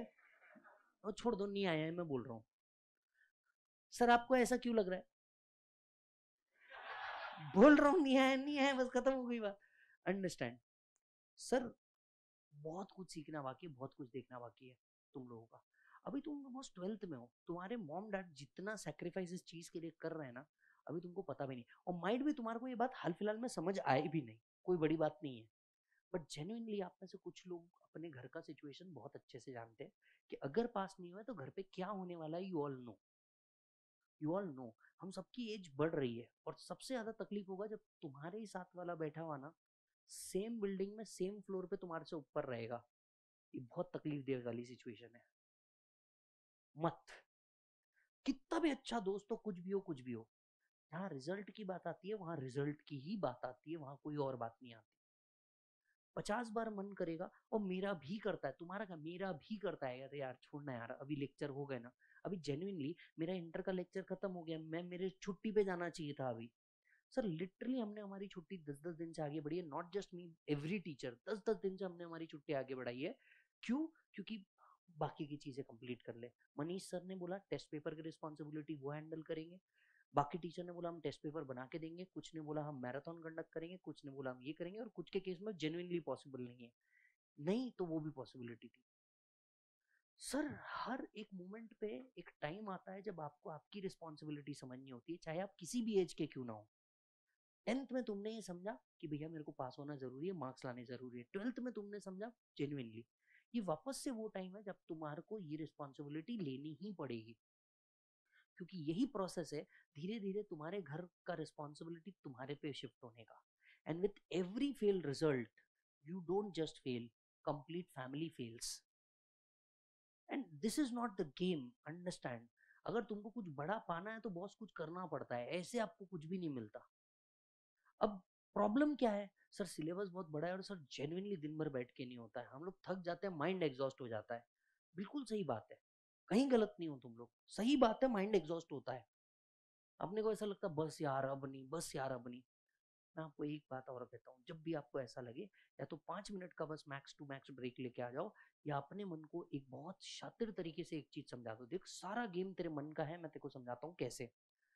रात में तू जहां कहीं भी सोता है तेरे को वॉशरूम जाना है तो देख बिना लाइट चालू किए you just wake up and you go reach there you come again without the light why because you have understood you have understood the whole parameter you have understood the whole structure और तेरे को मालूम है ये आएगा ये नहीं आएगा ये आएगा रात में बॉटल भी तू ऑटोमेटिक हाथ घुमाता और तेरे हाथ में बॉटल है क्यों क्योंकि तेरे को पता है वो उधर ही रहने वाला है yes it is all about the mind क्योंकि तूने तेरे माइंड को उतना प्रिपेयर करके रख दिया विद द डेली एक्टिविटी अब ये सोच के देख अगर यहां से भी 20 दिन तक के हर सब्जेक्ट के हर सब्जेक्ट के 20 20 एमसीक्यू भी ठोके हर सब्जेक्ट के 20 20 एमसीक्यू भी ठोके तो 400 एक्स्ट्रा क्वेश्चन सॉल्व करना है और 400 500 क्वेश्चन अगर सॉल्व करके चला गया तो कितने क्वेश्चन वहां पे अलग दिख जाएंगे जिसके आंसर तेरे को नहीं पता होंगे कोई बहुत बड़ी बात नहीं है पर अगर 20 दिन ईमानदारी से मेहनत कर लिया 25 दिन यहाँ से ईमानदारी से मेहनत कर लिया तो लॉजिक ये होगा कि अगले डेढ़ साल तक एग्जाम नहीं देना है फिर बोध ग्रुप एग्जाम देना है नेक्स्ट लेवल पे चल जाओगे लोगों का देखने का नजरिया बदलना है इस एग्जाम को पास करने का गेम ये मत रखो कि मेरे को एग्जाम पास होना है इसको पास रखने के पीछे का ऑब्जेक्टिव रखो कईयों के मुंह बंद करना है अगर कईयों के मुंह बंद करने के हिसाब से सोचोगे ना तो ये वॉर लगेगी और फिर वॉर जीतनी है और सिर्फ ये सोचोगे ना कि यार एग्जाम क्लियर करना है इतने में से इतने लाना है तो तुम सिर्फ एक एग्जाम में अटक के रह जाओगे कोई लक्ष्य को नहीं पा पाओगे लक्ष्य बनाना पड़ेगा साले वार करना ही है हमारे को भी बहुत अच्छा लगता है मेरे को एक बात बताओ कंटिन्यूसली दो ढाई घंटे से तुम लोग ग्यारह बजे से देख रहे हो चिल्ला जा रहा रुक रहा क्या मैं एनर्जी तो हमारी सेम है ना बट आपके और मेरे लेवल के एनर्जी में क्या डिफरेंस आ रहा है मैं कंटिन्यूसली बोले जा रहा हूँ फिर भी है उसी एनर्जी से चालू जिस एनर्जी से ग्यारह बजे चालू पड़ा हूँ क्यों एक ऑब्जेक्टिव है नहीं इस बच्चे ने मेरा सपोर्ट किया है मेरे को एंड तक इसका सपोर्ट करने का है आज कर लूंगा बाद में क्या है मैं तो शांत बैठूंगा ना यार नहीं पचास बार मन करेगा लूज आउट करने का पचास बार मन बोलेगा चल यार छोड़ के चलते पचास बार आप बोलोगे कि चल यार तीन बड़े चैप्टर तो हो गए दो घंटा और रुक जाएगा ना पूरा इको रिवाइज हो जाएगा दो घंटा अपने आप को और समझाना है कोई बात नहीं बैठेंगे कोई तकलीफ नहीं है बैठेंगे साले को जो ऑनलाइन देख रहा होगा ना उसमें से कई लोगों ने अभी तक पेशेंस छोड़ दिया होगा और तू सोच अभी का टाइम तो उसने वेस्ट किया ही किया वापस और दो घंटे लगाएगा तू उससे दो घंटे से आगे रहेगा if a horse in a race is just one second ahead of other he can win a million और लूज अ मिलियन सिर्फ एक सेकंड से दूसरों से आगे रहना है तुम्हारे बाजू जो आज बैठा है ये तुम्हारा बहुत अच्छा दोस्त है पर तुम भूल रहे हो ये तुम्हारा कॉम्पिटिटर भी है अंत में रिजल्ट तो उतने ही परसेंट आने वाला है अंत में रिजल्ट तो बेटा उतने ही परसेंट आने वाला है अब लाएगा कौन या तुम ये सोच लो साले पूरी लाइन हमारी आएगी पीछे वाली लाइन को फेल करेंगे है तो अंत में कंपटीशन ही ना बॉस अंडरस्टैंड हम भी मैं आरजे यू नो एमटी हम लोग भी चल अच्छा तूने आज ऐसा पढ़ाया कर ठहर में ऐसा पढ़ा के दिखाता फिर एग्जाम्पल भी दूसरों पे ही चाहते हैं समझ में आया तो ऐसा किया गया रुक मैं भी ये करके दिखाता this is called as healthy competition साले बढ़ेंगे साथ साथ में बढ़ेंगे और सबके सब एक साथ बढ़ेंगे तब तो साले तुम्हारे को मजा आएगा बट बॉस प्लीज आप क्या करो फोकस करो दो ढाई घंटे की बात और है देख तुमको भी पता है ये चैप्टर खत्म हुआ ये चैप्टर में कुछ बहुत बचा नहीं है ये चैप्टर जैसे ही खत्म हुआ कितने चैप्टर बचते हैं दो इसमें से पहला वाला कितनी देर में खत्म होगा हार्डली बीस मिनट पहला वाला कितने में खत्म होगा हार्डली बीस मिनट उसके बाद का कितने देर में होगा हार्डली एक घंटा डेढ़ घंटा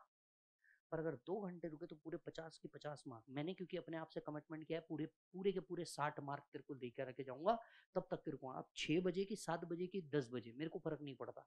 पर तुम देखो कि क्या तुम भी उस कैपेसिटी में बैठने के लिए रेडी हो मैं तुम्हारे लिए मेहनत करने के लिए रेडी हूँ अगर तुम रेडी हो तो, तो रुको कुछ नहीं होता तुम बोलोगे चार बजे चाय पीने का मन है ये पीने का मन कुछ नहीं चुपचाप पानी पियन बैठ जा कोई फर्क नहीं पड़ता मरेगा नहीं तू समझ में आएगा मरने नहीं वाला है तू ये बात फिक्स है मरेगा नहीं और तुम अभी छह घंटे बैठ जाओ इंटर में तुमको पंद्रह पंद्रह घंटे के मैराथन है चौदह चौदह पंद्रह पंद्रह घंटे के मैराथन है करना पड़ेगा और करेंगे क्या बेटा करेंगे कुछ नहीं होता डन चलो नेक्स्ट पार्ट पे चलते हैं कॉस्ट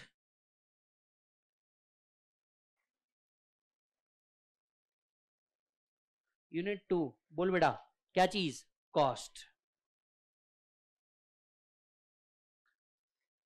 हाजी भाई साहब कॉस्ट हम्म कॉस्ट क्या है बेटा don't you think it is financial side of production this is nothing but financial side of production अब हम आते हैं किस पे बेटा टाइप ऑफ कॉस्ट पे अब हम आते हैं किस पे बेटा टाइप ऑफ कॉस्ट पे सबसे पहली कॉस्ट कौन सी होती है अकाउंटिंग कॉस्ट मैं नहीं बता रहा अकाउंट्स में हम सिर्फ डैश कॉस्ट कंसिडर करते हैं एक्सप्लिसिट या implicit only explicit cost economic cost मैं नहीं बता रहा explicit plus implicit cost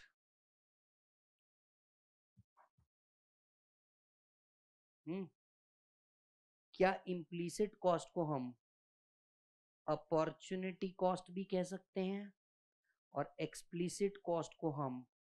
out of pocket cost भी कहते हैं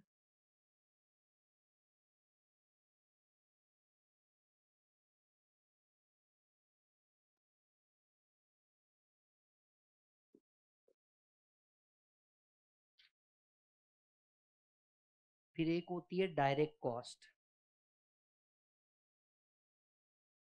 which can be बोलो बेटा ट्रेस्ड एक होती है indirect cost which cannot be traced direct cost जिसको ट्रेस किया जा सकता है अगेंस्ट अ प्रोडक्ट आइडेंटिफाई किया जा सकता है इनडायरेक्ट कॉज जिसको आइडेंटिफाई नहीं किया जा सकता फिर आपको याद होगा तो इंक्रीमेंटल कॉस्ट कौन सी कॉस्ट बेटा इंक्रीमेंटल कॉस्ट तो ये अपना भाई नाम क्या है तेरा स्वयं तेरा नाम क्या है हाँ स्वयं पूर्वा को बोलता है मेरे साथ कॉफी पीने चलेगी क्या बराबर है पूर्वा बोलती है सुनना स्वयं मैं अकेले नहीं आ सकती निशा को भी लू क्या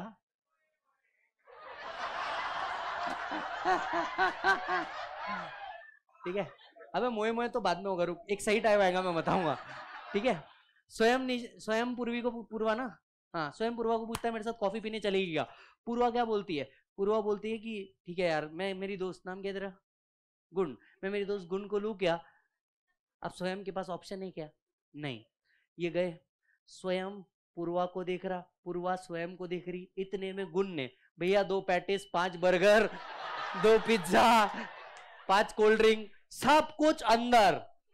अब बता पूर्वा की कॉफी का कॉस्ट जो हुआ वो तो हुआ direct cost which can be traced गुण तो उसके पूरे ट्रांजैक्शन में कहीं थी नहीं गुण का जितना भी कॉस्ट है वो क्या हो गया इंक्रीमेंटल कॉस्ट गुण का कॉस्ट जो हो गया वो कौन सा कॉस्ट बन गया इंक्रीमेंटल कॉस्ट ये जबरदस्ती का कॉस्ट है जो उसने इनकर ही नहीं करना था are you getting the point ये जबरदस्ती का कॉस्ट है जो उसने इंक्रीमेंट अब स्वयं बैठा है फिर स्वयं ने धीरे से अपने मन की बात रखी उसके पहले ही पुरवा ने कह दिया थैंक यू भैया बहुत अच्छा लगा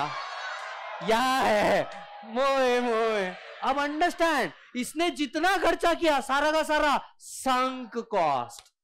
इसने जितना खर्चा किया सारा का सारा क्या हो गया बेटा संक कॉस्ट तो incremental cost is cost of an additional unit ठीक है और अगर ये सारा का सारा कॉस्ट वेस्ट हो गया तो ये क्या हो गया बेटा संक कॉस्ट समझ में आ रहा है क्या विद द प्रैक्टिकल एग्जाम्पल फिर कई सालों बाद फिर क्या हुआ सर फिर क्या अगले दिन इसके मोहल्ले में ऐश्वर्य आई बराबर अब अब ये ऐश्वर्या को बताता I had a relationship you know it was really a toxic relationship it was relation this relationship is a toxic relation you know मैं उसको बोल रहा था मैं उसको बोल रहा था कॉफी पीने चलो उसने अपनी दोस्त गुन को भी लेके आ गई अब ये जो याद कर रहा है ना उसको बोलते हिस्टोरिकल कॉस्ट ये ये जो कॉस्ट है ये कौन सी कॉस्ट है बेटा historical cost so here comes the three next cost incremental cost बोलो बेटा संग कॉस्ट और नेक्स्ट कौन सी बेटा historical cost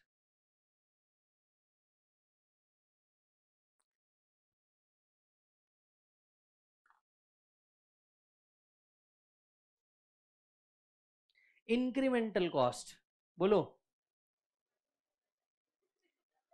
cost of an additional unit तो हमारी गुण क्या बन गई थी वहां पे एडिशनल यूनिट हमारी गुण वहां पे क्या बन गई थी additional unit sunk cost cost already incurred and can not be recovered can not be recovered ये हो गई sunk cost what is historical cost cost incurred in past cost incurred in past अब वो किसके साथ गया था घूमने के लिए बोलो ना पूर्वा अरे पूर्वा तो चले गए ना वो हिस्ट्री बन गए अगले दिन अपने मोहल्ले में कौन आई थी ऐश्वर्या आई अब ऐश्वर्या का जो बिल बढ़ रहा है ये है रिप्लेसमेंट कॉस्ट ऐश्वर्या का जो वापस से बिल भर रहा है ये कौन सी कॉस्ट हो गई replacement cost cost of replacing an asset cost of replacing an assets ये बन गई कौन सी कॉस्ट बेटा replacement cost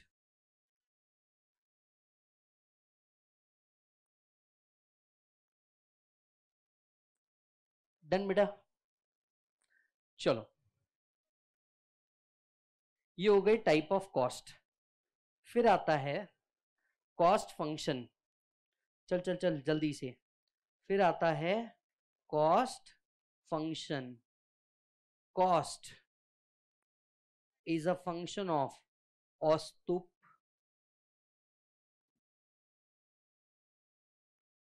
cost is a function of output O is level of output आपकी कॉस्ट इस पे भी डिपेंड करती है कि आपका आउटपुट कितना होने वाला है एज मतलब साइज ऑफ प्लांट आपके प्लांट की कैपेसिटी क्या है T U is time under consideration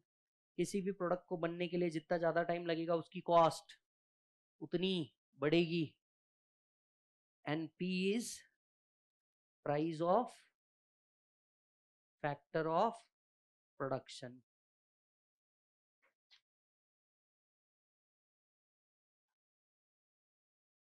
चलिए रिकॉल कीजिए total cost is equals to fixed cost plus variable cost fixed cost is equals to total cost minus variable cost and variable cost is equal to बोलो बेटा total cost minus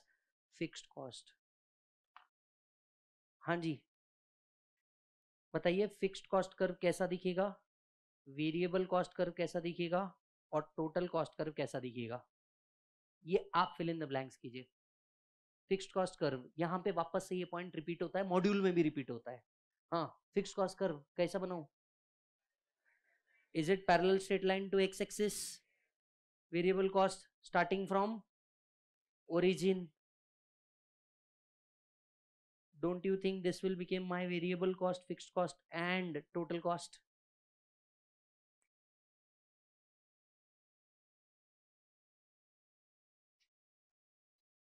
अब हम आते हैं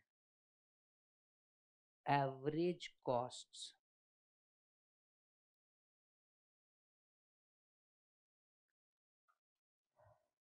अब हम आते हैं एवरेज कॉस्ट के ऊपर यात्रीगण कृपया ध्यान दें ATC is equal to A F C plus A V C do you agree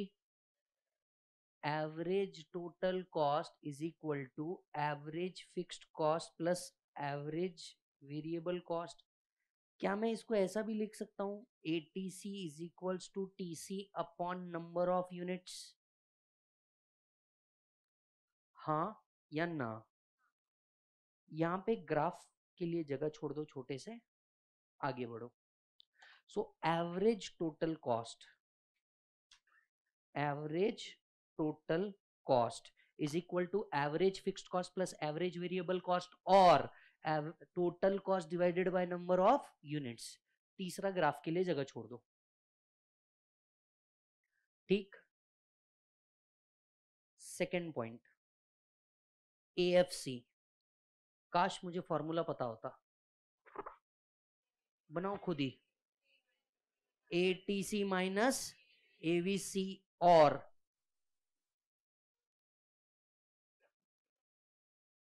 और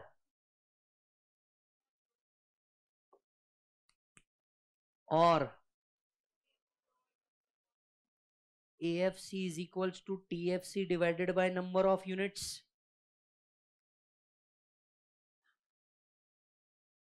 अब सुन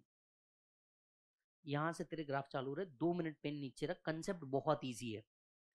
देख तेरा फिक्स्ड कॉस्ट का कर्व जो था वो कुछ ऐसा था पर तेरी फिक्स्ड कॉस्ट एक यूनिट को डिनोट कर रही थी पर जब तेरा एवरेज आ जाता है तो तेरा एएफसी का जो कर्व है ये डाउनवर्ड स्लोपिंग हो जाता है बोलो इस कर्व के तीन नाम पहला डाउनवर्ड स्लोपिंग इसी को ऐसा भी कह सकते हैं निगेटिव स्लोपिंग इसी को ऐसा भी कह सकते हैं कॉन्वेक्स बराबर सर ऐसा क्यों हुआ इधर देख मान ले एक यूनिट था मान ले कितना यूनिट था एक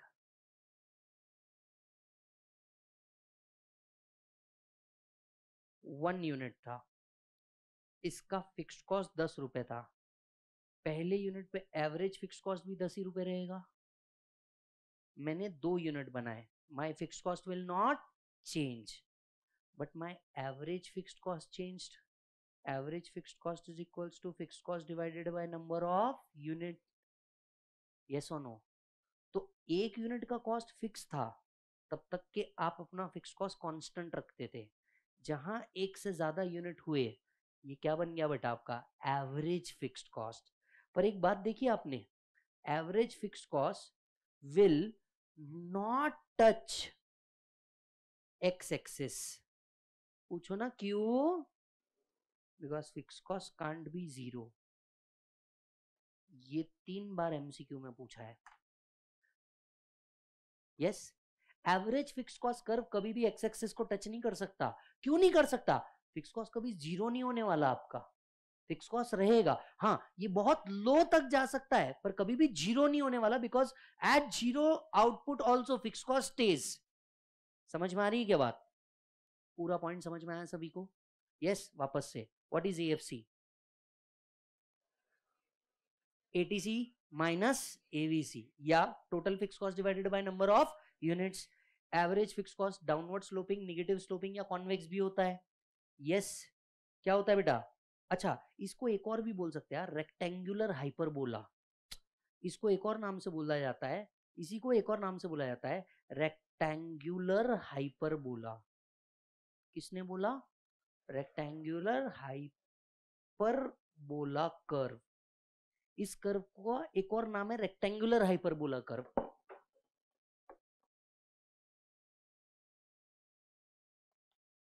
डन इसी कर्व को एक और चीज से बोला जाता है rectangular hyperbola curve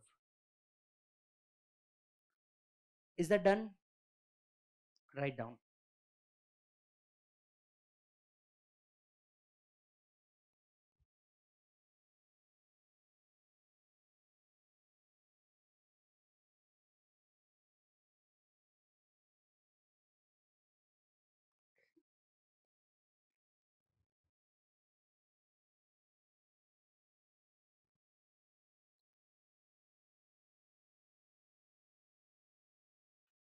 यहाँ पे बेचारा दीन दुखियारी संघ कॉस्ट पे लिख रहा है पूर्वा तो लाइबिलिटी थी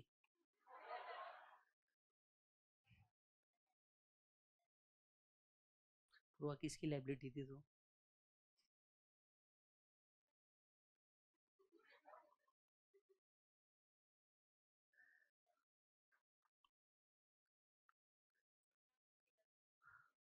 अब पता चल गया ना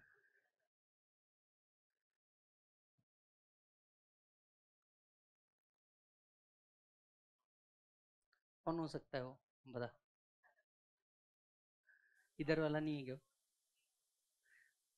पूर्वा कह रही है जितते थे सब चोर थे चलो ये डन है बेटा नेक्स्ट ये डन है क्या bro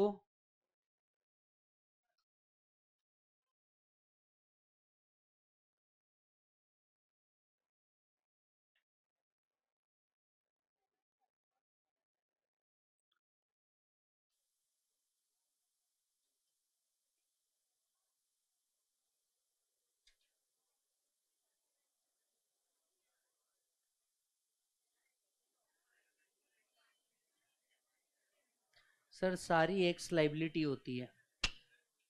all X R passwords सारे के सारे एक्स क्या होते हैं पासवर्ड्स होते हैं बराबर है ना हम्म। वो भी हाउ बोल रहे जिनके हाथ तक कुछ रही नहीं बहुत गम है तुमको भी नहीं मैंने देखे कई अखंड सिंगल लोग जो अरिजीत सिंह को सुन के खुद को दर्द हो रहा है ऐसा बता रहे और तेरा कभी कुछ हुआ नहीं गया नहीं क्या जीवन आओ बेटा average variable cost everybody average variable cost बोल लाला एवरेज वेरिएबल कॉस्ट का फॉर्मूला बोल ATC minus A F C और हम्म TVC upon number of units. Say yes अच्छा एवरेज वेरिएबल कॉस्ट का कर्व कैसा रहेगा मेरी बात ध्यान से सुनना इस पॉइंट को ध्यान से सुनना अगले दो कंसेप्ट बड़े आराम से हो जाएंगे दो मिनट पेन डाउन करो दो मिनट पेन डाउन करो एवरेज वेरिएबल कॉस्ट का कर्व कैसा रहेगा सर एवरेज वेरिएबल कॉस्ट याद होगा तो वेरिएबल कॉस्ट का कर कुछ ऐसा था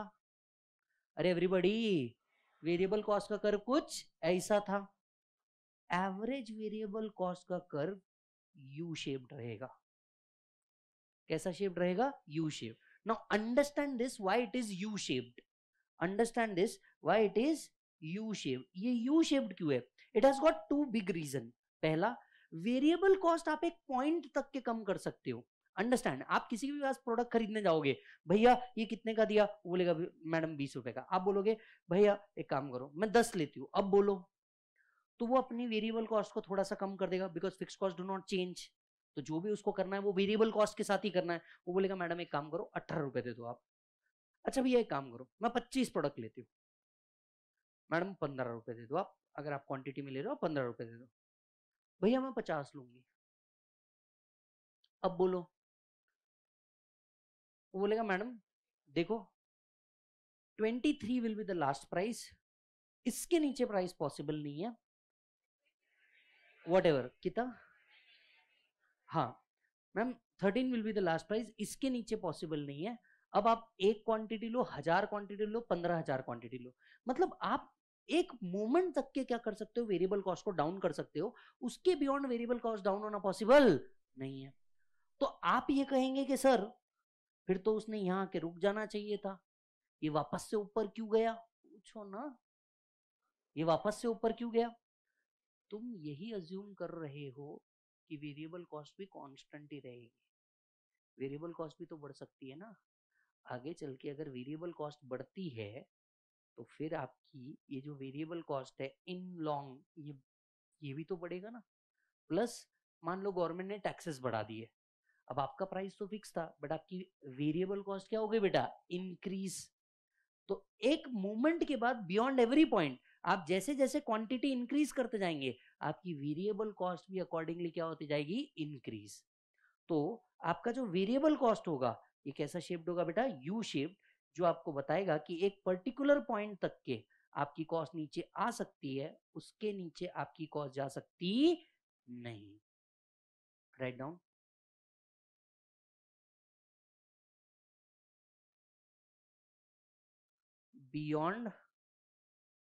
optimum capacity the cost can not go down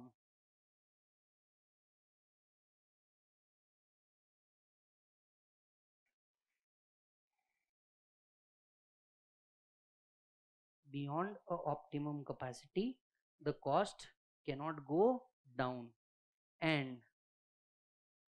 will increase बोलो बेटा शार्पली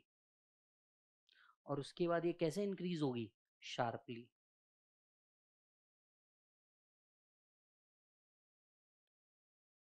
everybody. चलो अब बता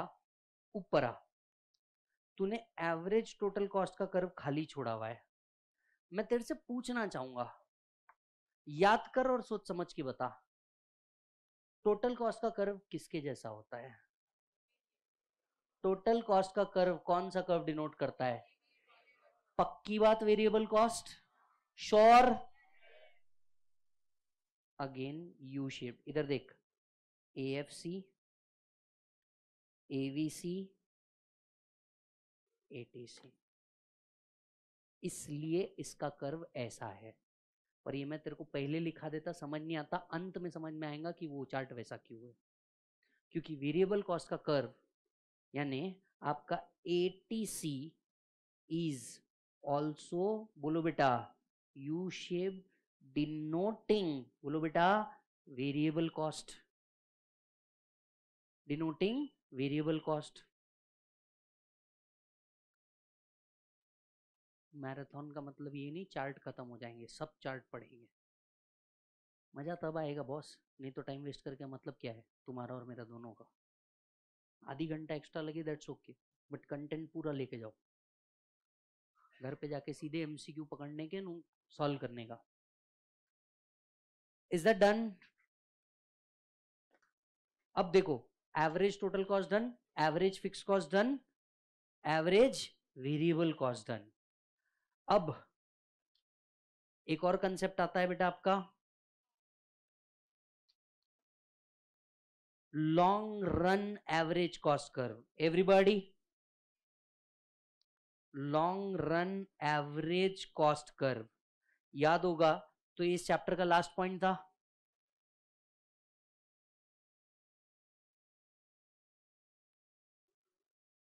हाँ ऐसा कुछ था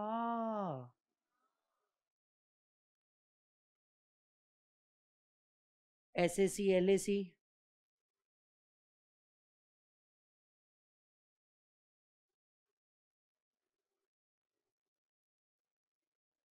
sir sir long run average cost curve long run के अंदर में don't you don't you don't you think so all cost is variable cost since all cost is variable cost ये भी कैसा शेप्ड होगा बेटा U shape it contain many short run average curve which is या आप इसको ऐसा भी बोल सकते हैं L A C C is tangent to S A C C यह आपको एमसीक्यू में आएगा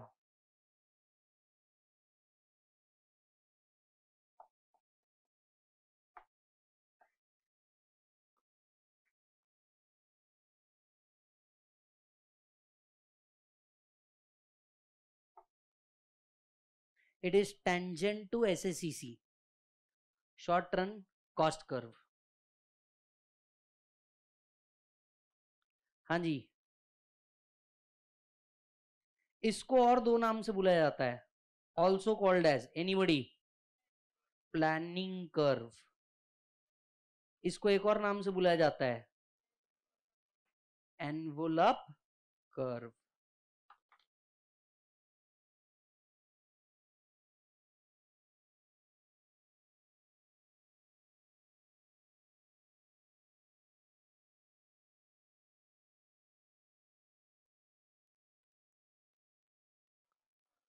झालं का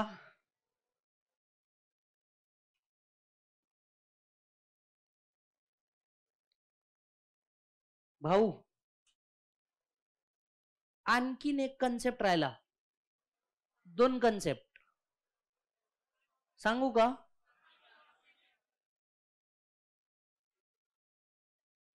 सांगू का फक्त दोन कन्सेप्ट राहिले या चॅप्टर मध्ये सर कुठले कोणते या कुठले क्या बोलेंगे कोणते दोनों भी बोल सकते ना हाँ पे ठीक है पहिला राहिलं ते एमसी हर मार्जिनल कॉस्ट आठवण आहे का तुम्हाला आठवत आहे का तुम्हाला इकडे होता मार्जिनल कॉस्ट मार्जिनल कॉस्ट म्हणजे cost of one additional input करताय का बाल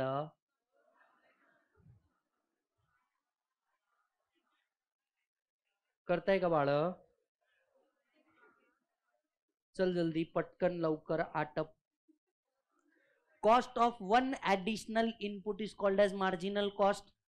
बर असं लिहिलं तर चालेल का तुला total cost at N unit minus total cost at N minus one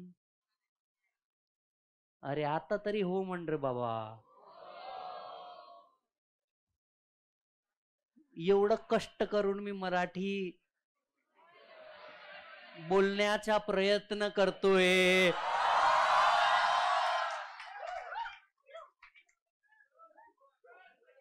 याची जाणीव घ्या तुम्ही बरोबर बोल रहा क्या मैं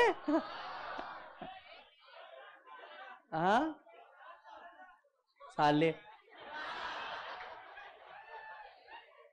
चला so marginal cost is total cost at N unit minus total cost at N minus one या marginal cost is change in total cost ऐसा भी लिख सकता है मैं marginal cost is change in total cost oh my god क्या मैं marginal oh cost को चेंज इन वेरिएबल कॉस्ट भी लिख सकता हूं क्या because change in total cost is nothing but change in variable cost बराबर ना अहो बाई कळतंय का तुला तो क्या मैं मार्जिनल कॉस्ट कर्व को भी यू शेप बना सकता हूं क्या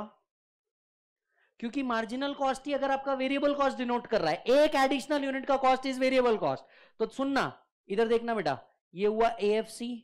ये हुआ एवीसी ये हुआ एटीसी ये बनेगा एमसी ये भी यू शेप्ड ही होता है स्लाइटली यू शेप्ड होता है चार्ट समझ में आ रहे हैं मालिक सभी को पक्का ये था सेकेंड लास्ट पॉइंट इस चैप्टर का मैंने सोचा ये भी क्यों छोड़ने का पढ़ा दो चलो अब तुम इतना फोर्स करो तो एक और कॉन्सेप्ट पढ़ा ही देता हूं आइसो क्वांट और अरे वो अरे ढोंडू वो तू तो ऐसा कह रहा है जैसे मेरे पीछे वो आइसो क्वांट आइसो क्वांट अरे था ना क्या था आइसो क्वांट था कि कितने भी इनपुट बदल ले output will remain same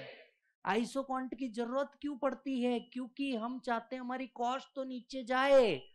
और हमारा आउटपुट क्या रहे सेम तो आइसो क्वांट की जरूरत पड़ती है ताकि हम हमारे कॉस्ट को मैच कर सके हाँ मतलब तो भैया कोई भी ड्रेस में हाँ मेरे लिए तो तू तो सेम ही रहेगी इस कंसेप्ट को हम क्या कहेंगे isoquant where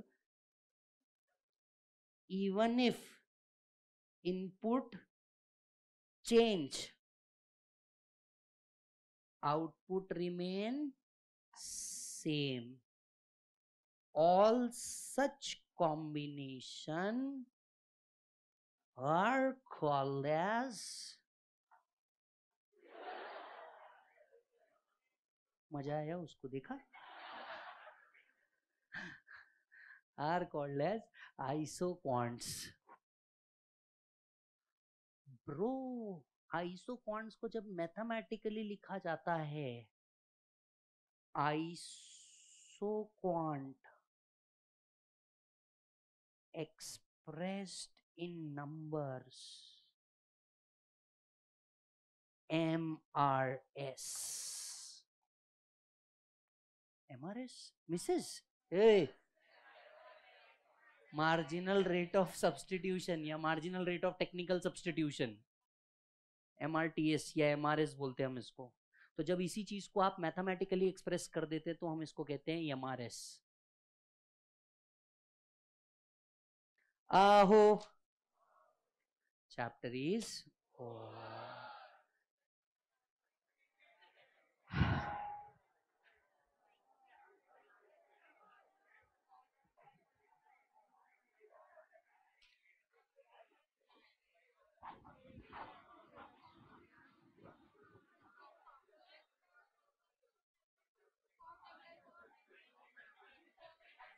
Hmm? Pop Douglas not so important. Live in era. Oh भाई सा देखो we have done with chapter number 4 we have done with chapter number 5 we have done with chapter number 3 कितने chapter बचे break से पहले दम लगाओगे क्या चैप्टर नंबर वन का खत्म हो जाएगा जेन्युनली खत्म होता अगर तुम 20 मिनट और दम लगाने को रेडी हो तो मैं खत्म करने को रेडी हूं करेंगे क्या भाऊ बोलो हृदय सम्राट छत्रपति शिवाजी महाराजांचा let start chapter number one बच्चे चल chapter number one let start let start कुछ नहीं होगा और करेंगे और करेंगे टेंशन नहीं चल चल चल चैप्टर नंबर वन छोटू सा बच्चू सा चैप्टर है बेटा टेंशन नहीं लेने का दस मिनट और रोक के बैठने का कितनी भी ठंडी लगे रोक के बैठने का बराबर है कि नहीं रोक के बैठ चैप्टर नंबर वन बोल मेरे बच्चा कितने यूनिट थे पहला यूनिट यस हाँ बहुत इंपॉर्टेंट सवाल और लिखना है सबको कितना भी आता हो तो भी लिखने का है ठीक है मुझे बताओ who is the father of economics so who is the daddy of economics Adams में इन्होंने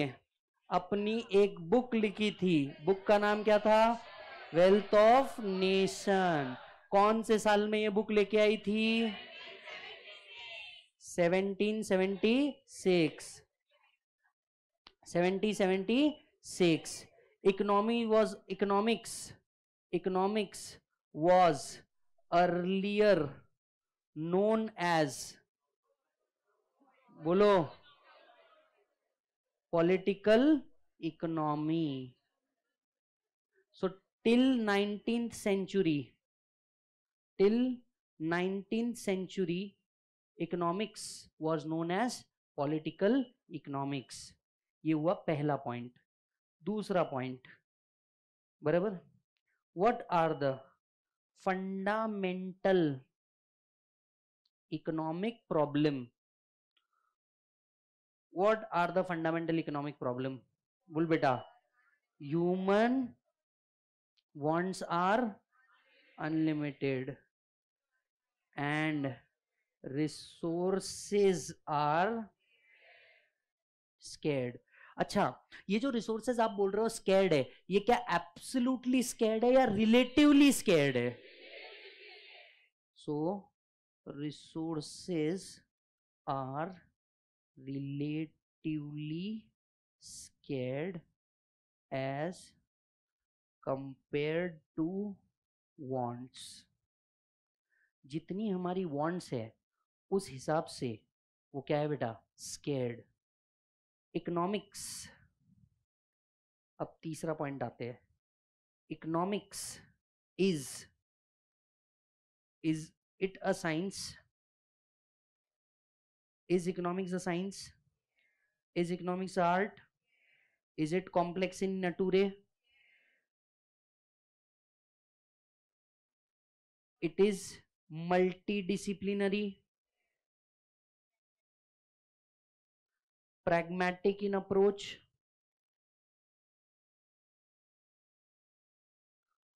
also called as also called as बोल बेटा managerial economics also called as applied economics क्या तुम्हें याद है तो ये था इस चैप्टर का तीसरा पार्ट बाकी बाकी दो दो पॉइंट और पढ़ लो यूनिट खत्म है तुम भी जानते हो मैं भी जानता हूं और ऐसा कोई पॉइंट नहीं जो हमने छोड़ दिया सारे पॉइंट पढ़ रहे हाँ तो इकोनॉमिक साइंस है है आर्ट्स है है कॉम्प्लेक्स इन नेचर है है मल्टीडिसिप्लिनरी डिसिप्लिनरी है इंटर डिसिप्लिन अच्छा मल्टीडिसिप्लिनरी को इंटर भी बोल सकता हूँ इंटर डिसिप्लिनरी भी है है प्रैग्मेटिक इन अप्रोच है मैनेजरियल इकोनॉमिक्स है अप्लाइड इकोनॉमिक्स है उसमें अकाउंट्स का नॉलेज आता है लॉ का भी नॉलेज आता है सब आता है उसमें है ना हर तरीके का सब्जेक्ट बीच में आता है हम्म बोलो भाई साहब भाई साहब टाइप ऑफ इकोनॉमिक्स बहुत हार्ड है ये भाई बहुत हार्ड है हा दो micro macro micro talks about individual unit macro talks about aggregate unit six seven MCQ over maximum MCQ तो यही थे अच्छा बताइए प्रोडक्ट का प्राइस इज अ माइक्रो और micro issue micro location of industry national income value of currency price level in India पक्की बात क्या मैं ऐसा कह सकता हूं economics is more of micro less of macro everybody सिर्फ माइक्रो नहीं है सिर्फ मैक्रो नहीं है हम थोड़ा थोड़ा है थोड़ा इसका थोड़ा उसका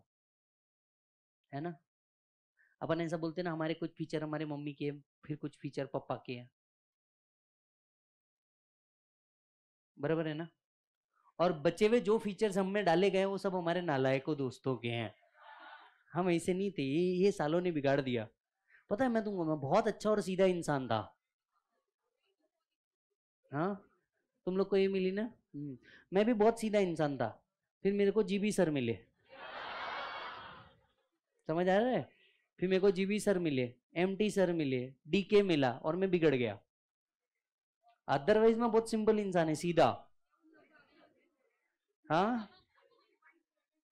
कि ये वाई से वर्षा लगता है क्या तुमको क्या पहचाना है ना तुमने मास्टर को हाँ sir sir basic problem of economy basic problem of economy ओए हो पहला क्वेश्चन आता है व्हाट टू प्रोड्यूस दूसरा क्वेश्चन आता है हाउ टू प्रोड्यूस तीसरा क्वेश्चन आता है फॉर हुम टू प्रोड्यूस और आता है चौथा economic growth what to produce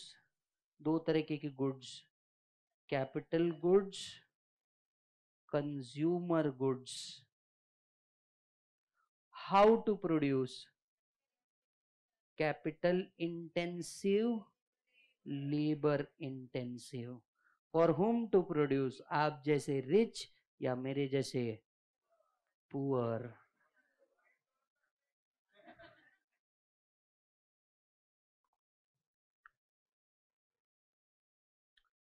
You are more rich than me at any time. Ask me why. You can afford me.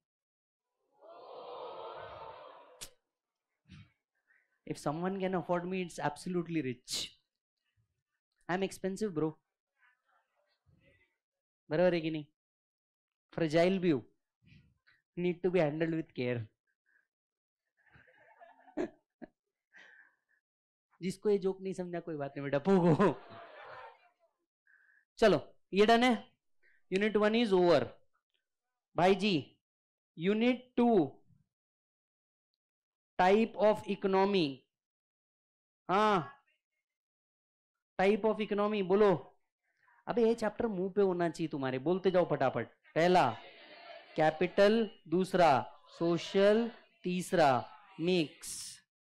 हाँ कैपिटल मोटिव क्या होता है बोल प्रॉफिट इधर मोटिव क्या होता है सोशल वेलफेयर इधर क्या होता है both private economy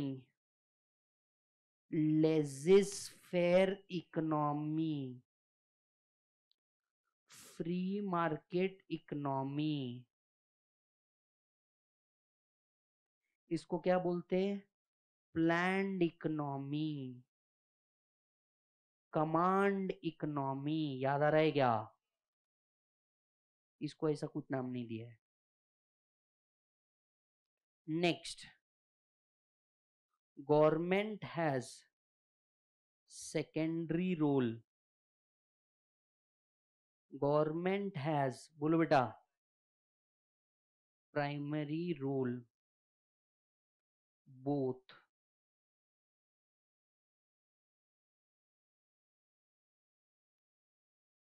yes there is a right to property right to business यहां नॉट अवेलेबल यहां अवेलेबल यहाँ right to property right to business है यहाँ नहीं है यहाँ अवेलेबल है बराबर consumer sovereignty exist do not exist exist पहले केस में कंज्यूमर सोवनिटी एग्जिस्ट करती है कंज्यूमर जो चाहे वो ले सकता है जो चाहे वो कर सकता है सोशलिस्ट में ऐसा नहीं होता मिक्स में यह होता है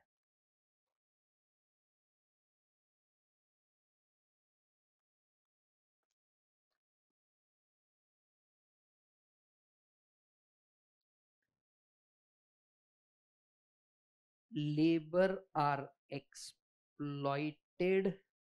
not exploited not exploited labour are exploited not exploited not exploited आहो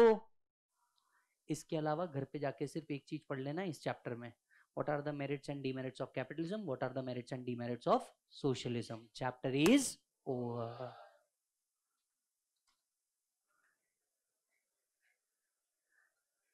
सुनो ना मैं क्या बोल रहा हूं अरे मैंने कुछ बोला ही नहीं तुमको क्या लग रहा है मैं ऐसा बोलूंगा चलो लास्ट चैप्टर भी कर लेते नो ब्रेक पर मैं ऐसा कुछ बोलने नहीं वाला have a break of 10 minutes see you after the break 10 minutes नहीं 15 minutes का break low yes it's five five fifteen को हम लोग मिलते हैं चाय नाश्ता कुछ करके आओ उसके बाद लगभग लगभग आप मान के चलो कि वी विल रिक्वायर वन और वन एंड हाफ आवर जो अपन ने टाइम दिया उसमें खत्म हो जाएगा is that done bye bye yes sir welcome after the break we all know out of five we have done four chapters yes and we are rest with only one chapter and that is chapter number 2 which has got 3 units. Chapter number 2 which has got, bolo beta, 3 units. Everybody, buddy तीन unit है बड्डी सुन अगर module खोल के देखेगा पहले दिखेगा demand फिर दिखेगा कंज्यूमर फिर दिखेगा सप्लाई पहले पढ़ने का कंज्यूमर फिर पढ़ने का डिमांड फिर पढ़ने का सप्लाई अगर पहले दो ईमानदारी से पढ़ा तीसरा ऑटोमेटिक है पहले दो अगर ईमानदारी से पढ़ा तीसरा क्या बेटा ऑटोमेटिक ठीक है ध्यान से सुन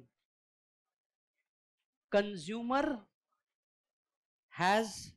सम वांट्स हर व्यक्ति की कुछ जरूरतें होती है every consumer has some wants all taste desire and motive of humans are wants जरा याद करके देखो wants क्या अनलिमिटेड होती है wants अल्टरनेटिव भी होती है wants कॉम्प्लीमेंट्री भी होती है want सब्जेक्टिव भी होती है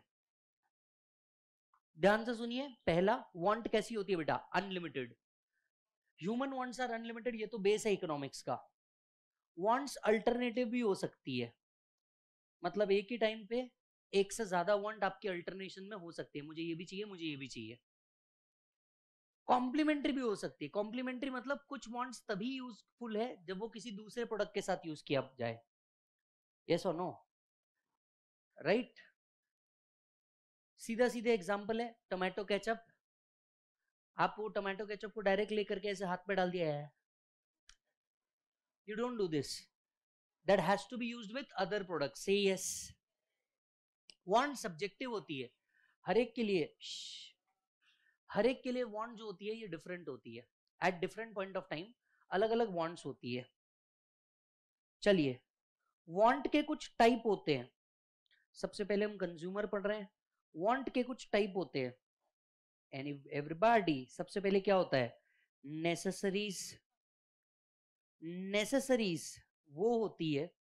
which are essentials for life necessaries are essential for life necessaries के टाइप्स होते हैं अगर आपको याद हो तो नेसेसरी के तीन टाइप थे पहला पहला anyone necessary for life necessaries for life for example food food आपके necessaries for life के अंदर में आता है दूसरा necessary for efficiency for example clean food food is important clean food efficiency बढ़ाएगा और दूसरा कन्वेंशनल नेसेसरीज कन्वेंशनल नेसेसरीज ये क्यों आती है बिकॉज ऑफ हैबिट्स कुछ नेसेसिटी चीजें इसलिए आपकी बन जाती है क्योंकि आपको उसकी हैबिट है for example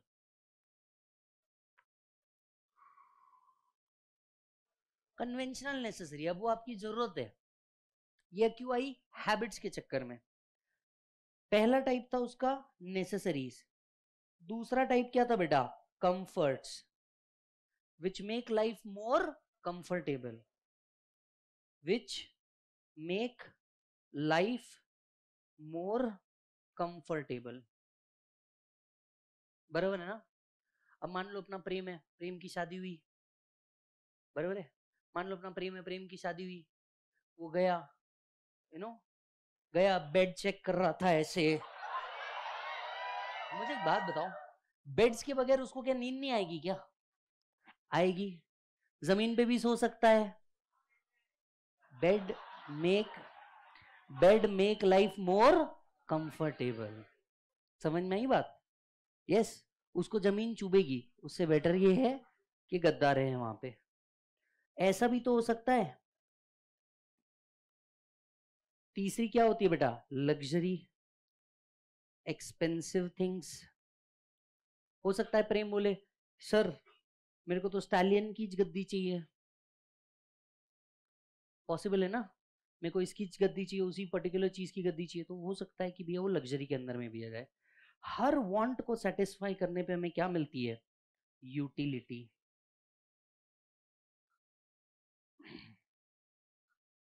with want satisfaction we get बोलो बेटा यूटिलिटी ओ हो हो बेटा utility is utility is equal to usefulness no utility is not equal to usefulness a person can get utility even if the product is not useful a person can get utility even if the product is not useful बराबर है ना for example cigarettes दारू teddy bear कोई utility नहीं मिल रही आपको ये और no but still still satisfaction मिल रहा है क्या मैं कह सकता हूं utility is equal to anticipated satisfaction utility is equal to anticipated satisfaction क्या मैं कह सकता हूं utility differs from person to person place to place person to person and place to place आपके प्रोडक्ट की यूटिलिटी बदल सकती है person to person and place to place आपके प्रोडक्ट की यूटिलिटी बदल सकती है अच्छा utility is measured in utils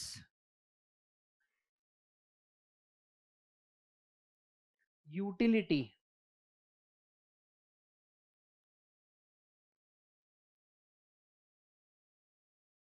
can be measured utility can't be measured कौन सा अप्रोच बोलते बेटा कार्डिनल अप्रोच कौन सा अप्रोच बोलते बेटा ordinal approach cardinal approach cardinal approach बोलो बोलो बोलो किसने दिया था Alfred Marshall, Vixen Allen,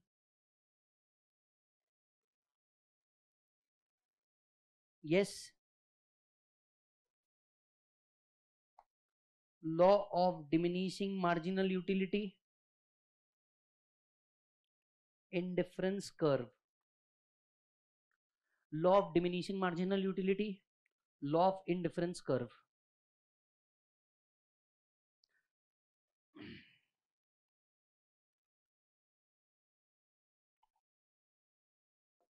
चलो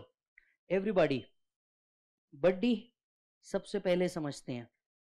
कार्डिनल अप्रोच टू यूटिलिटी किसने दिया था भैया मार्शल ने दिया था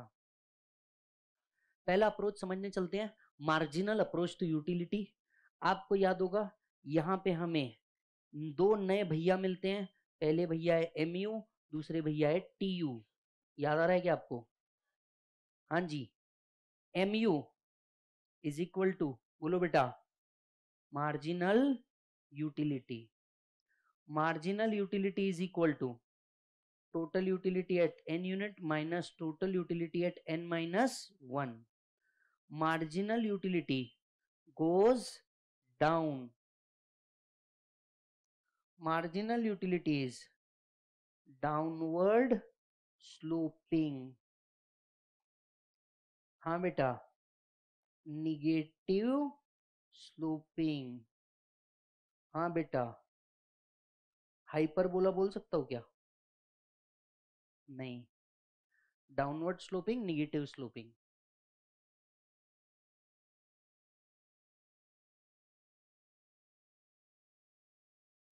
where marginal utility is zero total utility is maximum कुछ पॉइंट याद आ रहा है क्या मालिक one, two, three, four. फिर आता है total utility total utility is equal to marginal utility one plus marginal utility two till marginal utility N total utility is equal to change in marginal utility total utility goes up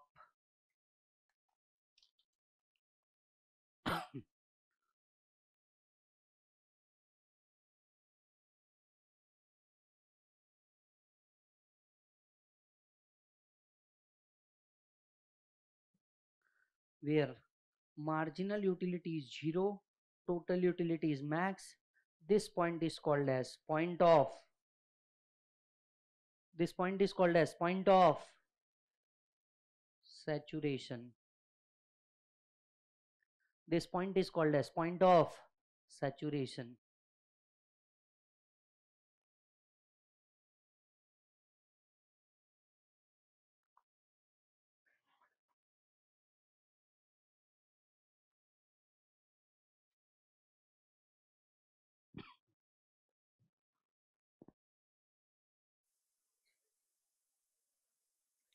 अच्छा यहाँ पे change की जगह summation होना चाहिए summation of marginal utility होना चाहिए yes yes? अच्छा अब हम पढ़ेंगे law of diminishing marginal utility law of diminishing marginal utility देखिए इसे कुछ ऐसे समझिए हम्म ऑरेंजेस ऑरेंज का स्पेलिंग ही भूल गया मैं oranges marginal utility total utility सुनना बहुत तेज लगी थी भूख मैंने एक ऑरेंज खाया सपोज करते हैं मुझे दस की यूटिलिटी मिली पहले यूनिट में मेरी टोटल यूटिलिटी भी दस ही हो जाएगी यस मैंने दूसरा रसगुल्ला खाया law of diminishing marginal utility बोलता है ऑरेंज मैंने दूसरा ऑरेंज खाया law of diminishing marginal utility बोलता है as consumer goes on consuming the product as consumer goes on consuming the product the utility out of that product goes down but it is the marginal utility which goes down but total utility goes up are you waiting the point so marginal utility नीचे जाती है total utility नहीं अब यहां से अगर हम समझेंगे तो nothing but summation of marginal utility is total utility and total utility का जो डिफरेंस है 16 माइनस टेन यही हम क्या बना रहे बेटा मार्जिनल यूटिलिटी मैंने तीसरा प्रोडक्ट तीसरा ऑरेंज खाया यस अब मेरे को इससे मिलने वाली यूटिलिटी कितनी रह गई you know let's say two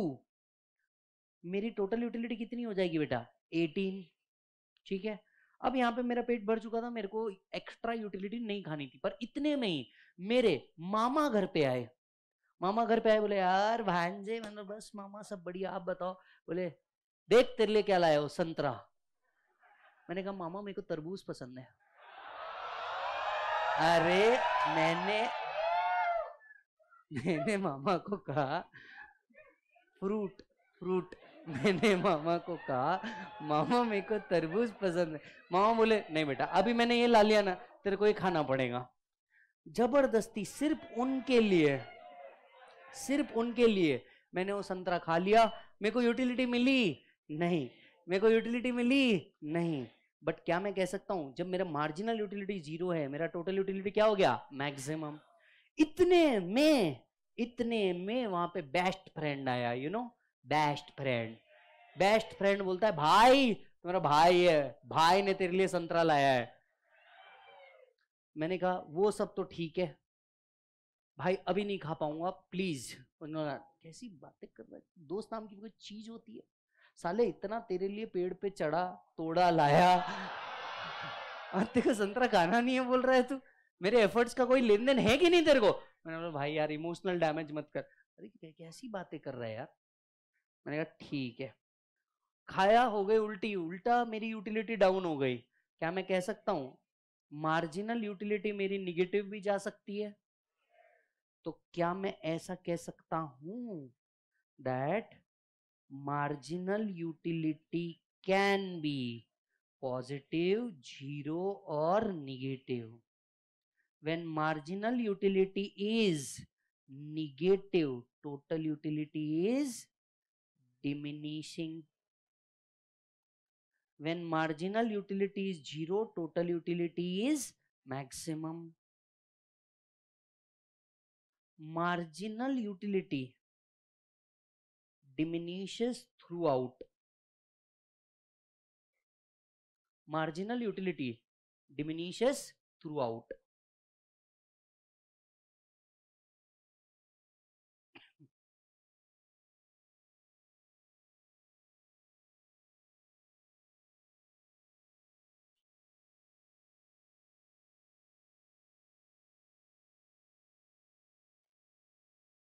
is that done चलो ग्राफ बनाएंगे देख तेरी marginal utility goes down but तेरी total utility goes up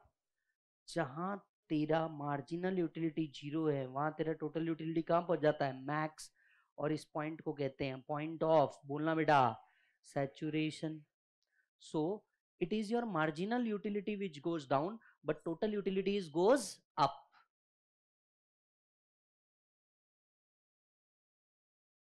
Oh, क्या मैं ऐसा कह सकता हूं money is the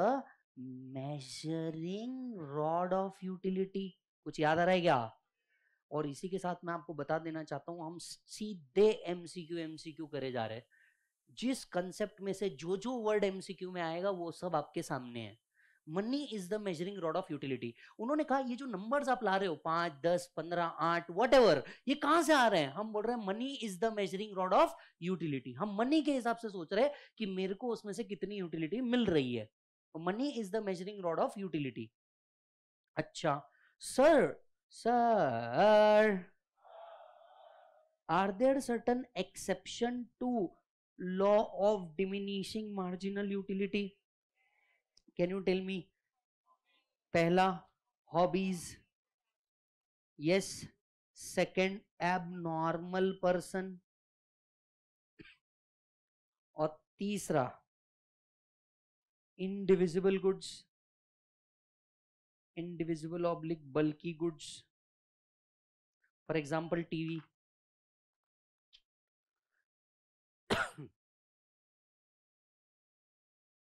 यहाँ से हमें और तीन कंसेप्ट मिलते हैं एक कंसेप्ट मिलता है consumer equilibrium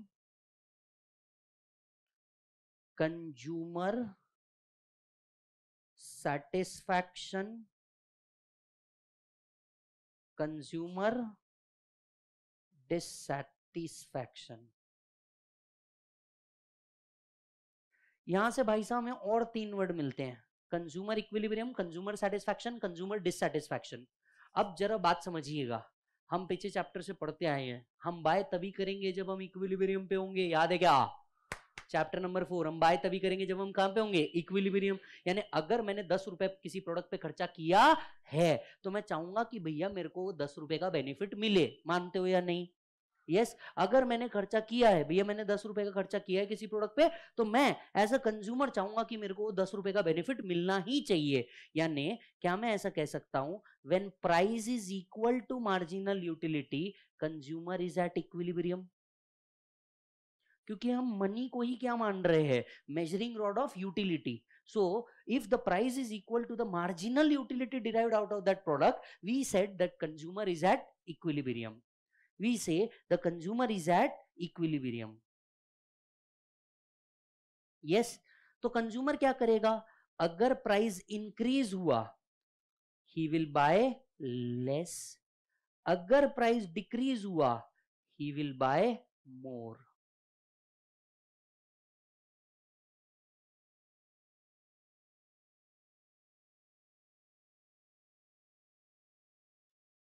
बराबर दूसरा कंसेप्ट आता है कंज्यूमर सेटिस्फाइड कब होगा मतलब मान लीजिए अगर मैंने दस रुपए का प्रोडक्ट दिया था बात समझना मालिक मैंने क्या किया था दस रुपए का प्रोडक्ट लिया लेकिन इस दस रुपए के प्रोडक्ट के जो मेरे को मिलने वाली यूटिलिटी थी वो पंद्रह की मिल गई मतलब utility is more than the price paid कई बार ऐसा होता है हम किसी होटल में जाते हैं खाना खाने के लिए और हमारे को जितनी एक्सपेक्टेशन होती है वहाँ उस जो खाना होता है वो उससे और ज़्यादा बेटर होता है तो हम कहते हैं यार आज तो मज़ा आ गया यार क्या सस्ता होटल और क्या बेस्ट खाना है मतलब हमारे को जो यूटिलिटी मिल रही है आप लोग सोच के आए थे कि भैया इकोनॉमिक्स से मैराथन में क्या मजा आएगा थेरी है बोर होगा पर if you get the utility more than what you have decided you are at consumer surplus so when marginal utility is greater than price we called it as consumer as surplus yes इसी को ऐसा भी कहा जा सकता है total utility minus amount spent total utility minus amount spent भी आपका कंज्यूमर सरप्लस ही बनता है because sum of all marginal utility is called as total utility yes तो total utility minus amount spent is also consumer surplus अच्छा जी sir तो क्या मैं कह सकता हूं इसी को ऐसा भी कह सकता हूं marginal utility is equals to price into quantity amount spent is nothing but price into quantity तो इसी चीज को एक और तरीके से लिखा जा सकता है marginal utility minus price paid for that commodity तो कंज्यूमर इज एट सरप्लस आप इसे कंज्यूमर सेटिस्फैक्शन या कंज्यूमर सरप्लस भी बोल सकते हो consumer dissatisfaction I think I am very clear where the marginal utility is less than the price derived मैंने दस रुपए पे किया बदले में मेरे को क्या मिला भैया दो रुपए का बेनिफिट मिला ये सुनो प्रोडक्ट बाहर से देख के तो बहुत अच्छा लग रहा था यस प्रोडक्ट बाहर से देख के बहुत अच्छा लग रहा था बहुत मजा आ रहा था ऐसा लग रहा था बहुत मजा आएगा जब खोला ओपन किया पैकेट को तब पता चला भाई चिप्स के पैकेट में तो एयर था सिर्फ बराबर है कि नहीं तो कई बार ऐसा होता है ना अपन दस रुपए का चिप्स खरीदते पर अपने को ऐसा लगता है कि हाँ भाई बहुत अच्छा रहेगा बहुत सारे चिप्स मिलेंगे अंदर से अंदर से क्या निकलते टुकड़े तो when marginal utility is less than the price paid we called it as consumer dissatisfaction are you getting the point yes चलो लास्ट कंसेप्ट लास्ट कंसेप्ट कुछ अजम्पन है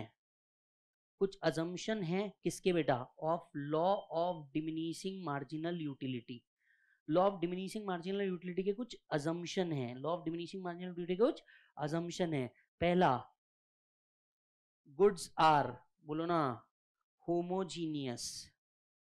मैं जितने गुड्स कंज्यूम कर रहा हूँ देखिए ये लॉ तभी सस्टेन करता है जब जितने कंजम्पशन कर रहा हूँ मैं सारे के सारे सेम होने चाहिए मतलब अगर मैं मिठाई से मेरी यूटिलिटी निकालना चाहता हूँ तो जितने कंजम्पशन मैं करूंगा वो सारे के सारे एक ही टाइप के होने चाहिए ऐसा नहीं होना चाहिए एक रसगुल्ला एक रसमलाई तीसरा यू नो मैसूर पाक या ऐसा कोई तो मेरे को समझ में नहीं आएगा मेरे से किसकी यूटिलिटी डाउन हो रही है तो all that product must be same वो सारे प्रोडक्ट कैसे होने चाहिए homogeneous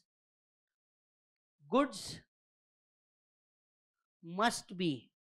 consumed continuously goods कैसे होने चाहिए बेटा कंटिन्यूसली कंज्यूम होने चाहिए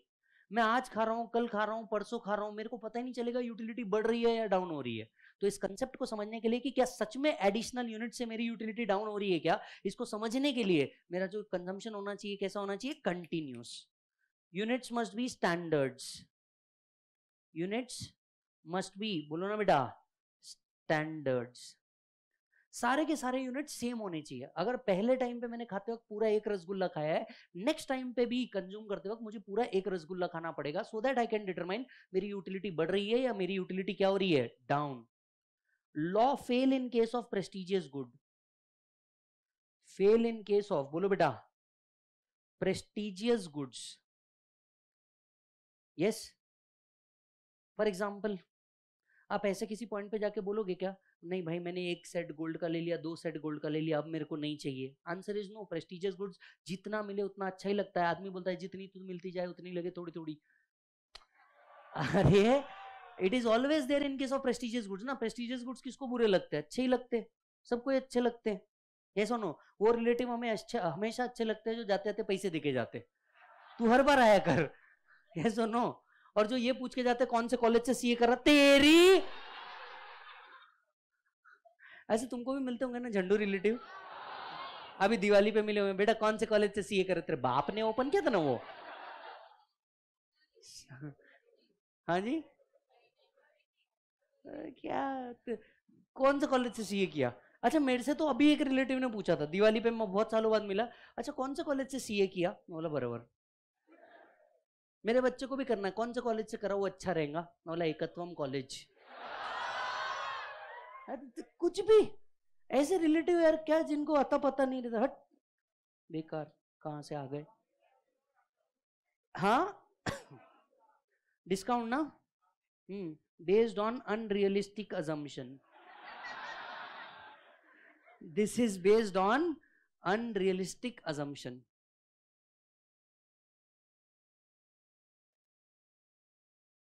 this is based on unrealistic assumption पूछो ना क्यों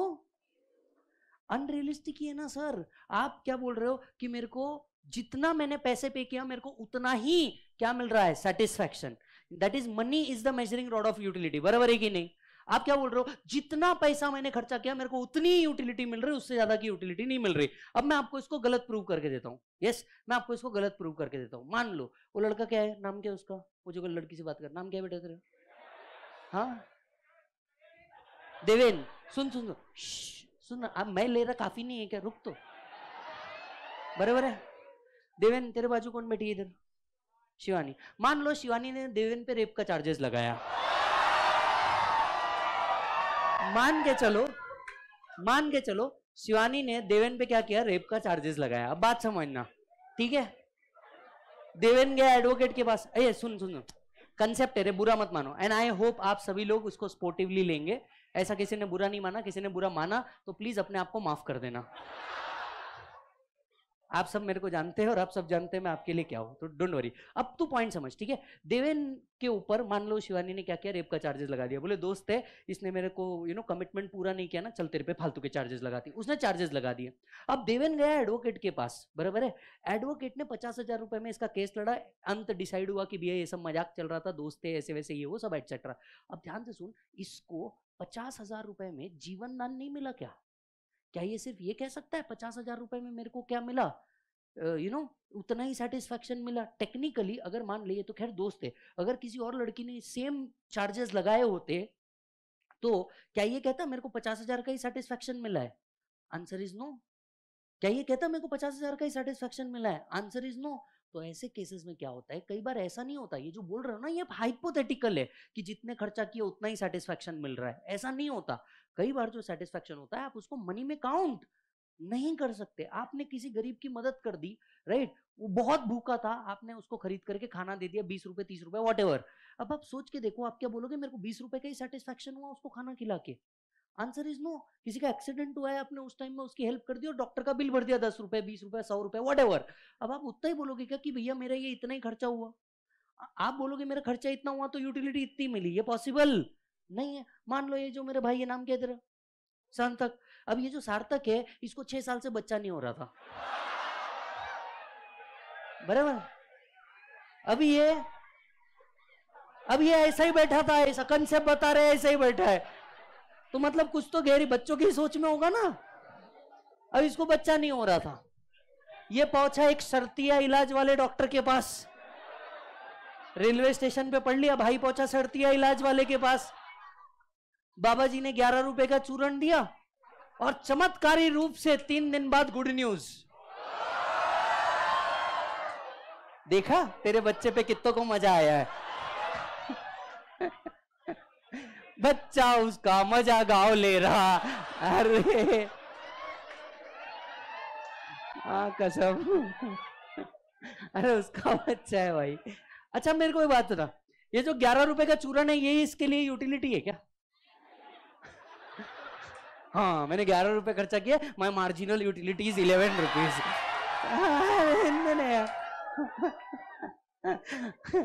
अबे उसको यूटिलिटी बहुत बड़ी मिली है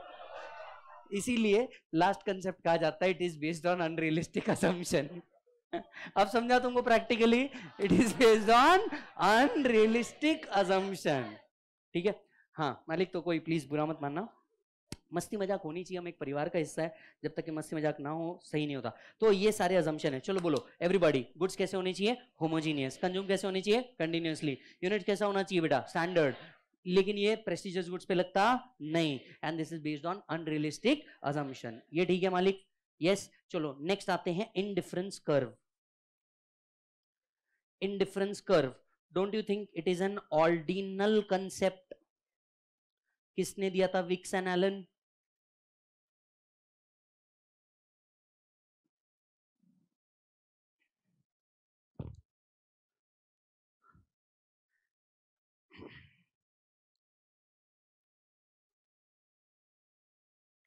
सर आप ऐसे एडल्ट एग्जाम्पल क्यों ले रहे हो आप एक्सीडेंट का ही एग्जाम्पल लेते मैं एडल्ट हूँ मैं एडल्ट बातें करूंगा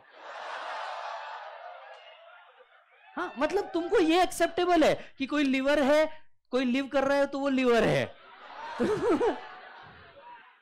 क्या अच्छा बेटा ऐसा हो सकता है तू पहली बार मेरे क्लास में आया हो इसलिए तेरे को ये लग रहा अगर तू मेरे अजीबी सर के क्लास में होता तो तेरे को पता होता ये सब नॉर्मल है कोई बात नहीं ये सुनो राइट मैं कल भी आऊ क्या वो तुम्हारा छोड़ो पहले आदमी मेरी बैंड बजा देगा चलो सुन ये सुनो सी स्टडी कभी भी जॉयफुली होनी चाहिए it's not about example it's about example that can be remembered for last long जिसका ड्यूरेशन काफी लंबा हो है ना तुम फाइनल में पहुंचो तब भी याद आना चाहिए अनरियलिस्टिक अजम्पशन जब भी वर्ड आए तो उसका मीनिंग क्या है वो बेचारे को सेल्फ डाउट हो गया था अब मैं कंसेप्ट पढ़ा रहा हूँ ऐसे बेटा ऐसे कोई तो ख्याल हो मैं मैं बोलो हो सकता है बच्चे का ही सोच रहा होगा बेचारा चला सुनो सो इन डिफरेंस कर्व अब बेटा कंसेप्ट सुन बहुत इजी कंसेप्ट है और यहां फिर ये यूनिट क्या हो जाएगा बेटा ओवर ठीक है अब इनडिफरेंस कर्व क्या होता है देखिए हिक्स एंड एलन कहते हैं मार्शल जी के पॉइंट को ही अपोज करते हैं मार्शल जी ने क्या कहा था हर चीज को हम क्या देंगे एक नंबर हम एक कार्डिनल नंबर देंगे हिक्स एंड एलन क्या कहते हैं सर हर चीज को नंबर देना पॉसिबल नहीं है तो Hicks and Allen Marshall ji को कह रहे हैं मार्शल जी भैया हम हर चीज को नंबर देंगे जैसे कोई गुजरा चार गुजरा पांच कोई एकदम सही गुजरा भाभी है तेरी समझ में आया मतलब हमने बेस्ट नंबर दिए अब हिक्सा नालन क्या बोलते छी हर चीज को नंबर दिए नहीं जा सकते अभी मैं एक बात बताऊं हर चीज को आप मेजर नहीं कर सकते the indifference curve is the curve of preference the indifference curve is the curve of preference आपको मिल रहा है इसलिए आप ज्यादा बातें कर रहे हो जिसको नहीं मिल रहा उसके लिए क्या उसको तो फिर जो भी मिले वो सही है अभी मुझे एक बात बताओ हिक्स एंड एलन कहते हैं तीन एग्जाम्पल हिक्स एंड एलन कहते हैं प्लीज ध्यान से सुनना हिक्स एंड एलन कहते हैं कि आप इसको नंबर्स नहीं दे सकते yes suppose these are three fruits एक है तरबूज एक है ऑरेंज एक है चेरी बराबर सपोज ये तीन है अब हिक्स एंड एलन क्या बोलते हैं हिक्स एंड एलन बोलते हैं सर क्या फर्क पड़ रहा तरबूज मिले ऑरेंज मिले कि चेरी मिले तीनों से मिलने वाली यूटिलिटी सेम ही है तीनों भी फ्रूट्स ही है कि नहीं तीनों से मिलने वाली यूटिलिटी कैसी है बेटा सेम वो बोल रहे सर देखिए at any given point of time हाँ आप क्या कर सकते हो आप इनको नंबर्स में मेजर नहीं कर सकते what you can div you can have preference भाई पहले मेरे को चेरी चाहिए पहले मेरे को ऑरेंज चाहिए या फिर मेरे को तरबूज चाहिए आप प्रेफरेंस ले सकते हो आप इसे नंबर्स में नहीं लिख सकते so indifference curve is more of a preference based आप प्रिफरेंस लगा सकते हो आप इसको कार्डिनल नंबर में नहीं दे सकते क्योंकि ये जो कार्डिनल मेजरेबिलिटी है ये खुद आप अजम्पन में लिख रहे हो that it is based on unrealistic assumption तो दिस इज मोर प्रैक्टिकल कि आपको चॉइस मिले this is based on consumer choice आप ये बता सकते हो कि भैया तीनों में से मैं क्या सिलेक्ट करूंगा यानी एक कंज्यूमर के लिए ये इनडिफरेंट है कि वो you you know know, watermelon ले ऑरेंज ले या चेरी ले वो इनडिफरेंट है हाँ वो ये कर सकता है कि वो अपना ऑर्डर ऑफ प्रेफरेंस पहले लगा सकता है कि मेरे को पहले क्या चाहिए यानी all the combination on indifference curve give same level of satisfaction it gives the same level of satisfaction वो पूछ रहा है ऐसा क्यों वो बोलता है मान लो अगर किसी को तरबूज से एलर्जी है तो पॉसिबल है ना कोई पर्टिकुलर प्रोडक्ट से एलर्जी हो तो वो तो उसके लिए कोई यूजफुल प्रोडक्ट ही नहीं है at that point in time आपको कोई और प्रेफरेंस आएगा सो so, वो कह रहे हैं कि सर जो इनडिफरेंस कर्व है is a is a consumer preference concept it is a consumer preference concept utility cannot be बोलो बेटा measured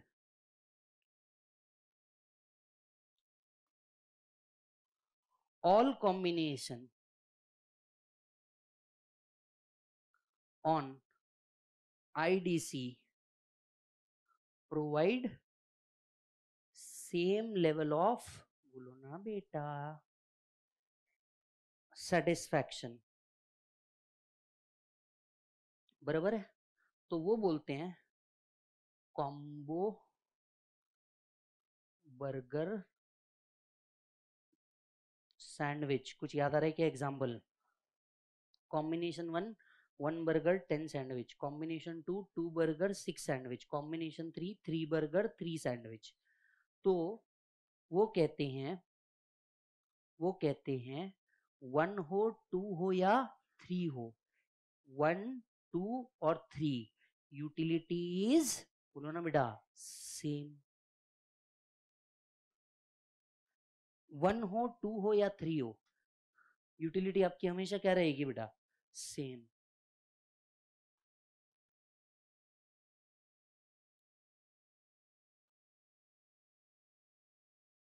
यस yes. अब आपको याद होगा तो यहां पे भी एक कंसेप्ट आता है called as MRS marginal rate of substitution when consumer is ready to forgo product x for y for example मान के चलिए in unit two in unit two आपने फोर एस टू वन का एम आर एस लिया होगा आपने चार क्या किए sacrifice to get one more burger आपने चार सेक्रीफाइस किए to get more burger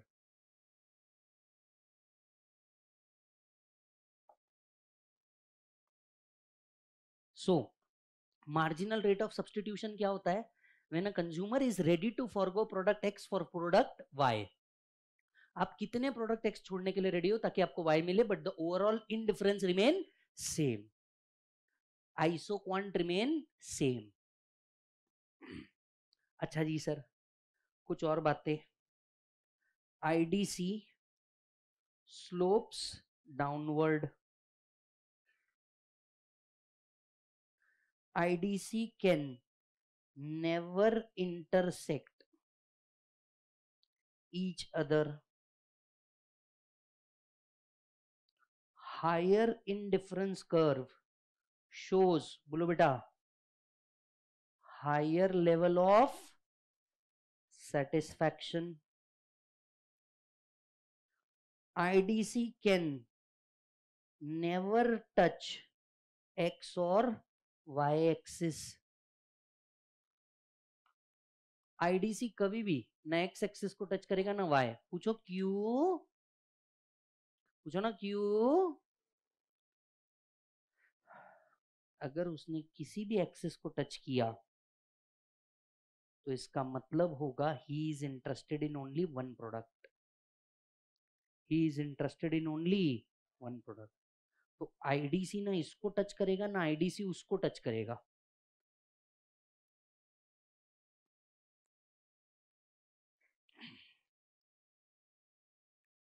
is that done done ये था आपका unit number one exam point of view से इतने पॉइंट्स को आपको पढ़ के जाना है इसके अलावा आप एक और चीज़ आपके मॉड्यूल में जो आप घर पे पढ़िएगा वो है इंडिफरेंस मैप याद आ रहा है इस यूनिट वन में एक ही चीज़ घर पे आपको पढ़नी है वो है indifference map next next next concept के ऊपर आते हैं हम लोग सर सर नेक्स्ट कंसेप्ट के ऊपर आते हैं मालिक demand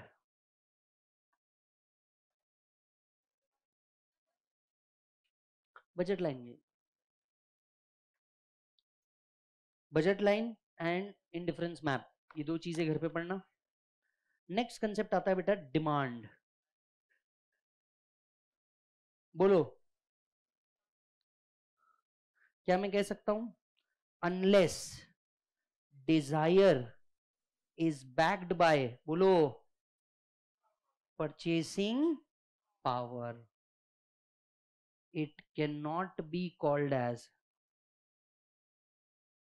it cannot be called as bolo beta demand so desire must be backed by purchasing power in order to be called as demand sirf desire hai purchasing power nahi hai sirf desire ho jayega unless it is to be backed by purchasing power wo demand nahi kehlayega yes there are certain determinants of demand कई चीज़ें हैं जिस पर demand depend करती है वो लोग किस किस पर डिपेंड करती है सबसे इम्पॉर्टेंट प्राइस ऑफ गुड्स सबसे पहले डिमांड प्राइस ऑफ गुड्स पे डिपेंड करती है सेकेंड इनकम ऑफ कंज्यूमर आप कोई भी प्रोडक्ट लेने जाते हो सबसे पहले उस प्रोडक्ट का प्राइस पूछते हो तो सबसे पहली चीज प्राइस सेकेंड चीज इनकम ऑफ कंज्यूमर ये सुनो हालांकि आपको याद हो तो इंफीरियर गुड्स के लिए इनकम कुछ भी हो डिमांड रहेगी ही रहेगी ठीक है third price of related goods price of बोलो बेटा रिलेटेड गुड्स यहां पे हमने दो चीजें देखी थी और पहला कॉम्प्लीमेंट्री गुड्स और दूसरा बोलो बेटा substitute goods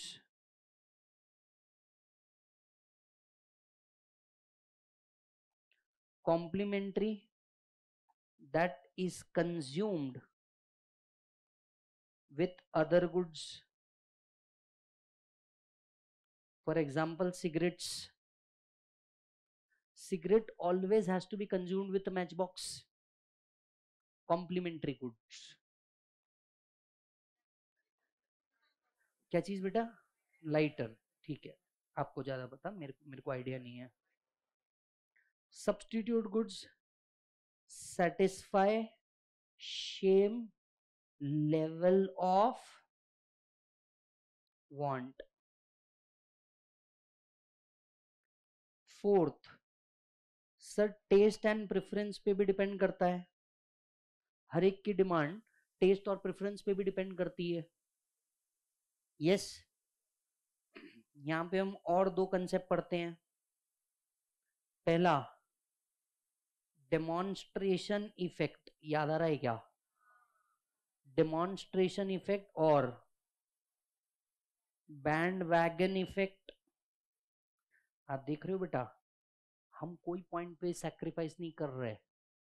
जो रादर बहुत इजी है एक या दो कंसेप्ट आपके लिए छोड़े हुए हैं demonstration effect bandwagon effect किसी के हाथ में कोई प्रोडक्ट देखा पसंद आया और दिल कहा उसको मिला मुझको भी चाहिए याद आ रहा है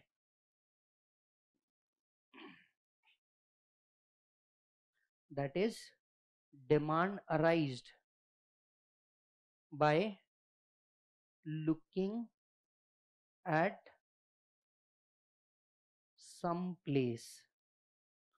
दूसरा होता है स्नॉब इफेक्ट अमीरों के चोचले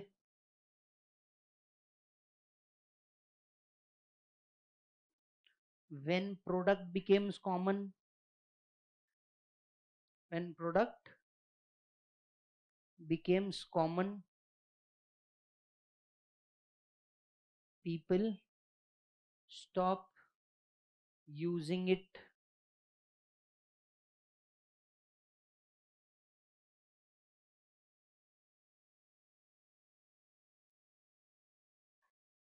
Veblen effect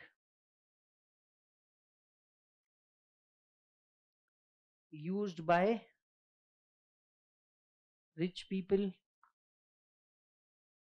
हम अमीर है हम किनले का पानी नहीं ब्लैक कलर का पानी पियेंगे है ना तो ऐसे कई स्पोर्ट्स स्टार होते हैं ऐसे कई स्पोर्ट्स स्टार होते हैं सादा पानी गाय को पीना हम ब्लैक कलर वाला पानी पियेंगे वेबलेन इफेक्ट अमीरों की चोचले एंड इसके अलावा कुछ अदर फैक्टर भी होते हैं इसके अलावा कुछ अदर फैक्टर भी होते हैं पहले क्या है बेटा पॉपुलेशन दूसरा नेशनल इनकम क्रेडिट फैसिलिटी तो कुछ अदर फैक्टर्स कुछ अदर फैक्टर्स भी होते हैं चलो तो डिमांड किन किन चीजों से अफेक्ट करती है एवरीबॉडी डिमांड किन किन चीजों से अफेक्ट करती है बोलो बेटा पहला प्राइस ऑफ द गुड्स दूसरा इनकम तीसरा प्राइस ऑफ रिलेटेड गुड्स चौथा टेस्ट एंड प्रेफरेंस पांचवा अदर फैक्टर याद आ रहा है क्या आपको हाँ जी फिर हम सबसे पहले बनाएंगे डिमांड शेड्यूल हम क्या बनाएंगे बेटा डिमांड शेड्यूल बेटा demand schedule is a demand schedule is a table showing बोलो बेटा price and quantity demanded price quantity demanded price one two three four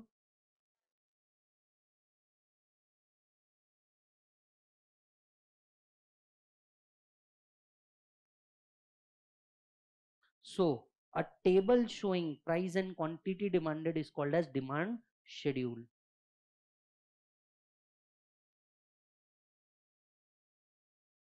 अच्छा इस बेसिस पे आपको याद आता होगा तो क्या बनता है आपका demand curve demand curve is a graphical representation of बोल बेटा डिमांड शेड्यूल इसी चीज को अगर आप ग्राफ पे प्लॉट कर दो तो आपको कहा जाता है डिमांड शेड्यूल इसी चीज को अगर आप काय पे प्लॉट कर दो बेटा ग्राफ पे प्लॉट कर दो तो आगे आपका डिमांड शेड्यूल चलो क्वांटिटी प्राइस प्राइस क्या था बेटा वन टू थ्री फोर जब फोर था इधर क्या आ गया बेटा five four three two one बराबर ना कुछ गलत किया मैंने पूरे ही गलत कर दिया हम्म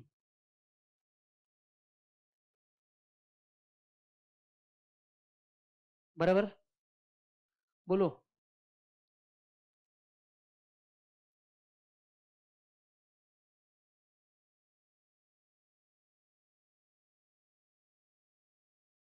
don't you think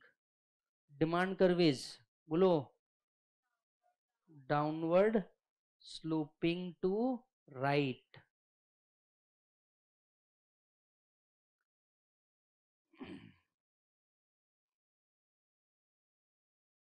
individual demand curve is steeper market demand curve is flatter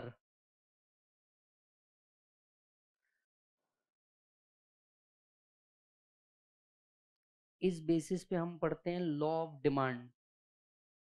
if the price goes up the demand goes demand goes down and vice versa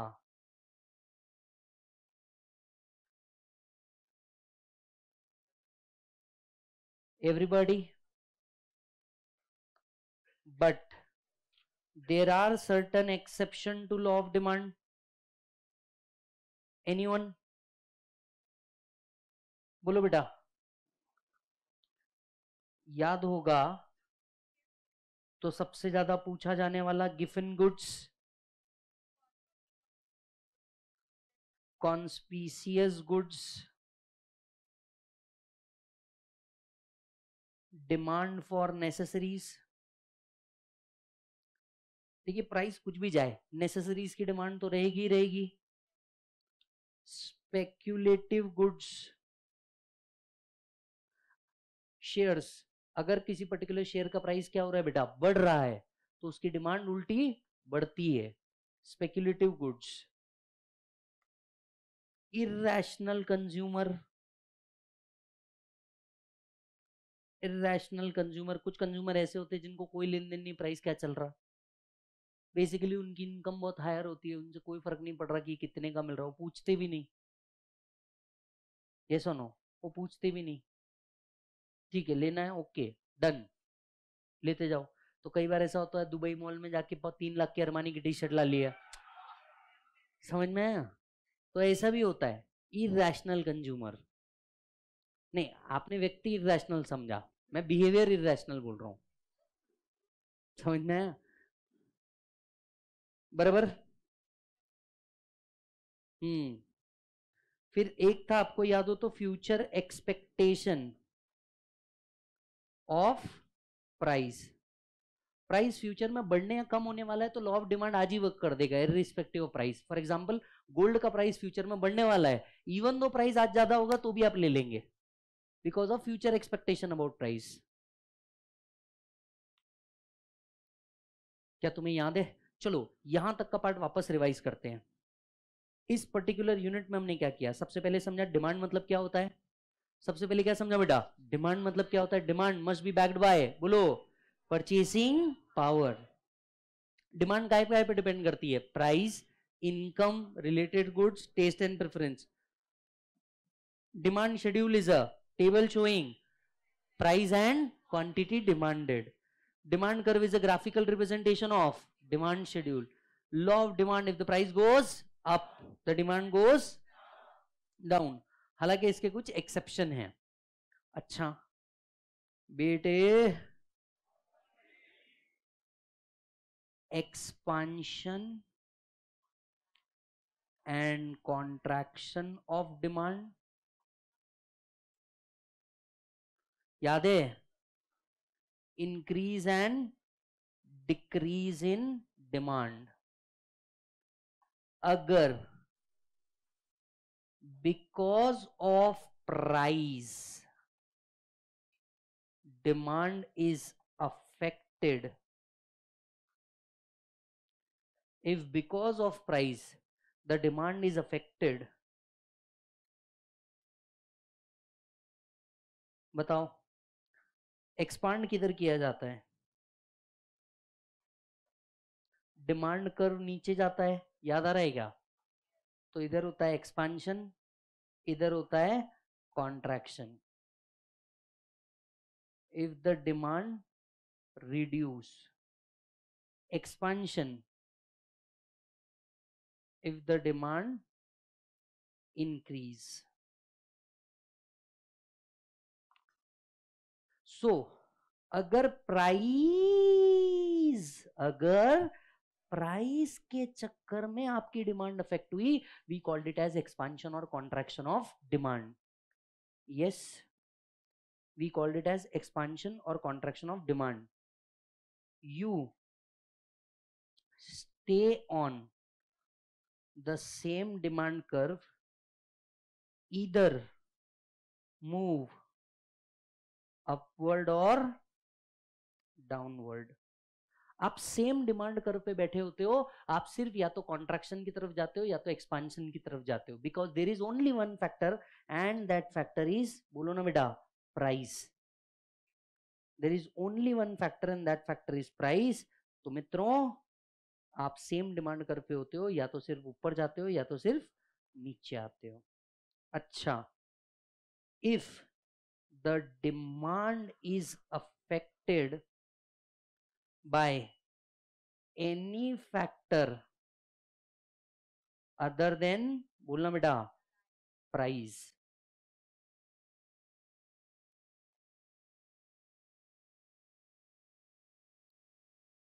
इधर गया increase in demand increase in demand तो हुआ तो आपका right shift रहेगा इधर गया तो डिक्रीज इन डिमांड कौन सा शिफ्ट रहेगा बोलो बेटा लेफ्ट शिफ्ट कौन सा शिफ्ट रहेगा बेटा left shift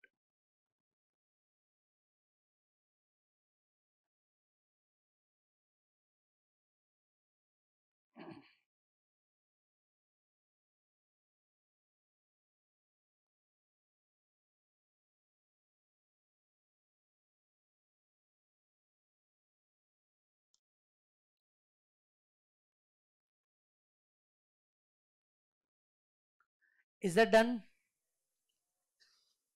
अब आपको याद हो तो इस यूनिट में लास्ट चीज बची है बताओ जल्दी इस यूनिट में लास्ट चीज बची है कौन सी इलास्टिसिटी ऑफ डिमांड यस और नो यस अब ध्यान से सुनिए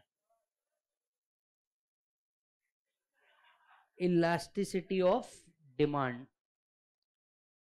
सर अगर आप ध्यान देंगे इलास्टिसिटी मतलब क्या होता है इलास्टिसिटी का मतलब होता है responsiveness of change responsiveness of change कोई भी फैक्टर जब चेंज होता है तो उससे आपकी डिमांड पे फर्क पड़ता है और इसे हम डिनोट करते हैं थ्रू इलास्टिसिटी ऑफ डिमांड मेरी एक बात समझ इलास्टिसिटी ऑफ डिमांड किस पे बेस्ड होती है पहला प्राइस इलास्टिसिटी पहला होता था प्राइस इलास्टिसिटी दूसरा इनकम इलास्टिसिटी तीसरा क्रॉस इलास्टिसिटी चौथा advertisement elasticity and there are method to measure anyone कौन कौन सी मेथड है परसेंटेज मेथड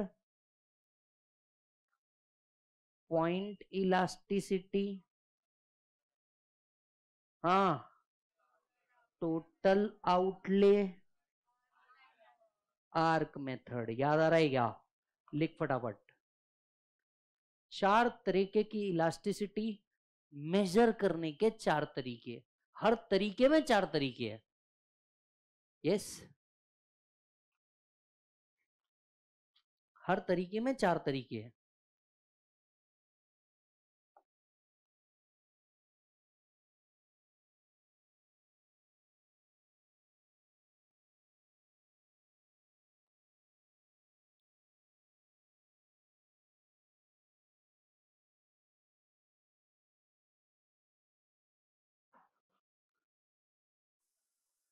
हाँ जी मुझे एक बात बताओ इसमें से सबसे ज्यादा क्वेश्चन आता है या तो क्रॉस इलास्टिसिटी पे या तो प्राइस इलास्टिसिटी पे और इसमें से सबसे ज्यादा क्वेश्चन या तो आर्क पे या तो परसेंटेज पे ये एकदम फैक्चुअल पॉइंट है ये एकदम फैक्चुअल पॉइंट है कि इसके ऊपर आपको क्वेश्चन बनते हैं यस अच्छा जी अगर प्राइस के चक्कर में आपकी डिमांड चेंज हुई we called it as price elasticity इन सब को बाजू करो पहले ये तो समझ लें टाइप ऑफ इलास्टिसिटी क्या होती है टाइप ऑफ इलास्टिसिटी तीन चार पांच काश मुझे पता होता बोलो पहला परफेक्टली इन इलास्टिक दूसरा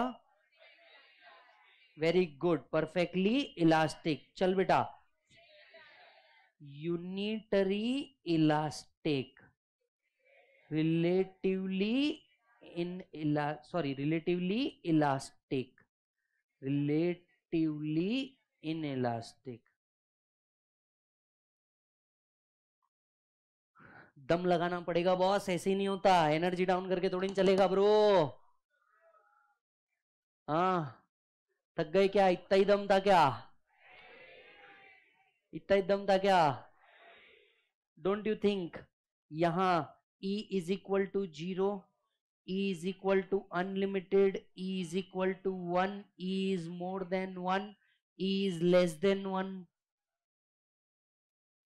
आहो बराबर दूसरा inelastic inelastic vertical straight line to Y axis inelastic price ऊपर जाए नीचे आए आम फरक पडत आम ची डिमांड परफेक्टली इन इलास्टिक जैसे मेरे लिए नॉनवेज अंडे का प्राइस दस रुपए भी पहुंच जाए मेरे को कोई फर्क पड़ने वाला नहीं है मेरी डिमांड उसके लिए क्या है इन इलास्टिक यस तो my my quantity demanded will remain zero only price कुछ भी जाए दूसरा क्या है बेटा perfectly elastic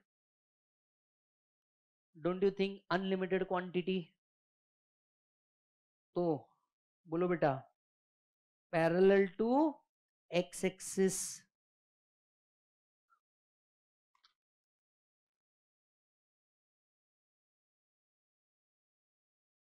हम्म इनका rectangular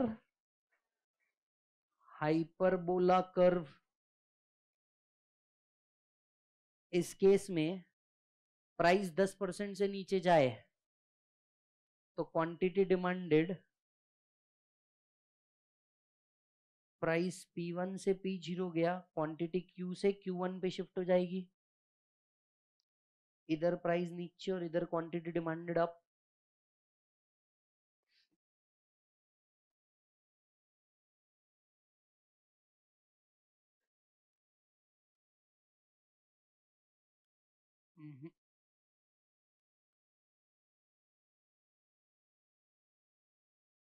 DC is flatter.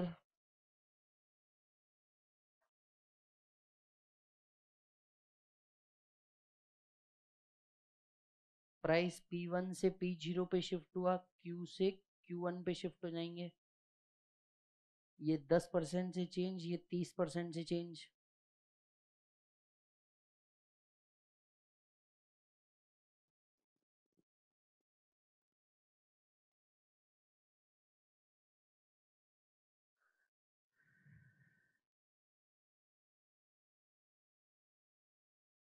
Last,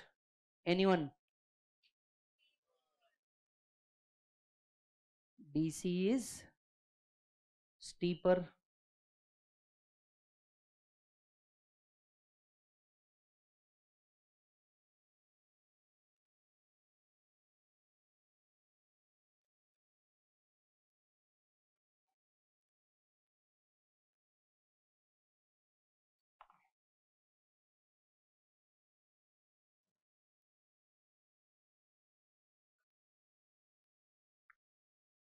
बस हाँ जी सर सर एक बात बताइए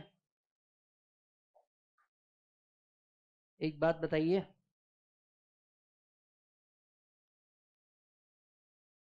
मेथड्स के ऊपर अगर मैं आऊं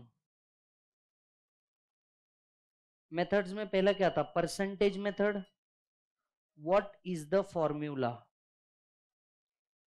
percentage change in quantity demanded upon percentage change in price याद आ रहा है क्या आर्क मेथड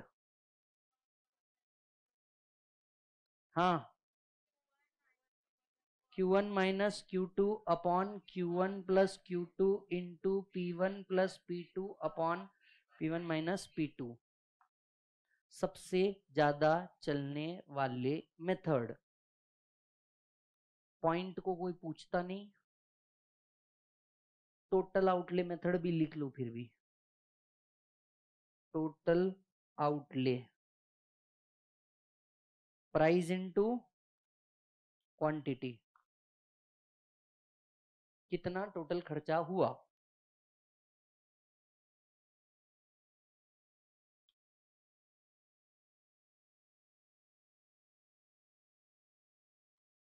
एक और चीज पूछी जाती है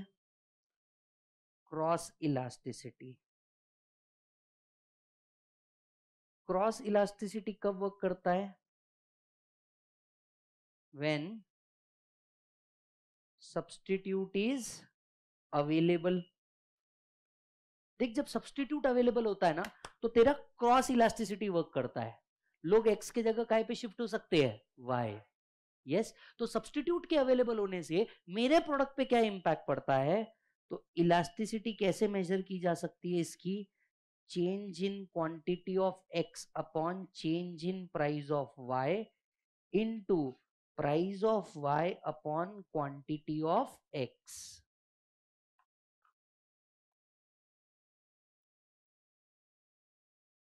price of Y into quantity of X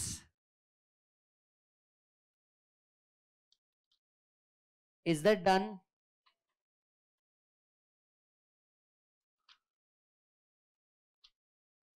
इसके आगे अगर आप ध्यान से देखेंगे तो पूरा फॉरकास्टिंग का थियरी था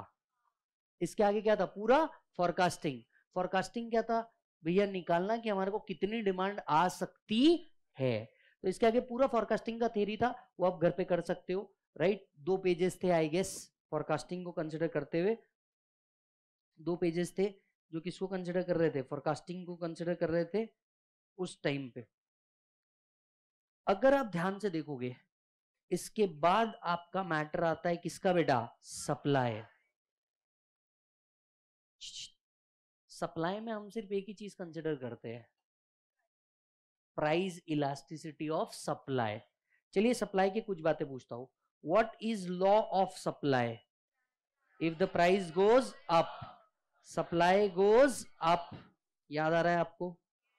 yes if the price goes up supply goes up what are the determinants last के दस minute what are the determinants of supply supply किन किन चीजों पे बेस्ड होता है पहला प्राइस दूसरा प्राइस ऑफ रिलेटेड गुड्स तीसरा फैक्टर ऑफ प्रोडक्शन चौथा टेक्नोलॉजी तो सर प्राइस पे डिपेंड करता है प्राइस ऑफ रिलेटिव गुड्स पे डिपेंड करता है फैक्टर ऑफ प्रोडक्शन पे डिपेंड करता है टेक्नोलॉजी पे डिपेंड करता है गवर्नमेंट पॉलिसी पे डिपेंड करता है यस yes, इसके अलावा भी there are many other factor hmm अगर हम बात करें सप्लाई कर्व की supply curve don't you think बेटा supply curve is upward moving supply curve is upward moving मतलब सप्लाई कर्व कैसा होता है बेटा positive upward towards right hmm क्या ये डायरेक्ट रिलेशन शो करता है direct relationship with price that is if the price goes up supply goes up तो इसका जो रिलेशन है ये डायरेक्ट रिलेशन है प्राइस के साथ अब याद होगा तो आगे की तीन चीजें कॉमन है आपसे वैसे ही पूछ लेता हूं लिखने का भी काम नहीं expansion and contraction of supply अगर एक मिनट रुकिए अब लिख ही लो चलो इतना भी क्यों छोड़ रहे हो चलो लिख लो लिख लो expansion and contraction of supply बोलो expansion and contraction of supply if the supply change बोलो बिकॉज ऑफ प्राइस अगर आपका सप्लाई चेंज होता है किस वजह से चेंज होता है सर प्राइस की वजह से चेंज होता है अगर आपका सप्लाई चेंज होता है किस वजह से चेंज होता है बोलो प्राइस के चक्कर में तो आपको क्या लगता है sir don't you think supply कर वैसा होगा तो नीचे क्या मिलेगा सर कॉन्ट्रैक्शन यहाँ पे ऊपर क्या मिलेगा सर एक्सपांशन यहां इस कर्व को ऐसा उठा के ऐसा रख देना पड़ता है डिमांड कर्व नीचे जा रहा था इसको ऊपर उठा के रख दीजिए एक्सपांशन ऊपर पहुंच जाएगा सब कॉन्ट्रैक्शन नीचे पहुंच जाएगा सिर्फ सिचुएशन को रिवर्स करना है इसके आगे क्या था बेटा इंक्रीज और डिक्रीज इन सप्लाई इंक्रीज और decrease in supply if supply change because of pulvida other factor other than price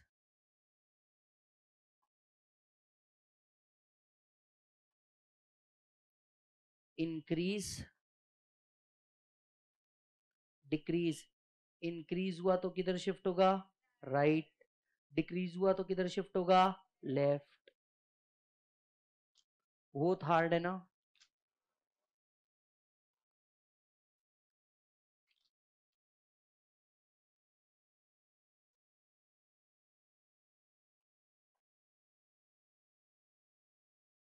पक्का लास्ट पॉइंट पक्का लास्ट पॉइंट तुम्हारी एक्स की कसम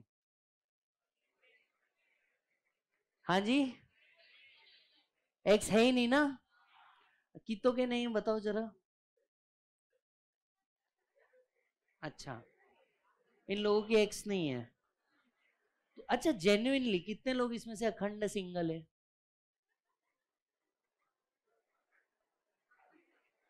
तो ये क्या था तुम में कमी है या अपॉर्चुनिटी की कमी है तो इसमें प्रॉब्लम क्या है तुम में कमी है या अपॉर्चुनिटी की कमी है अपॉर्चुनिटी की है है ना लड़कियां बोल रही है अपॉर्चुनिटी एक ढंग का लड़का नहीं है ना इस कोर्स में वाइसे वर्षा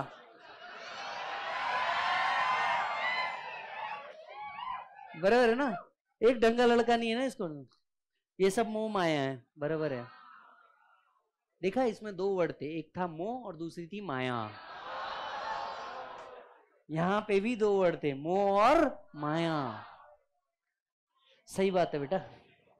और कुछ लोगों का तो मोहे मोहे है ना मोह है ना माया है मोहे मोहे है ये सुनो बट सर ऑनेस्टली स्पीकिंग सबसे पहले खुद के लिए एक जोरदार ताली बजाओ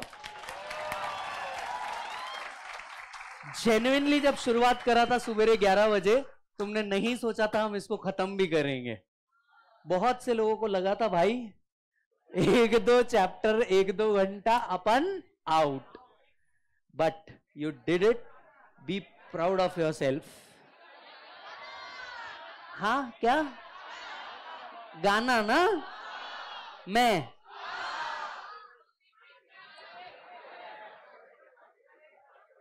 इधर लिख लिख के लिख लिख के हाथ दुख क्या है उसमें से गाना भी गवा लो नहीं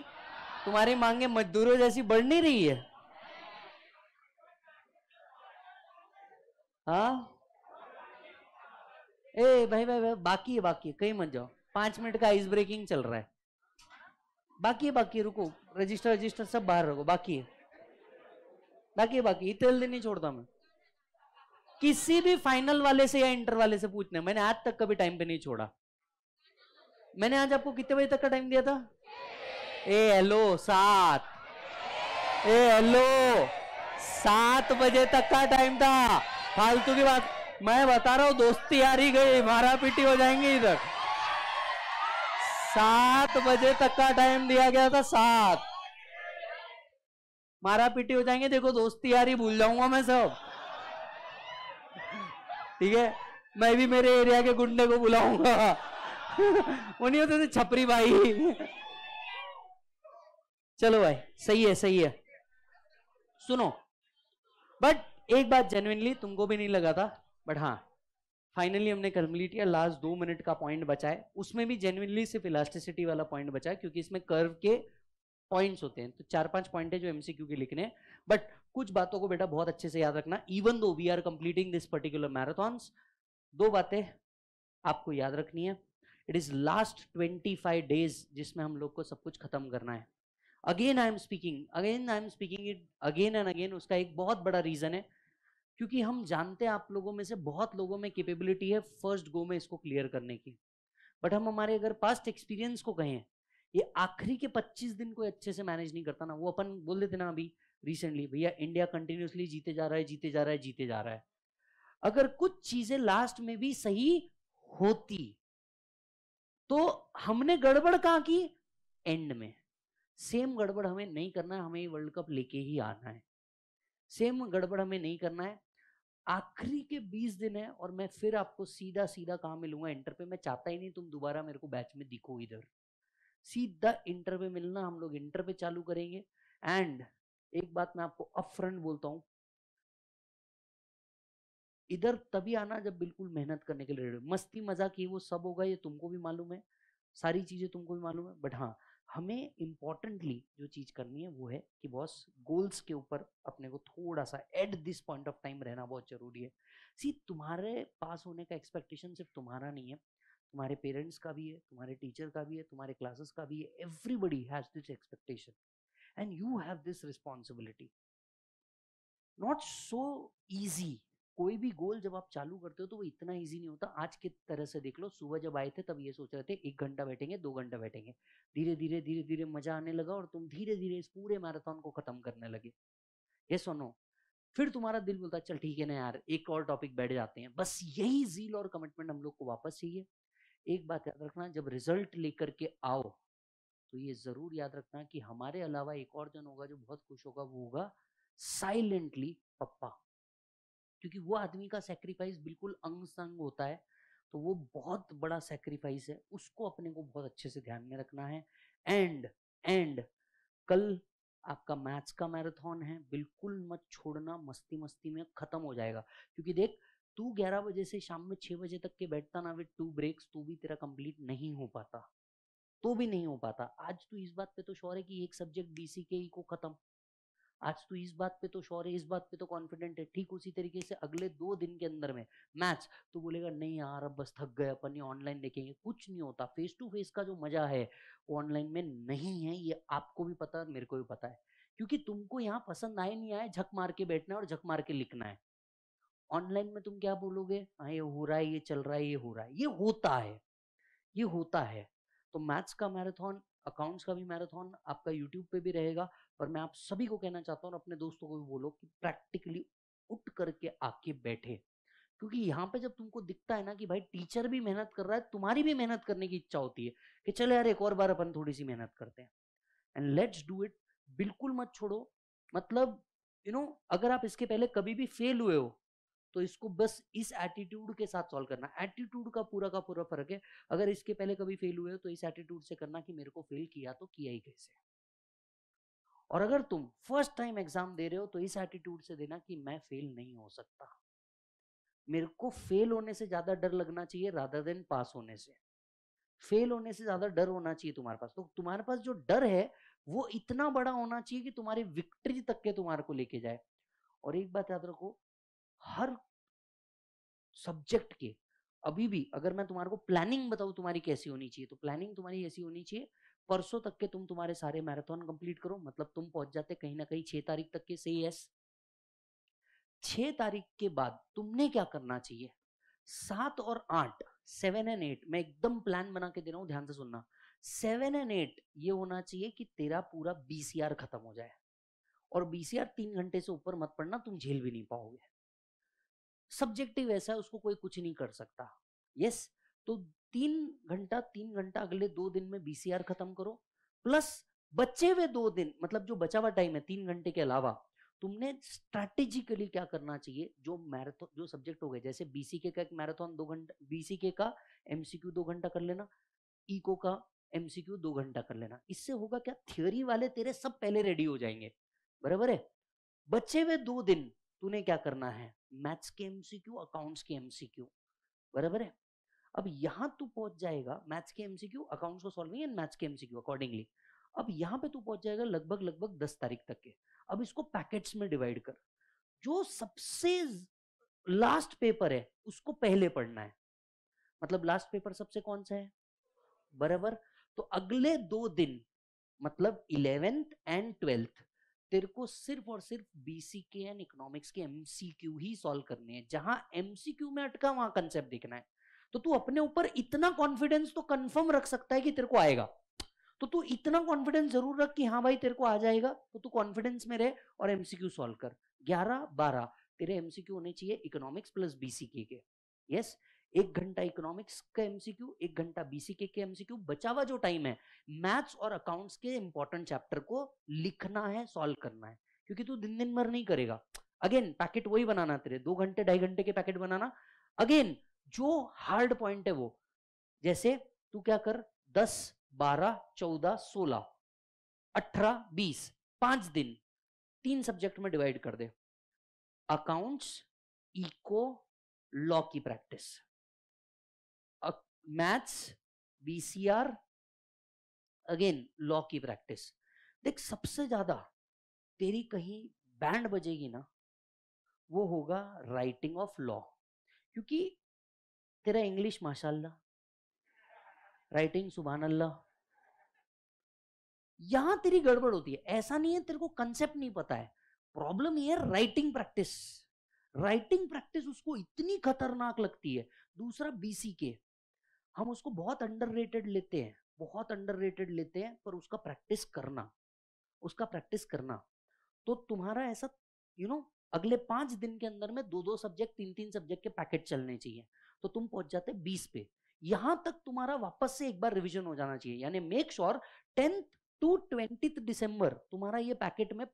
एटलीस्ट एक बार पूरे सब्जेक्ट का रिविजन हुआ हो and when I say revision here and after I only say solving of MCQ मैं यहाँ पे रिविजन मतलब बुक उठा के वापस पढ़ने को नहीं कह रहा हूं सॉल्विंग सॉल्विंग अब 20 तारीख से फिर एक बार क्या करना है तुमने उल्टा जाना है लास्ट दैट इज 21 22 मैथ्स के इंपॉर्टेंट चैप्टर या छोटे चैप्टर एज द केस में भी प्लस इको बीसी के बीसीआर इन दो तीन में डिवाइड कर दो फिर लॉ और बचावा मैथ्स का पोर्शन अगले और दो दिन क्योंकि बीसी के बीसीआर खत्म हो चुका होगा इको e खत्म हो चुका होगा तो अगले दो दिन मतलब ट्वेंटी थ्री ट्वेंटी फोर आप क्या करो अगेन उठा करके ये दो चैप्टर लो मैथ्स के बचे हुए इको e का बचावा या जो भी कुछ बचावा फिर balance of law and accounts ताकि तुम जब तक के ट्वेंटी एट ट्वेंटी नाइन पे पहुंचो तब तक के तुम्हारा खत्म हो चुका हो please make sure please make sure तुम 20 तारीख से पहले ही आरटीपी एमटीपी और मॉक टेस्ट खत्म कर दो पिछले दो से तीन साल के आरटीपी और एमटीपी सॉल्व करके जाओ इससे बाहर कुछ नहीं आएगा पिछ बीस तारीख से पहले तुम पैनिक में 25 तारीख को उठाओगे तुम पैनिक हो जाओगे अगर एक हाथ भी सवाल नहीं जमा तो करने का ही नहीं तुम्हारे पास भरपूर टाइम मिला है एक हफ्ता एक्स्ट्रा मिला है तुमको भरपूर यूज करो 20 तारीख से पहले तुम्हारा आरटीपी एमटीपी मॉक टेस्ट खत्म हो जाना चाहिए एटलीस्ट दो दो तीन तीन जिधर से क्वेश्चन मिल रहा उठा के सॉल्व कर और कुछ अब मैं तेरे को एक बात बताता हूँ and being completely average student मैं तेरे को एक बात बताता हूँ बींग अ टीचर मैंने ये नहीं बोलना चाहिए बट बींग अ फ्रेंड मैंने ये जरूर बोलना चाहिए अब वो समय नहीं बचा बेटा तेरे पास कि तू उठा करके हर चीज के पीछे का लॉजिक ढूंढते बैठे और वापस से जाए कोई टीचर ने इस चीज का लॉजिक समझाया क्या यूट्यूब पे जाके देखे गलत कंप्लीटली रॉन्ग अप्रोच हमने ये करके फंस चुके हैं यस नहीं करना कुछ चीजें का आंसर बाय डिफॉल्ट में एक्सेप्ट करना मतलब इसका आंसर ए आता विषय खत्म दो से तीन बार दिख रहा तेल लगाने गया इसके पीछे का कंसेप्ट क्या है इसका आंसर ए है विषय खत्म अब उसके पीछे लॉजिक ढूंढते नहीं बैठने का एट दी एंड क्योंकि तुम लास्ट मोमेंट पे बैठे हो यही तुम में और पंद्रह दिन होते मैं तुमको बोलता वापस से कंसेप्ट पढ़ ले एक बार चैप्टर रिवाइज कर ले ये कर ले वो कर ले कुछ नहीं करने का इसका आंसर ए है गेम ओवर विषय खत्म यस ऐसा हो सकता है और हर बार होता है मैं तुम्हें समझा रहा हूँ फर्स्ट पेपर जब दोगे ना कई लोग वहां पे स्ट्रेट ब्लैंक हो जाएंगे be prepared for this situation पहले से ही इतने बार पेपर को देखो इतने बार पेपर के लिए रेडी रहो यस yes, कि तुम उधर ब्लैंक ना हो जाओ नहीं तो होता क्या है कोई बच्चा सिर्फ एमसीक्यू सॉल्व करता है और उसको तीन घंटे में सॉल्व करने के नहीं पेपर को जेन्युनली उठा के तीन घंटे में सॉल्व करने का देखो तुमको समझ में आएगा कहाँ गड़बड़ हो रही है पुराना लास्ट ईयर का पेपर उठाओ और ईमानदारी से उसको तीन घंटे के टाइम फ्रेम में सॉल्व करने का देखो जेन्युनली फर्स्ट अटेम्प्ट में पास होना है तो तीन घंटे के टाइम फ्रेम में सॉल्व करके देखने का तुमको समझ में आएगा गड़बड़ का है कुछ चीज़ें तुमको खुद से समझ में आ जाएंगी कि इसमें ज़्यादा लिखना है इसमें ज़्यादा नहीं लिखना है इसमें यहाँ पे रिस्ट्रिक करके काम खत्म हो सकता था राइटिंग वाले पेपर है प्लीज़ ध्यान रखो 1.8 मिनट का मार्क्स गेम है यस yes, 1.8 मिनट्स का मार्क्स गेम है 100 मार्क का पेपर 1.180 मिनट्स 1.8 मिनट पर मार्क्स पांच मार्क का क्वेश्चन है नौ मिनट से ज़्यादा नहीं लगने चाहिए ये स्ट्रेट अवे टाइम जोन है वापस से समझाता हूँ प्लीज़ ध्यान से सुन हंड्रेड मार्क का पेपर एक सौ अस्सी मिनट तीन घंटे के हिसाब से एक अस्सी minute sixty minute for three eight minute पर मार्क्स सिंपल कैलकुलेशन है यहाँ कैलकुलेशन करे बगैर अगर तुम जाओगे तो गड़बड़ करोगे ऑस्ट्रेलिया ने सबसे जबरदस्त काम यही किया था ऑस्ट्रेलिया ने क्या किया था भैया हर प्लेयर का इतना जबरदस्त स्टडी करके गया था कि भैया शमी है किस साइड बॉल डालता है इस प्लेयर को किस साइड खेलना है पिछले नौ चीजों का उठा करके स्टडी किया था उन्होंने सेम चीज तुमको करनी है अंत में आकर के स्टडी करना है कि कहाँ गड़बड़ हो सकती है तो 20 तारीख से पहले पूरे पेपर सॉल्व करो सारा सॉल्विंग वाला पार्ट सारे पेपर तीन घंटे के अंदर में होते हैं कि नहीं एक से ज्यादा पेपर सॉल्व कर होते हैं कि नहीं इससे मत डर की पेपर आ नहीं रहा ऐसे दस बीस एमसीक्यू रहेंगे अरे मैं बोलता पचास में से तीस एमसीक्यू ऐसे रहेंगे जो तू सॉल्व नहीं कर पाएगा कर तो सरी पहले डर से लड़ बाद में देखेंगे तेरा पेपर कैसे आता पहले डर से तो लड़ कि तीन घंटे में पेपर कैसा भी जाए अच्छा जाए बुरा जाए नेक्स्ट पेपर को जाने का है ये सोच रखना ही नहीं कि अकाउंट्स पेपर का बिगड़ गया तो मैं नेक्स्ट पेपर में जाऊंगा ही नहीं बिल्कुल ये सोच नहीं रखने की चुपचाप जाने का देने का तीन बार ऐसा हुआ है पिछले तीन अटम्प से देखते आ रहे हैं तीन बार ऐसा हुआ है बच्चा जाता पहले इसमें उसको लगता चालीस भी नहीं मिलने वाले आगे के पूरे पेपर छोड़ देता फोर्टी टू आए पेपर में कितना पछतावा हुआ रहेगा जिंदगी में पेपर कैसा भी आए तुम्हारा ऑब्जेक्टिव एक ही है व्हाइट आएगा ब्लैक भेजना है तुम्हारा ऑब्जेक्टिव क्या है क्या बोला बेटा मैंने व्हाइट आएगा ब्लैक भेजना है विषय खत्म दिमाग नहीं लगाने का पेपर अच्छा गया कि बुरा गया कि कैसा गया पेपर में जाने के बाद किसी से कोई डिस्कशन नहीं करने के पूरा कॉन्फिडेंस डाउन हो जाता किसी ने पूछा भाई इसका क्या सॉल्व किया भाई पता नहीं कुछ पता नहीं yes please make sure paper से पहले आप कुछ चीजें लेके जाए पॉइंट नंबर वन पानी पानी में ग्लूकोज एंड इलेक्ट्रॉल पानी स्पेशली वो बच्चे जिनको यू नो चश्मा है या जिनको पसीना ज्यादा आता है या जो मेरे जैसे बल्कि है या जो बहुत ही ज्यादा पतले है जिनको हवा भी उड़ा सकती थोड़ा सा ग्लूकोज और इलेक्ट्रॉल थोड़ा सा ग्लूकोज और इलेक्ट्रॉल ये क्यों पेपर में आप बहुत एग्जॉस्ट होते हो लिखते लिखते पेपर में आप बहुत एग्जॉस्ट हो जाते हो लिखते लिखते ये आपको रोकना है दूसरा थ्योरी पेपर में भी कैलकुलेटर लेके जाना तुम सी स्टूडेंट हो थ्योरी पेपर में भी क्या लेके जाओगे कैलकुलेटर लेके जाने का टेंशन नहीं लेने का ठीक तीसरी मेजर गलती पेपर का सामने वाला पार्ट पूरा फिल करने का आप क्या गड़बड़ करोगे पेपर का सामने वाला पार्ट फिल ही नहीं करके आते मार्क्स नहीं मिलते पेपर का सामने का जो पार्ट है ना फर्स्ट पार्ट उसको पूरा कंप्लीट करने का जहां जहां एमसीक्यू है सर्कल प्रॉपर बना के आने का समझ में आया multiple pencil multiple sharpener multiple rubber तुम मान के चलो कि दुनिया की हर वर्ष चीज तुम्हारे साथ पहले हो सकती समझ में आया क्या अपने आप को दुनिया का सबसे अनलकीस्ट पर्सन मानना भाई साहब एक और चीज सुनो सुनो मैं आपको जेन्युनली बता रहा हूँ ये गड़बड़ होती है पेपर के दिन सबसे ढिल्ले ढल्ले कपड़े पहन के जाने के बिल्कुल चटक माटक नहीं भूतनी झिपरी बन के जाने का लड़कियों ने ऐसा झिपरी बन के जाने का इससे दो चीजें होंगी तुम्हारा पेपर भी ढंग से जाएगा और दूसरों का भविष्य बचेगा झिपरी बन के जानेगा अन लड़कों ने बैताल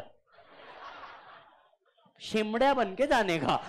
आगे फूल सर प्रॉब्लम बताता हूँ there are many centres there are many centres यहाँ पे प्रॉपर फैसिलिटीज नहीं है होता है अब सुधर गए होंगे अलग बात है पर मैं नेशनल लेवल की बात कर रहा हूँ हर जगह इतनी अच्छी फैसिलिटी नहीं होती तो you have to make sure कि भैया तुम तुम्हारे हिसाब से जाओ multiple कंपॉक्स box multiple calculator and में कैलकुलेटर नहीं चल रही हो तो दुनिया की सारी गलत चीज तेरे साथ हो सकती है बी रेडी दुनिया की सारी गलत चीज तेरे साथ हो सकती है be ready getting the point and please have multiple copies of hall tickets बहुत इंपॉर्टेंट है बाबू इसको गलती से मत लेना क्योंकि वो जो कॉलेज वाले हैं ना उनको नहीं समझता तुम जेन्युनली सर माँ कसम मेरा हॉल टिकट आया था वो कोई माँ कसम बाप कसम नहीं है उधर समझ में आ रही बात यस चलो लास्ट पॉइंट पे आते हैं एंड मैराथन ओवर करते हैं बोलो हाँ आई यू रेडी तुम भूल जाओगे मेरे को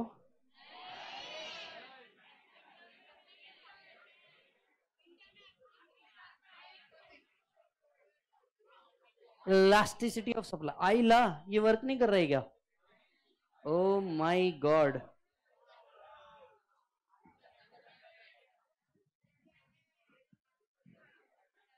हाँ जी आ जाओ आ जाओ आ जाओ इलास्टिसिटी ऑफ सप्लाई पहला क्या है बोलो बेटा परफेक्टली इन इलास्टिक मतलब आपका E is equal to zero E is equal to zero curve कैसा रहेगा straight line to Y perfectly straight line curve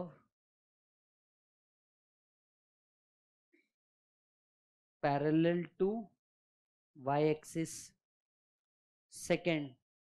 बोलो बेटा क्या है perfectly elastic is equal to unlimited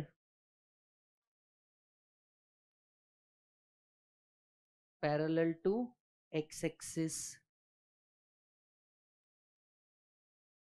unitary elastic is equal to one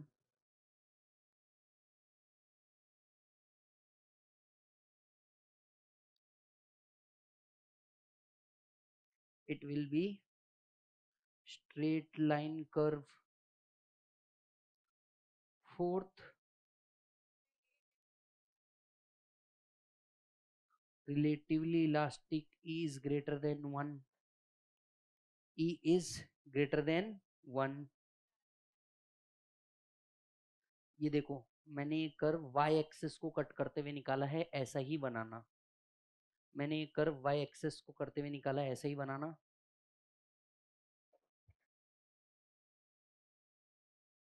supply curve कैसा रहेगा बेटा flat and pass through Y axis pass through Y axis relatively inelastic e is less than 1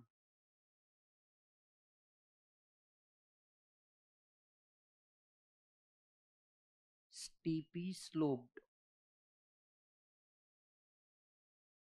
pass through x-axis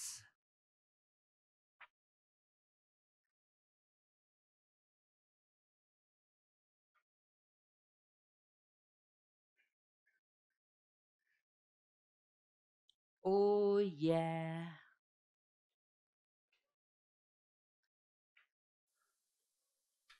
तो बच्चों marathon is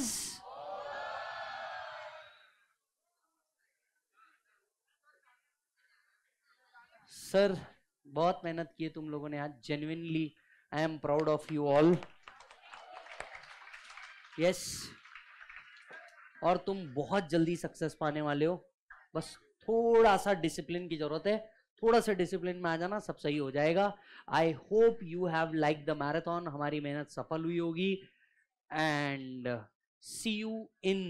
inters for your new syllabus मैं आप लोग का बहुत जल्दी वेट कर रहा हूँ मैं चाहता हूँ जो मज़े फन हम लोगों ने फाउंडेशन में किए फास्ट ट्रैक में रेगुलर में वीसीआर में वो सब तुम वापस से जल्दी से करो is that done yes bye बोलो बच्चो हाँ तुमको मैं इतना थका हुआ नहीं दिख रहा गाना गवा रहे मेरे से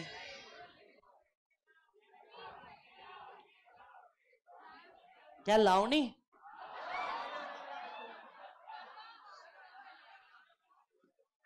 चलो मेरे को गाना भी नहीं आता यार भाई चलो ठीक है everyone will sing with me yes पापा कहते हैं बड़ा गा बच्चा हमारा ऐसा काम करेगा मगर ये तो कोई न जाने कि मेरी मंजिल है कहाँ thank you so much guys bye bye take care bye bye take care नहीं नहीं घर जाओ यू यू हैव एग्जाम्स मस्ती करेंगे ना इंटर पढ़ा है सब करेंगे अभी जाओ कल आपका मैथ्स का मैराथन है अगेन एट इलेवन और ग्रुप पे जो भी टाइम आ जाएगा उसके ऊपर यस yes, जी मैम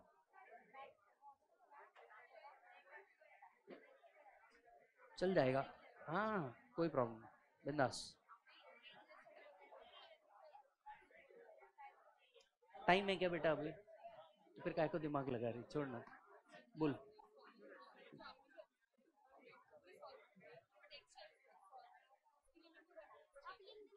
एक लॉजिकली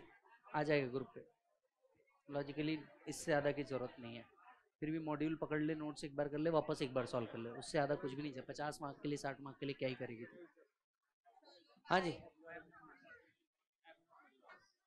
एबनॉर्मल लॉस जो जनरली अराइज नहीं होता अभी जैसे अगर आप बोलोगे एक मिनट